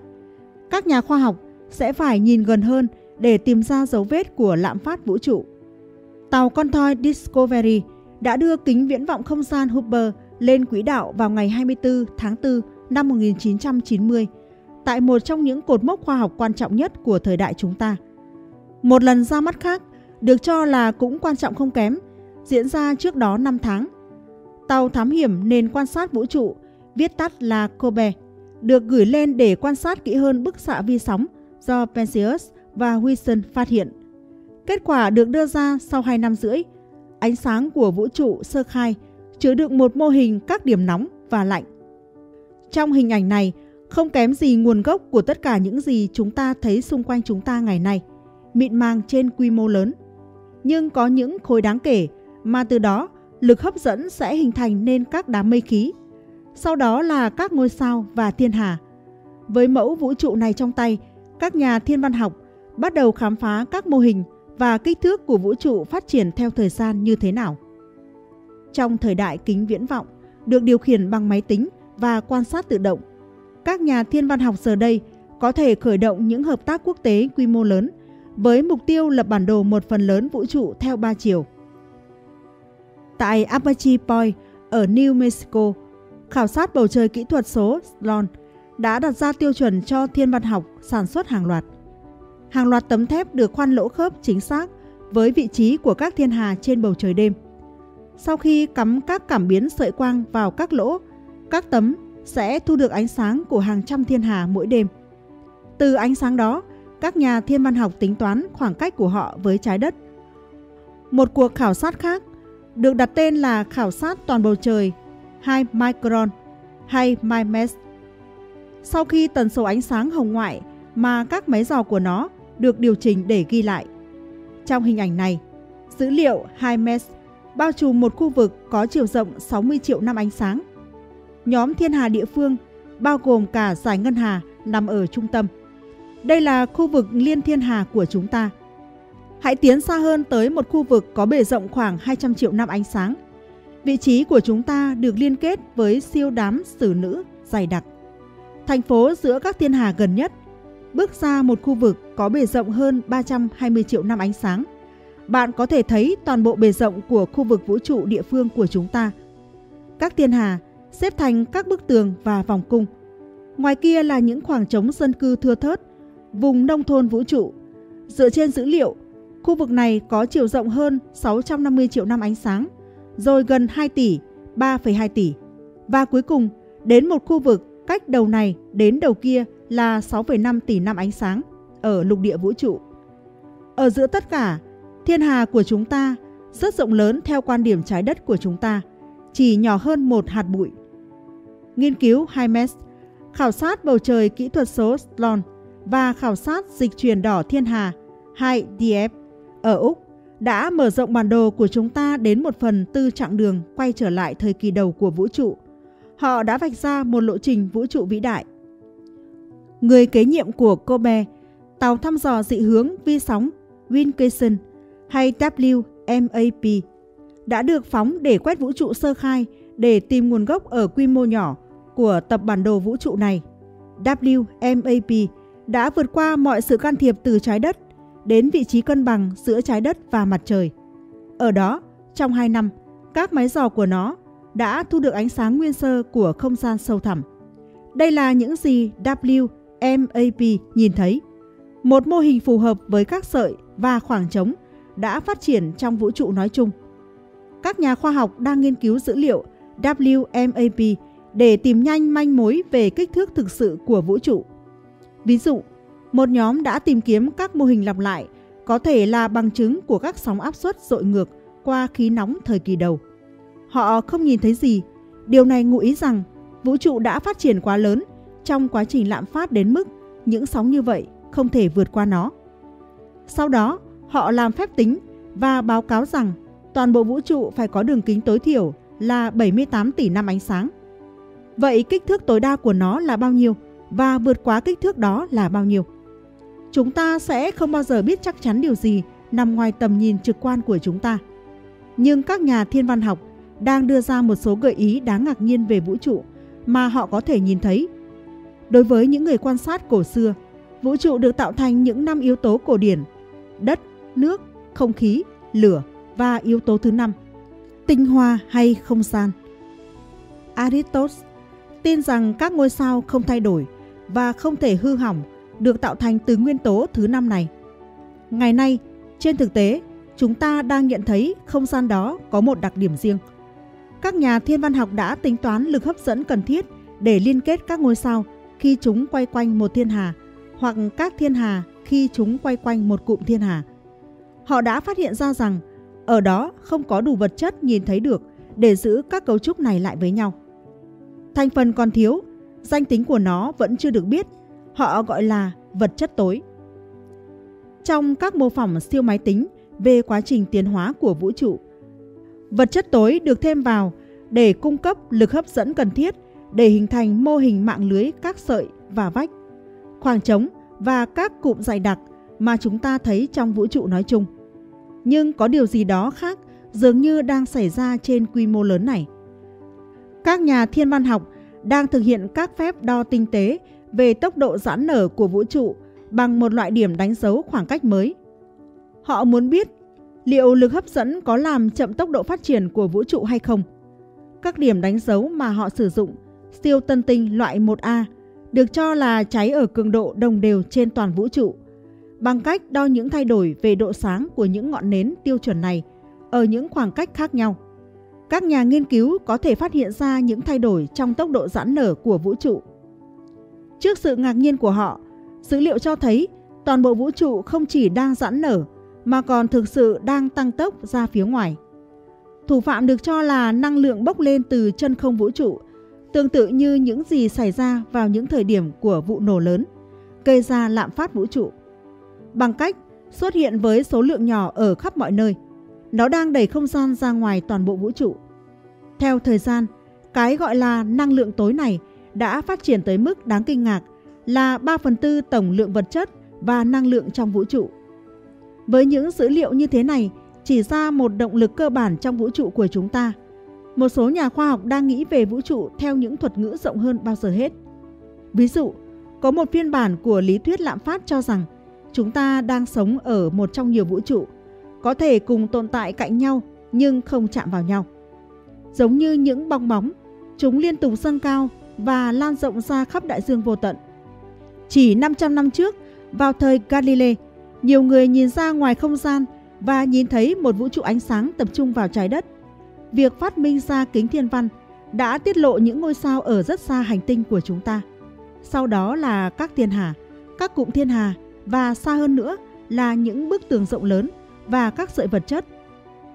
Những ý tưởng mới hơn về kích thước của vũ trụ đã tạo nên một bước nhảy vọt lượng tử trong nhận thức của chúng ta về quy mô bằng cách mở rộng những cấu trúc này ra xa, vừa xa tầm nhìn của chúng ta. Liệu những khám phá này có đẩy chúng ta trên hành tinh nhỏ bé xa lạ của chúng ta vào một góc ngày càng nhỏ hơn của sáng tạo không? Hay khả năng hiểu và tưởng tượng những giới hạn xa xôi của thời gian và không gian của chúng ta bằng cách nào đó đã mở rộng tầm quan trọng của chúng ta trong sơ đồ lớn của sự vật. Có hay không tồn tại sự sống bên ngoài vũ trụ là câu hỏi lớn mà giới khoa học đang đau đầu tìm lời giải. Nhưng bấy lâu nay, chúng ta lại tìm kiếm trong vô vọng trên một lối mòn với những manh mối ít ỏi đã biết trên trái đất, nước, oxy, chất hữu cơ, vân vân. Nhưng nếu sự sống ngoài kia phát triển trái ngược với những manh mối đó thì chẳng phải chúng ta đã bỏ lỡ cho dù chúng đang ở ngay trước mắt chúng ta hay sao? Sự thật quan trọng là Hầu hết những vật thể mà chúng ta có thể tiếp cận được trong hệ mặt trời, những thiên thể trong tầm với của tàu vũ trụ và trong tầm thấy của những chiếc kính viễn vọng gắn với mặt đất. Hầu hết các vật thể là rất lạnh và rất xa so với mặt trời. Nếu bạn nhìn vào hệ mặt trời như chúng ta biết ngày nay, nó có vài hành tinh gần với mặt trời và một trong số đó là nơi chúng ta sống. Nó có một số đáng kể các tiểu hành tinh nằm giữa khoảng từ quỹ đạo của trái đất đến quỹ đạo của sao mộc. Những tiểu hành tinh đó có số lượng lớn nhưng không rộng lắm và chúng cũng không hứa hẹn lắm cho sự sống. Vì hầu hết chúng bao gồm đá và kim loại. Chủ yếu là kim loại. Chúng không chỉ lạnh mà còn rất khô. Vì thế chúng ta không có nhiều hy vọng lắm dành cho các tiểu hành tinh. Nhưng vẫn còn vài nơi thú vị ở xa hơn một chút. Các mặt trăng của sao mộc và sao thổ. Đặc biệt có một nơi gọi là Europa. Đó là một trong những mặt trăng của sao mộc nơi chúng ta thấy được một bề mặt băng rất bằng phẳng, trông như thể nó đang trôi nổi trên mặt của một đại dương. Vì thế chúng ta tin rằng trên Europa thực chất có một đại dương sâu thẳm và điều đó biến nó thành một điểm khám phá thú vị lạ thường. Đại dương gần như là địa điểm lý tưởng nhất để khởi nguồn sự sống, hệt như cách sự sống bắt đầu trên trái đất. Vì thế, chúng ta muốn khám phá Europa, đào sâu qua lớp băng, tìm hiểu xem ai đang bơi lượn quanh đại dương, dù đó là cá hay là tàu biển hay những con quái vật biển. Bất kể thứ gì ở đó có thể sẽ lý thú như vậy, hoặc là các động vật thân mềm, nhưng rất khó để làm được điều đó. Rủi thay, lớp băng khá dày. Chúng ta không biết nó dày bao nhiêu, có thể đến hàng vài km.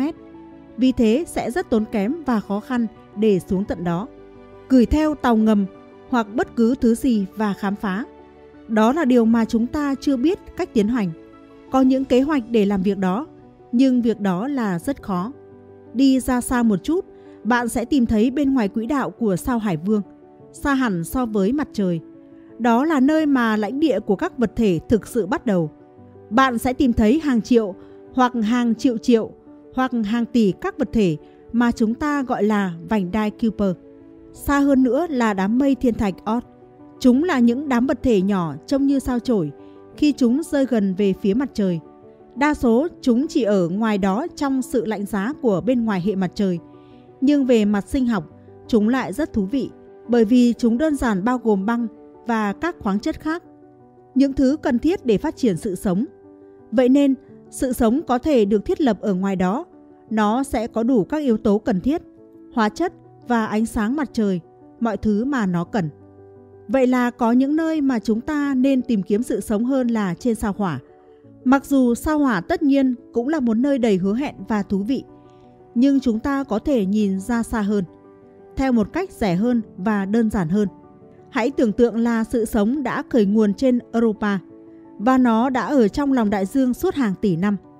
Có khả năng rằng nó sẽ rời biển và lên đất liền, như là đã xảy ra trên trái đất.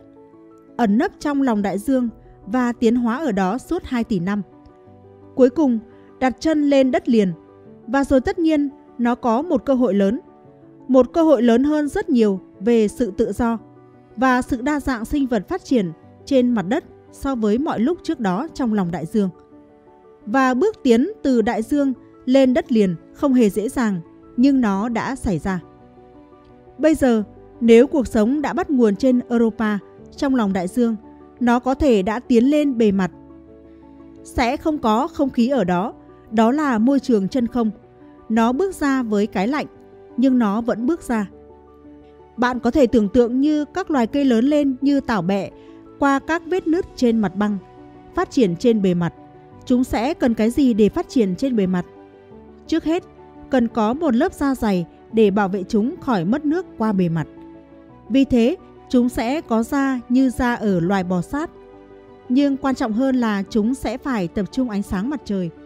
Ánh sáng mặt trời ở sao mộc và các vệ tinh của nó yếu gấp 25 lần so với trên trái đất. Vì sao mộc xa mặt trời hơn chúng ta tới 5 lần. Vì thế, chúng sẽ phải có những sinh vật mà chúng ta có thể gọi là hoa hướng dương. Thứ mà chúng ta tưởng tượng là sẽ sống trên bề mặt của Europa sẽ phải có hoặc các thấu kính hoặc các tấm gương để tập trung ánh sáng mặt trời. Vì thế, chúng có thể tự làm ấm lên trên bề mặt. Nếu không, chúng sẽ ở nhiệt độ âm khoảng 150 độ. Chắc chắn là không thuận lợi để phát triển sự sống, ít nhất là như dạng sống của chúng ta biết. Nhưng nếu chúng có thể đơn giản phát triển như lá cây, những thấu kính và gương nhỏ, để tập trung ánh sáng mặt trời thì chúng có thể giữ ấm trên bề mặt. Chúng có thể tận hưởng mọi lợi ích từ ánh sáng mặt trời và có dễ đâm sâu xuống đại dương. Sự sống khi ấy có thể đơm hoa kết trái hơn rất nhiều. Vì thế, tại sao chúng ta không tìm kiếm? Tất nhiên là không dễ xảy ra là có sự sống trên bề mặt của Europa. Chẳng thứ nào trong số đó là dễ xảy ra. Nhưng có một triết lý rằng chúng ta tìm thứ có thể nhận dạng ra được, không phải là thứ có thể xảy ra được. Có một lịch sử dài trong ngành thiên văn về những thứ khó có thể xảy ra rốt cục lại xảy ra. Ví dụ chuẩn xác nhất chính là toàn thể ngành thiên văn vô tuyến. Ban đầu, khi ngành này mới ra đời, kỹ sư vô tuyến người Mỹ Kagat Jansky ở phòng thí nghiệm Bell thu nhận được các sóng vô tuyến điện từ trên bầu trời và các nhà thiên văn học chính quy đã rất khinh miệt điều này. Họ nói rằng, ừ được rồi, ông có thể thu các sóng vô tuyến điện từ từ mặt trời, nhưng mặt trời là vật thể duy nhất trong vũ trụ đủ gần và đủ sáng để có thể thu nhận được. Ông có thể dễ dàng tính toán được rằng sóng vô tuyến điện từ mặt trời là khá yếu và mọi thứ khác trong vũ trụ còn xa hơn hàng triệu lần. Vì thế, chắc chắn sẽ không thể thu nhận được. Vậy tìm kiếm làm gì cho phí sức? Và điều đó đã kéo lùi sự tiến bộ của ngành thiên văn vô tuyến khoảng 20 năm. Vì chẳng có gì ở đó, bạn cũng chẳng cần tìm. Và tất nhiên, ngay khi có người tìm, khoảng 20 năm sau đó, khi ngành thiên văn vô tuyến thực sự cất cánh, bởi vì hóa ra rằng vũ trụ tràn ngập mọi điều kỳ thú. Phóng xạ, những giải sóng vô tuyến điện rõ hơn rất nhiều so với mặt trời. Và điều tương tự có thể đúng với dạng sống này. Dạng mà chúng ta đang nói tới trên các vật thể lạnh. Điều có thể là rất phong phú trên khắp vũ trụ và chưa được phát hiện bởi vì chúng ta vẫn chưa bận tâm đi tìm. Vậy làm thế nào để phát hiện ra nó? Nếu những sinh vật này đang sống trên các bề mặt lạnh giá, có thể Europa hoặc xa hơn, bất cứ nơi nào bạn có thể sống trên một bề mặt lạnh giá, những sinh vật đó buộc phải có những quang cụ phản chiếu. Để tập trung được ánh sáng mặt trời, chúng phải có những thấu kính và những tấm gương để có thể giữ ấm cho bản thân. Và khi bạn chiếu ánh sáng mặt trời vào chúng, ánh sáng sẽ bị phản chiếu lại như khi phản chiếu từ mắt của một con vật. Vì thế, những sinh vật này sẽ sáng nổi bật so với môi trường lạnh giá quanh chúng. Và bạn càng đi xa so với mặt trời, sự phản chiếu này sẽ rõ nét hơn. Vì thế, thực ra, cách săn tìm sự sống này càng hiệu quả hơn khi bạn càng đi xa hơn. Bởi vì các quang cụ phản chiếu phải mạnh hơn để ánh sáng phản chiếu sáng mạnh hơn so với khung nền tối phía sau. Vì thế, khi bạn đi càng xa mặt trời thì điều này càng rõ nét. Vậy thực tế, bạn có thể tìm kiếm những sinh vật này với kính viễn vọng từ trái đất. Tại sao chúng ta không đang dùng cách này? Đơn giản vì chưa ai nghĩ tới nó. Nhưng hy vọng rằng một ngày không xa chúng ta sẽ tìm. Có thể chúng ta chẳng tìm được gì. Không phỏng đoán nào trong số trên có một cơ sở thực tiễn. Nhưng đó vẫn là một cơ hội tốt. Và tất nhiên, nếu nó xảy ra, nó sẽ thay đổi hoàn toàn cách nhìn nhận của chúng ta về sự sống.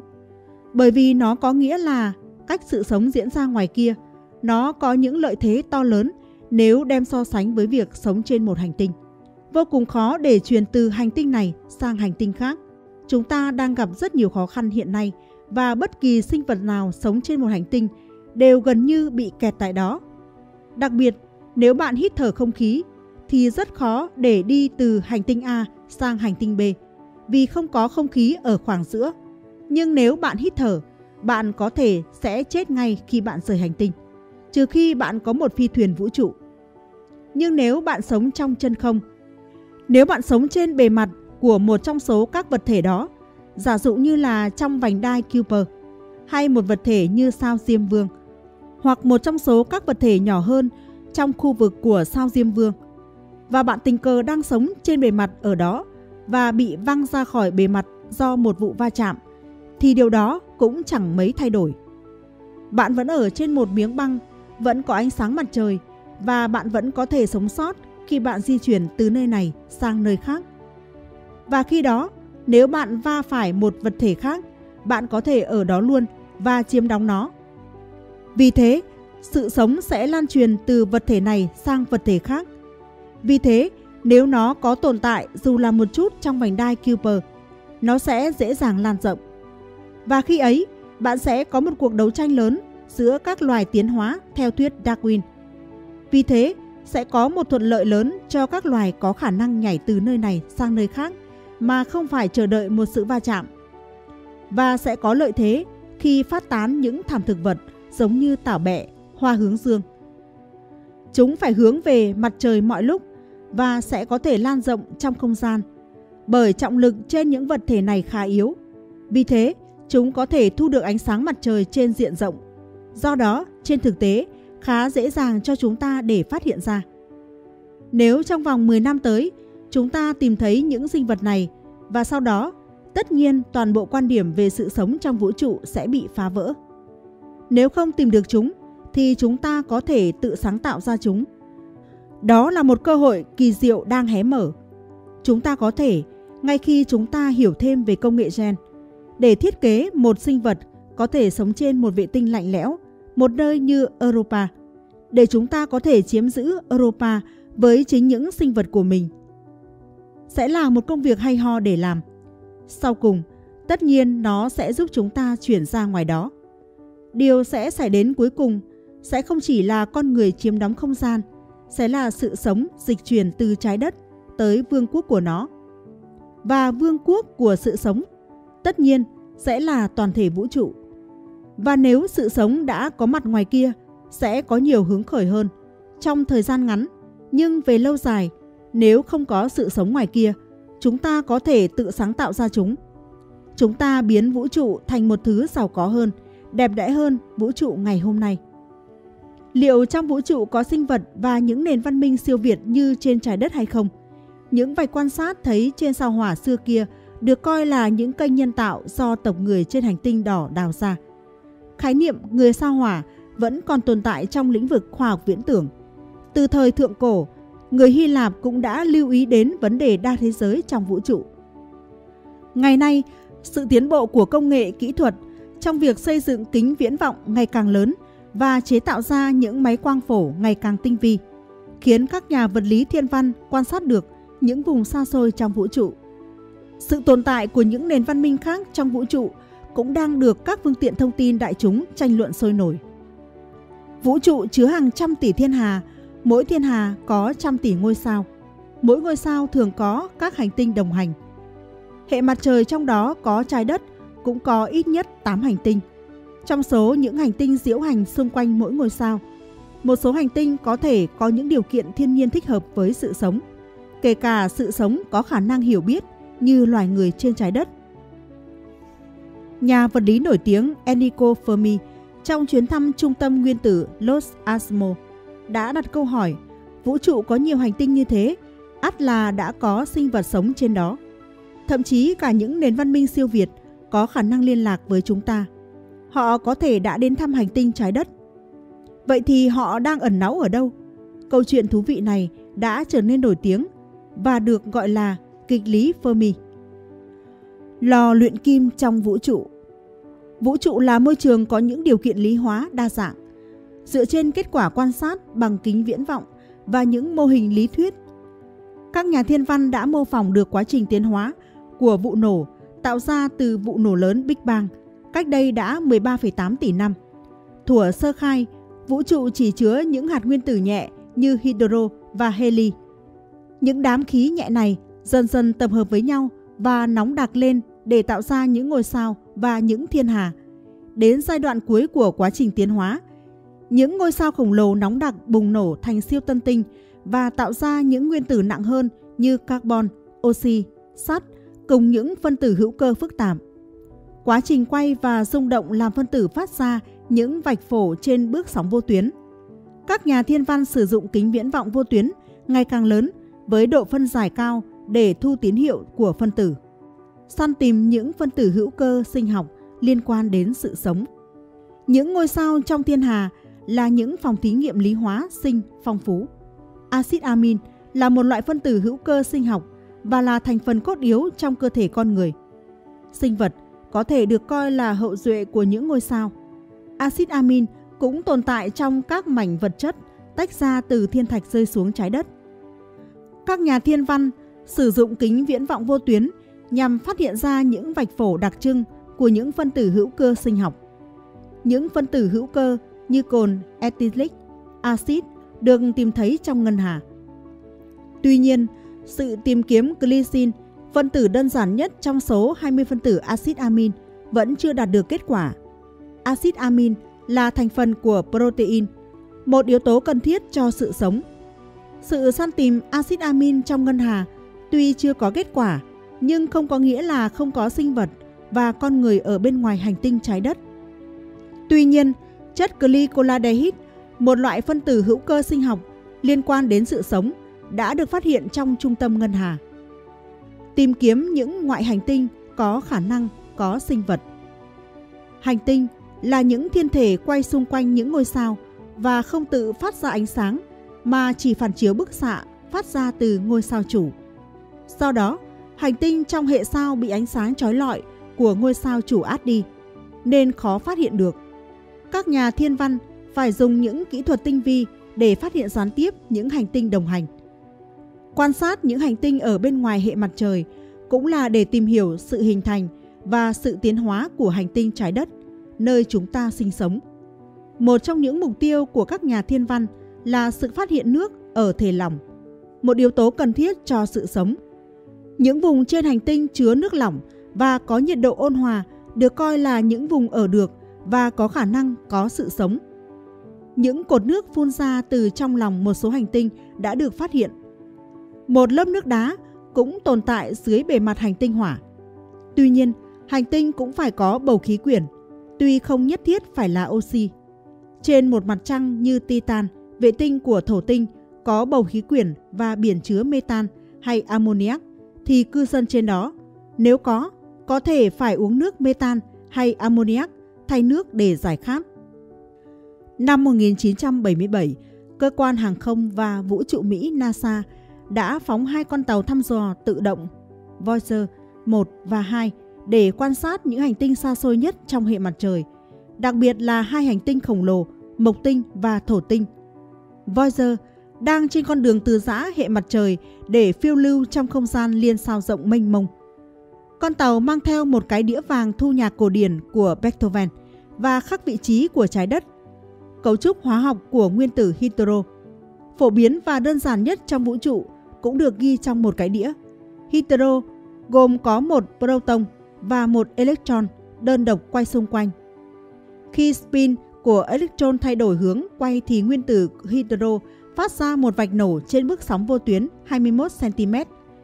Vạch hydro có cường độ rất mạnh vì hydro rất phổ biến trong vũ trụ. Những nền văn minh ngoài trái đất hẳn phải có đủ kiến thức khoa học để phát hiện vạch phổ này trong các thiên hà và ngân hà, cũng như ý thức được trình độ khoa học của nhân loại trên trái đất. Quan sát hành tinh trong những hệ sao. Hành tinh thường không quá nóng, do đó thân thiện với sự sống và có thể là nơi sinh sống của sinh vật. Sự phát hiện hành tinh trong những hệ sao là điều kiện tiên quyết cho sự săn tìm cư dân trên những thế giới khác. Đa số, hành tinh được phát hiện trong giải ngân hà là những hành tinh cỡ lớn ở thể khí. Những loại hành tinh này không được coi là nơi cư trú của sinh vật. Sự tìm kiếm hành tinh trong những hệ sao như trong hệ mặt trời vẫn được xúc tiến để phát hiện những hành tinh có vỏ rắn tương tự như trái đất, nằm trong những vùng có khả năng có nước ở thể lỏng, yếu tố cần thiết cho sự sống. Lực hấp dẫn của hành tinh tuy yếu nhưng vẫn làm nhiễu phần nào quỹ đạo của ngôi sao chủ. Lực hấp dẫn làm ngôi sao xê dịch khi xa, khi gần. Sự thay đổi tuần hoàn, tuy cực kỳ nhỏ của khoảng cách ngôi sao chủ, làm thay đổi tần số của những vạch phổ phát ra từ ngôi sao. Dựa trên định luật Doppler-Fayo, các nhà thiên văn dùng phổ kế có độ phân giải cao đã đo được sự thay đổi tuần hoàn của vận tốc xuyên tâm chiếu theo hướng quan sát của ngôi sao chủ để phát hiện được sự hiện diện của hành tinh đồng hành. Năm 1995, hai nhà thiên văn Thụy Sĩ Michael Mayer và Didier Queloz đã sử dụng một hệ phổ đặt trên kính thiên văn ở vùng Haute-Provence, miền nam nước Pháp và phát hiện được một hành tinh ở bên ngoài hệ mặt trời, lượn xung quanh ngôi sao 51 Pegasi trong một chòm sao thiên mã, cách trái đất 50 năm ánh sáng. Sự thay đổi vận tốc cực kỳ nhỏ vì hành vi rất nhẹ so với ngôi sao, nên sự phát hiện hành tinh rất phức tạp. Họ sử dụng một hệ phổ kế có độ phân giải cao để đo được sự thay đổi tần số và phát hiện được hành tinh đầu tiên ở bên ngoài hệ mặt trời. Hai nhà thiên văn Mayer và Queloz vừa mới được trao giải Nobel vật lý năm 2019. Một phương pháp khác để phát hiện hành tinh là đo độ giảm ánh sáng của ngôi sao chủ. Nếu có hành tinh đồng hành thì khi quá cảnh qua trước mặt ngôi sao, ánh sáng của ngôi sao phải giảm đi. Chẳng hạn, một hành tinh cỡ trái đất khi lượn qua trước mặt mặt trời cũng chỉ giảm ánh sáng mặt trời khoảng 0,008%. Đo được độ giảm tuần hoàn ánh sáng của ngôi sao chủ, tức là phát hiện được hành tinh đồng hành. Các nhà thiên văn của NASA dùng vệ tinh TESS vừa mới phát hiện được một siêu địa cầu được gọi là TORS 1338b, nặng bằng gần 7 lần trái đất và quay xung quanh một hệ sao đôi cách xa trái đất 1.300 năm ánh sáng. Cho tới nay, các nhà thiên văn đã phát hiện được hơn 4.000 hành tinh bên ngoài hệ mặt trời, đa số là những hành tinh khí khổng lồ và siêu trái đất có vỏ rắn.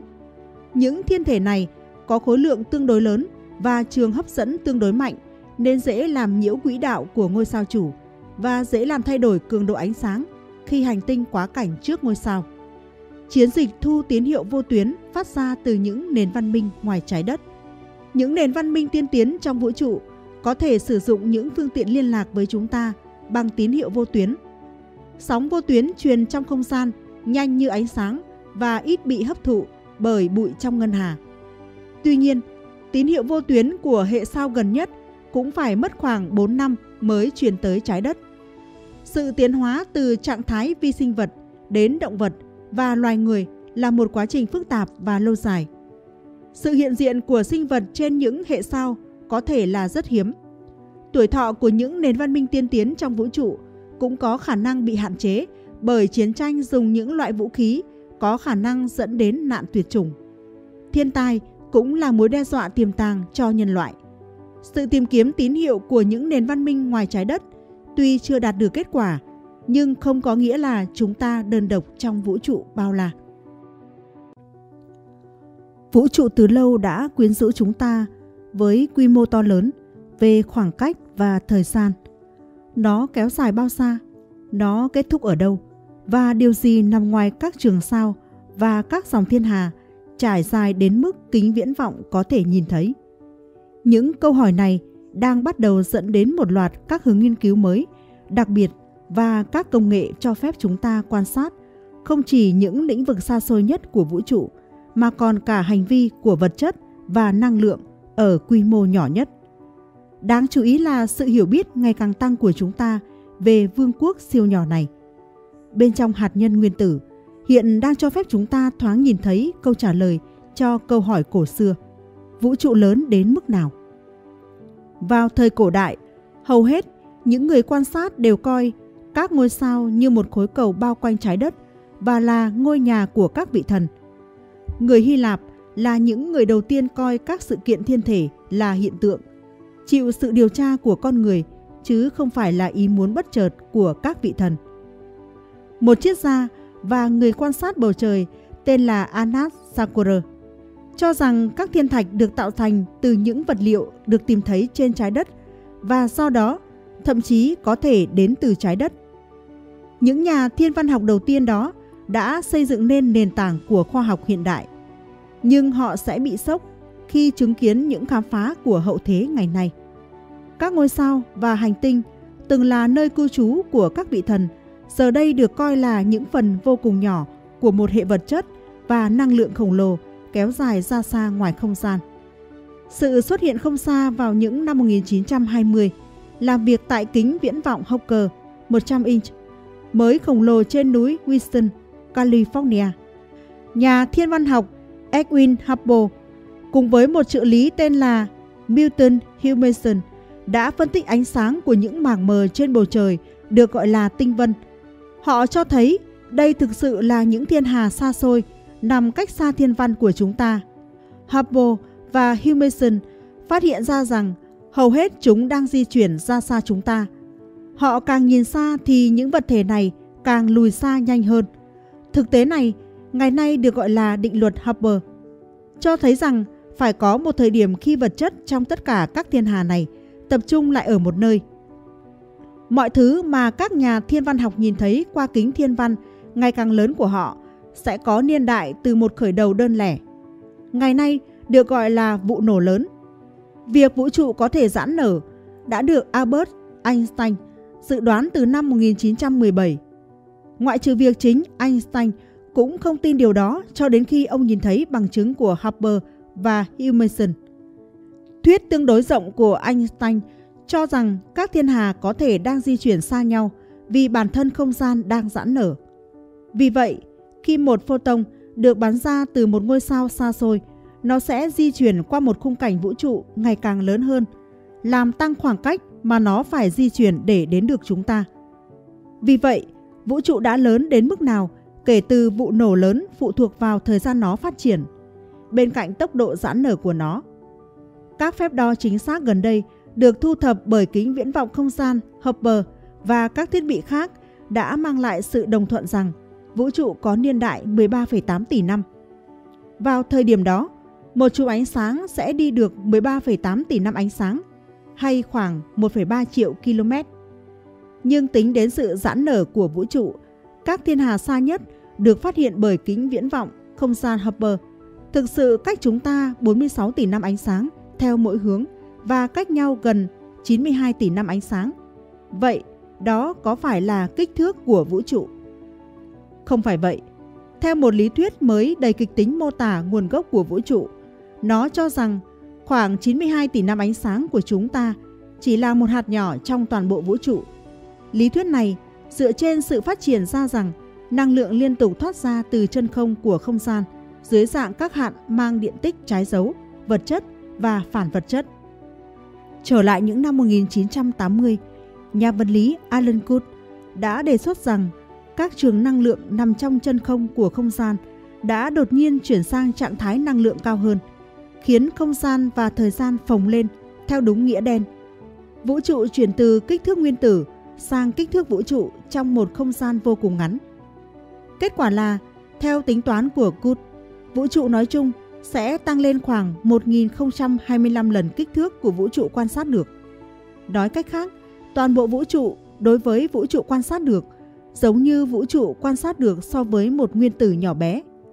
Sự căng thẳng khủng khiếp của lạm phát vũ trụ giúp giải thích kích thước to lớn và độ mịn của vũ trụ. Nhưng để thành công, lý thuyết này cũng phải giải thích cách vũ trụ tạo ra những gì chúng ta thấy xung quanh chúng ta. Tất cả các ngôi sao, thiên hà và cụm thiên hà và cuối cùng là chúng ta. Các nhà khoa học hiện đang cố gắng ghép lại chuỗi sự kiện đã đưa vũ trụ của chúng ta vào những thời điểm đầu tiên bằng cách tạo ra cái mà bạn có thể gọi là vụ nổ nhỏ. Tại phòng thí nghiệm quốc gia Brookhaven ở New York, họ đang cho nổ các nguyên tử vàng theo các hướng ngược nhau xuống các đường hầm dài gần 2,5 dặm. Khi những nguyên tử này đạt vận tốc gần với tốc độ ánh sáng, chúng sẽ bị đẩy vào một vụ va chạm dữ dội. Một quả cầu lửa phun trào, đạt nhiệt độ vượt quá 2.000 tỷ độ C. Theo những gì chúng ta biết, lần cuối cùng mọi thứ trong vũ trụ của chúng ta nóng như vậy là một phần triệu giây sau khi nó ra đời. Điều khiến các nhà khoa học quan tâm là sự bắn tung tóe của các hạt hạ nguyên tử, một hỗn hợp siêu nóng gồm quartz và gluon mà lý thuyết cho rằng đã tạo ra vật chất như chúng ta biết. Trong các thử nghiệm ban đầu, plasma quark gluon này đã thể hiện một đặc tính quan trọng, độ nhớt hoặc khả năng chống chảy cực thấp. Các nhà khoa học gọi nó là chất lỏng hoàn hảo. Để hiểu được tầm quan trọng của nó, chúng ta quay trở lại những trường năng lượng nguyên thủy mà lý thuyết cho rằng đã tạo ra vụ nổ lớn.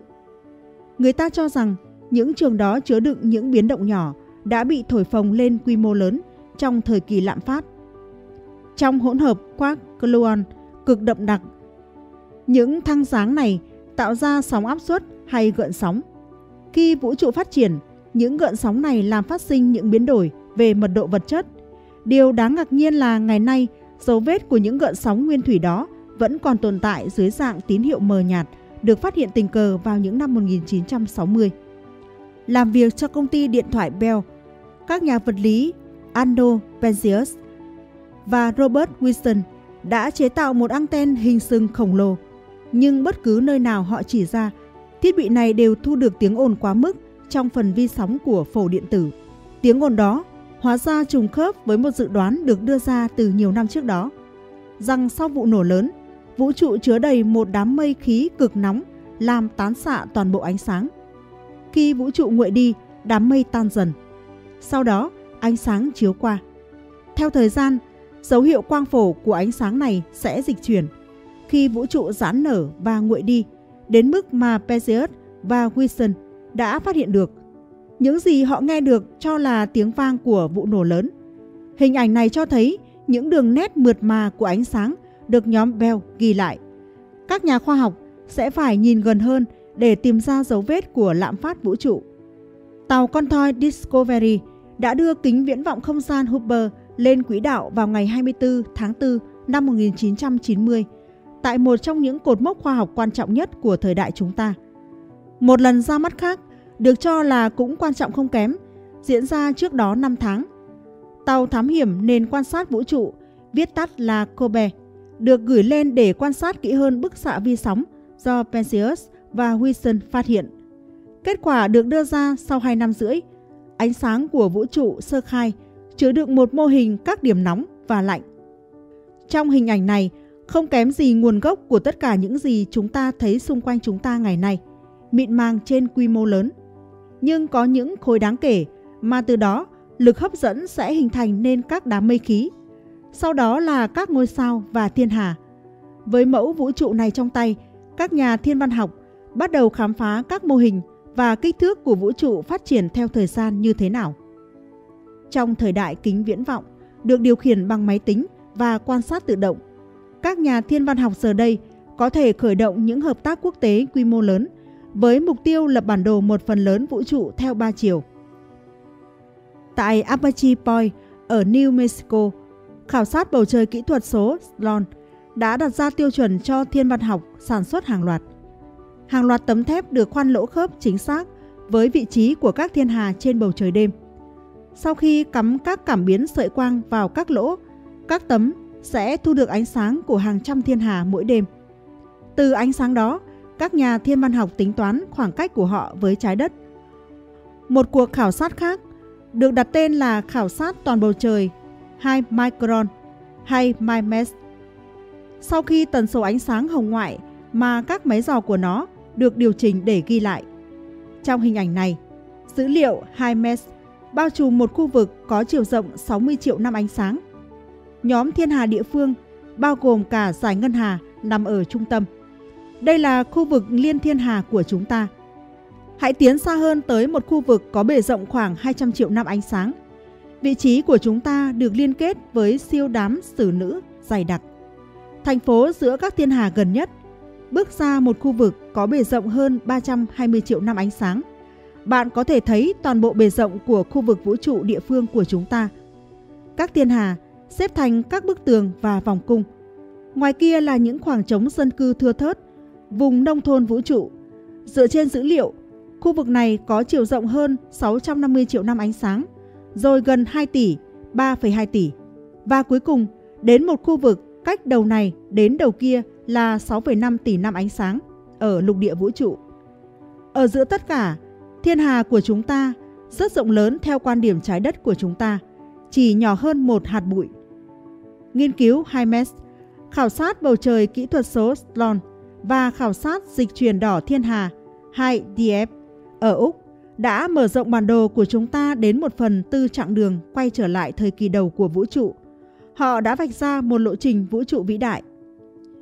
Người kế nhiệm của Kobe, tàu thăm dò dị hướng vi sóng Wilkinson hay WMAP đã được phóng để quét vũ trụ sơ khai để tìm nguồn gốc ở quy mô nhỏ của tập bản đồ vũ trụ này, WMAP, đã vượt qua mọi sự can thiệp từ trái đất đến vị trí cân bằng giữa trái đất và mặt trời. Ở đó, trong 2 năm, các máy dò của nó đã thu được ánh sáng nguyên sơ của không gian sâu thẳm. Đây là những gì WMAP nhìn thấy. Một mô hình phù hợp với các sợi và khoảng trống đã phát triển trong vũ trụ nói chung. Các nhà khoa học đang nghiên cứu dữ liệu WMAP để tìm nhanh manh mối về kích thước thực sự của vũ trụ. Ví dụ, một nhóm đã tìm kiếm các mô hình lặp lại có thể là bằng chứng của các sóng áp suất dội ngược qua khí nóng thời kỳ đầu. Họ không nhìn thấy gì, điều này ngụ ý rằng vũ trụ đã phát triển quá lớn trong quá trình lạm phát đến mức những sóng như vậy không thể vượt qua nó. Sau đó, họ làm phép tính và báo cáo rằng toàn bộ vũ trụ phải có đường kính tối thiểu là 78 tỷ năm ánh sáng. Vậy kích thước tối đa của nó là bao nhiêu và vượt quá kích thước đó là bao nhiêu? Chúng ta sẽ không bao giờ biết chắc chắn điều gì nằm ngoài tầm nhìn trực quan của chúng ta.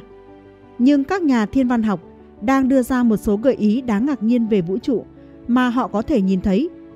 Đối với những người quan sát cổ xưa, vũ trụ được tạo thành những năm yếu tố cổ điển: đất, nước, không khí, lửa và yếu tố thứ năm, tinh hoa hay không gian. Aristotle tin rằng các ngôi sao không thay đổi và không thể hư hỏng được tạo thành từ nguyên tố thứ năm này. Ngày nay, trên thực tế, chúng ta đang nhận thấy không gian đó có một đặc điểm riêng.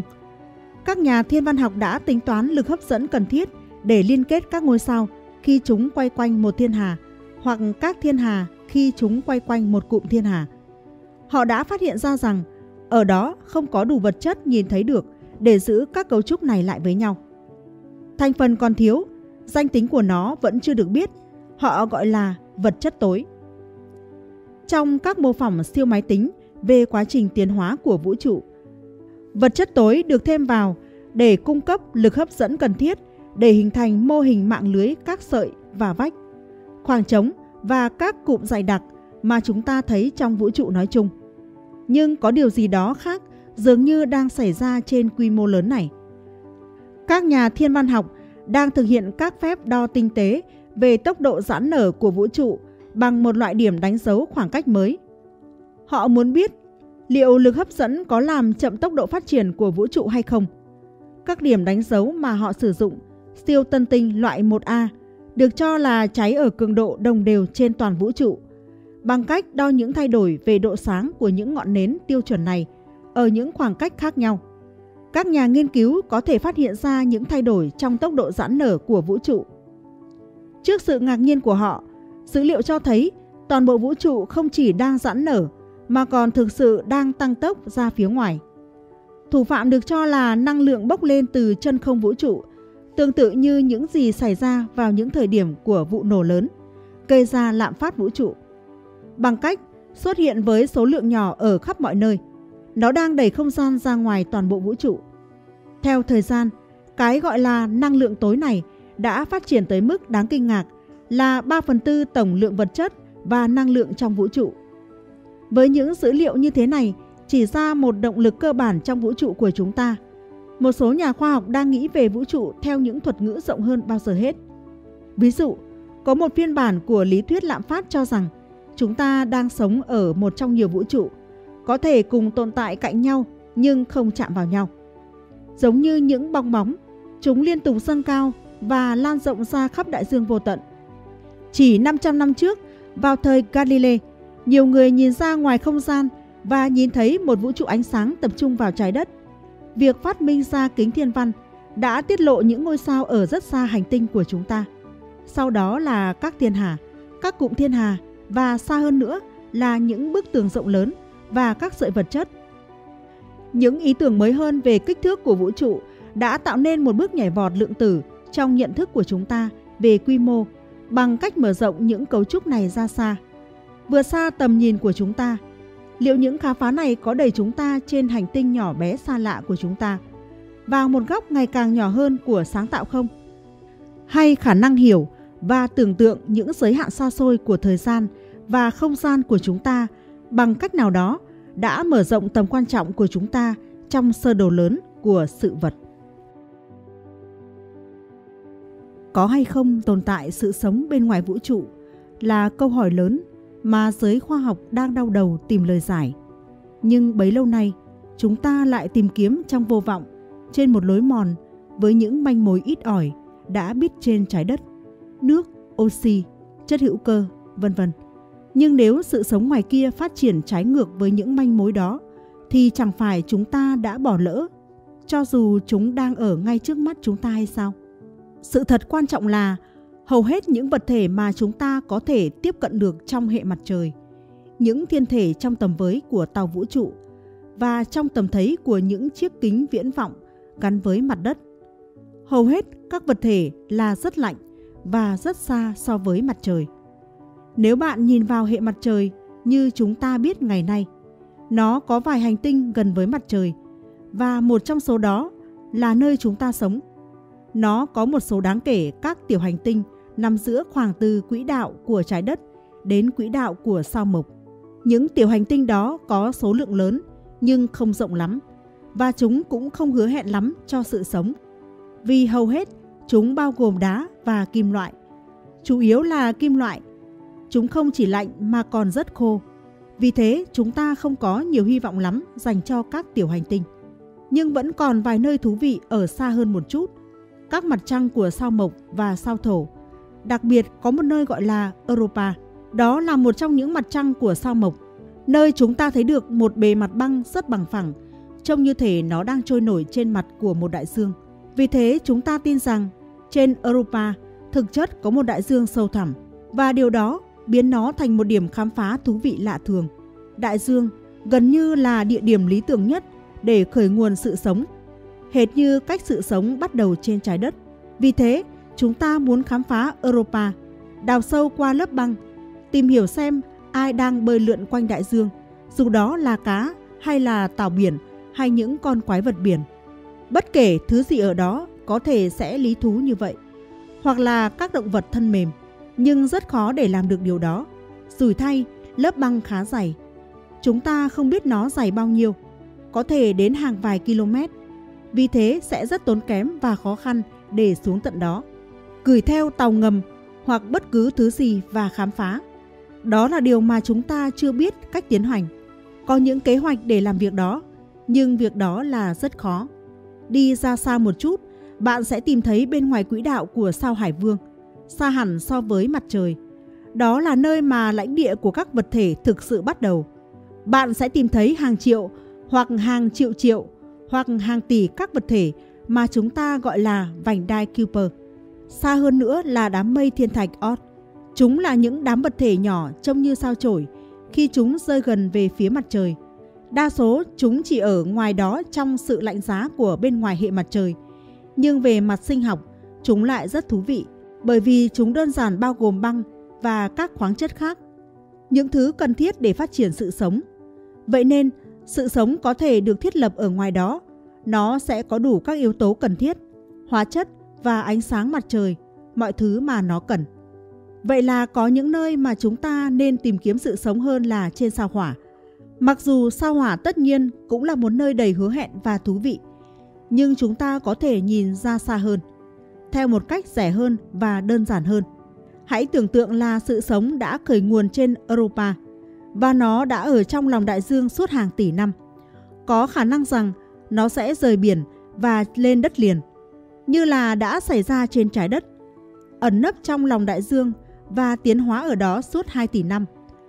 Cuối cùng, đặt chân lên đất liền và rồi tất nhiên nó có một cơ hội lớn, một cơ hội lớn hơn rất nhiều về sự tự do và sự đa dạng sinh vật phát triển trên mặt đất so với mọi lúc trước đó trong lòng đại dương và bước tiến từ đại dương lên đất liền không hề dễ dàng, nhưng nó đã xảy ra.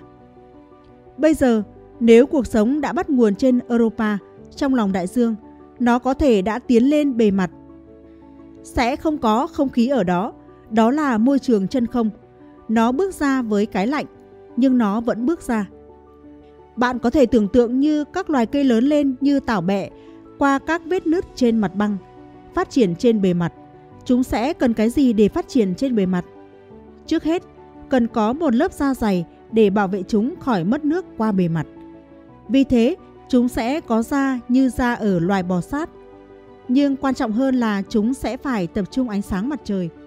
Ánh sáng mặt trời ở sao mộc và các vệ tinh của nó yếu gấp 25 lần so với trên trái đất. Vì sao mộc xa mặt trời hơn chúng ta tới 5 lần. Vì thế, chúng sẽ phải có những sinh vật mà chúng ta có thể gọi là hoa hướng dương. Thứ mà chúng ta tưởng tượng là sẽ sống trên bề mặt của Europa sẽ phải có hoặc các thấu kính hoặc các tấm gương để tập trung ánh sáng mặt trời. Vì thế, chúng có thể tự làm ấm lên trên bề mặt. Nếu không, chúng sẽ ở nhiệt độ âm khoảng 150 độ. Chắc chắn là không thuận lợi để phát triển sự sống, ít nhất là như dạng sống của chúng ta biết. Nhưng nếu chúng có thể đơn giản phát triển như lá cây, những thấu kính và gương nhỏ, để tập trung ánh sáng mặt trời thì chúng có thể giữ ấm trên bề mặt. Chúng có thể tận hưởng mọi lợi ích từ ánh sáng mặt trời và có dễ đâm sâu xuống đại dương. Sự sống khi ấy có thể đơm hoa kết trái hơn rất nhiều. Vì thế, tại sao chúng ta không tìm kiếm? Tất nhiên là không dễ xảy ra là có sự sống trên bề mặt của Europa. Chẳng thứ nào trong số đó là dễ xảy ra. Nhưng có một triết lý rằng chúng ta tìm thứ có thể nhận dạng ra được, không phải là thứ có thể xảy ra được. Có một lịch sử dài trong ngành thiên văn về những thứ khó có thể xảy ra rốt cục lại xảy ra. Ví dụ chuẩn xác nhất chính là toàn thể ngành thiên văn vô tuyến. Ban đầu, khi ngành này mới ra đời, kỹ sư vô tuyến người Mỹ Gagat Jansky ở phòng thí nghiệm Bell thu nhận được các sóng vô tuyến điện từ trên bầu trời và các nhà thiên văn học chính quy đã rất khinh miệt điều này. Họ nói rằng, ừ được rồi, ông có thể thu các sóng vô tuyến điện từ từ mặt trời, nhưng mặt trời là vật thể duy nhất trong vũ trụ đủ gần và đủ sáng để có thể thu nhận được.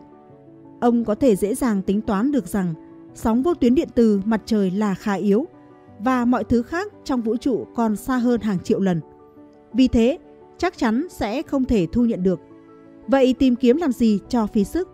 Và điều đó đã kéo lùi sự tiến bộ của ngành thiên văn vô tuyến khoảng 20 năm. Vì chẳng có gì ở đó, bạn cũng chẳng cần tìm. Và tất nhiên, ngay khi có người tìm, khoảng 20 năm sau đó, khi ngành thiên văn vô tuyến thực sự cất cánh, bởi vì hóa ra rằng vũ trụ tràn ngập mọi điều kỳ thú, phóng xạ, những giải sóng vô tuyến điện rõ hơn rất nhiều so với mặt trời. Và điều tương tự có thể đúng với dạng sống này. Dạng mà chúng ta đang nói tới trên các vật thể lạnh. Điều có thể là rất phong phú trên khắp vũ trụ và chưa được phát hiện bởi vì chúng ta vẫn chưa bận tâm đi tìm. Vậy làm thế nào để phát hiện ra nó? Nếu những sinh vật này đang sống trên các bề mặt lạnh giá, có thể Europa hoặc xa hơn, bất cứ nơi nào bạn có thể sống trên một bề mặt lạnh giá, những sinh vật đó buộc phải có những quang cụ phản chiếu. Để tập trung được ánh sáng mặt trời, chúng phải có những thấu kính và những tấm gương để có thể giữ ấm cho bản thân.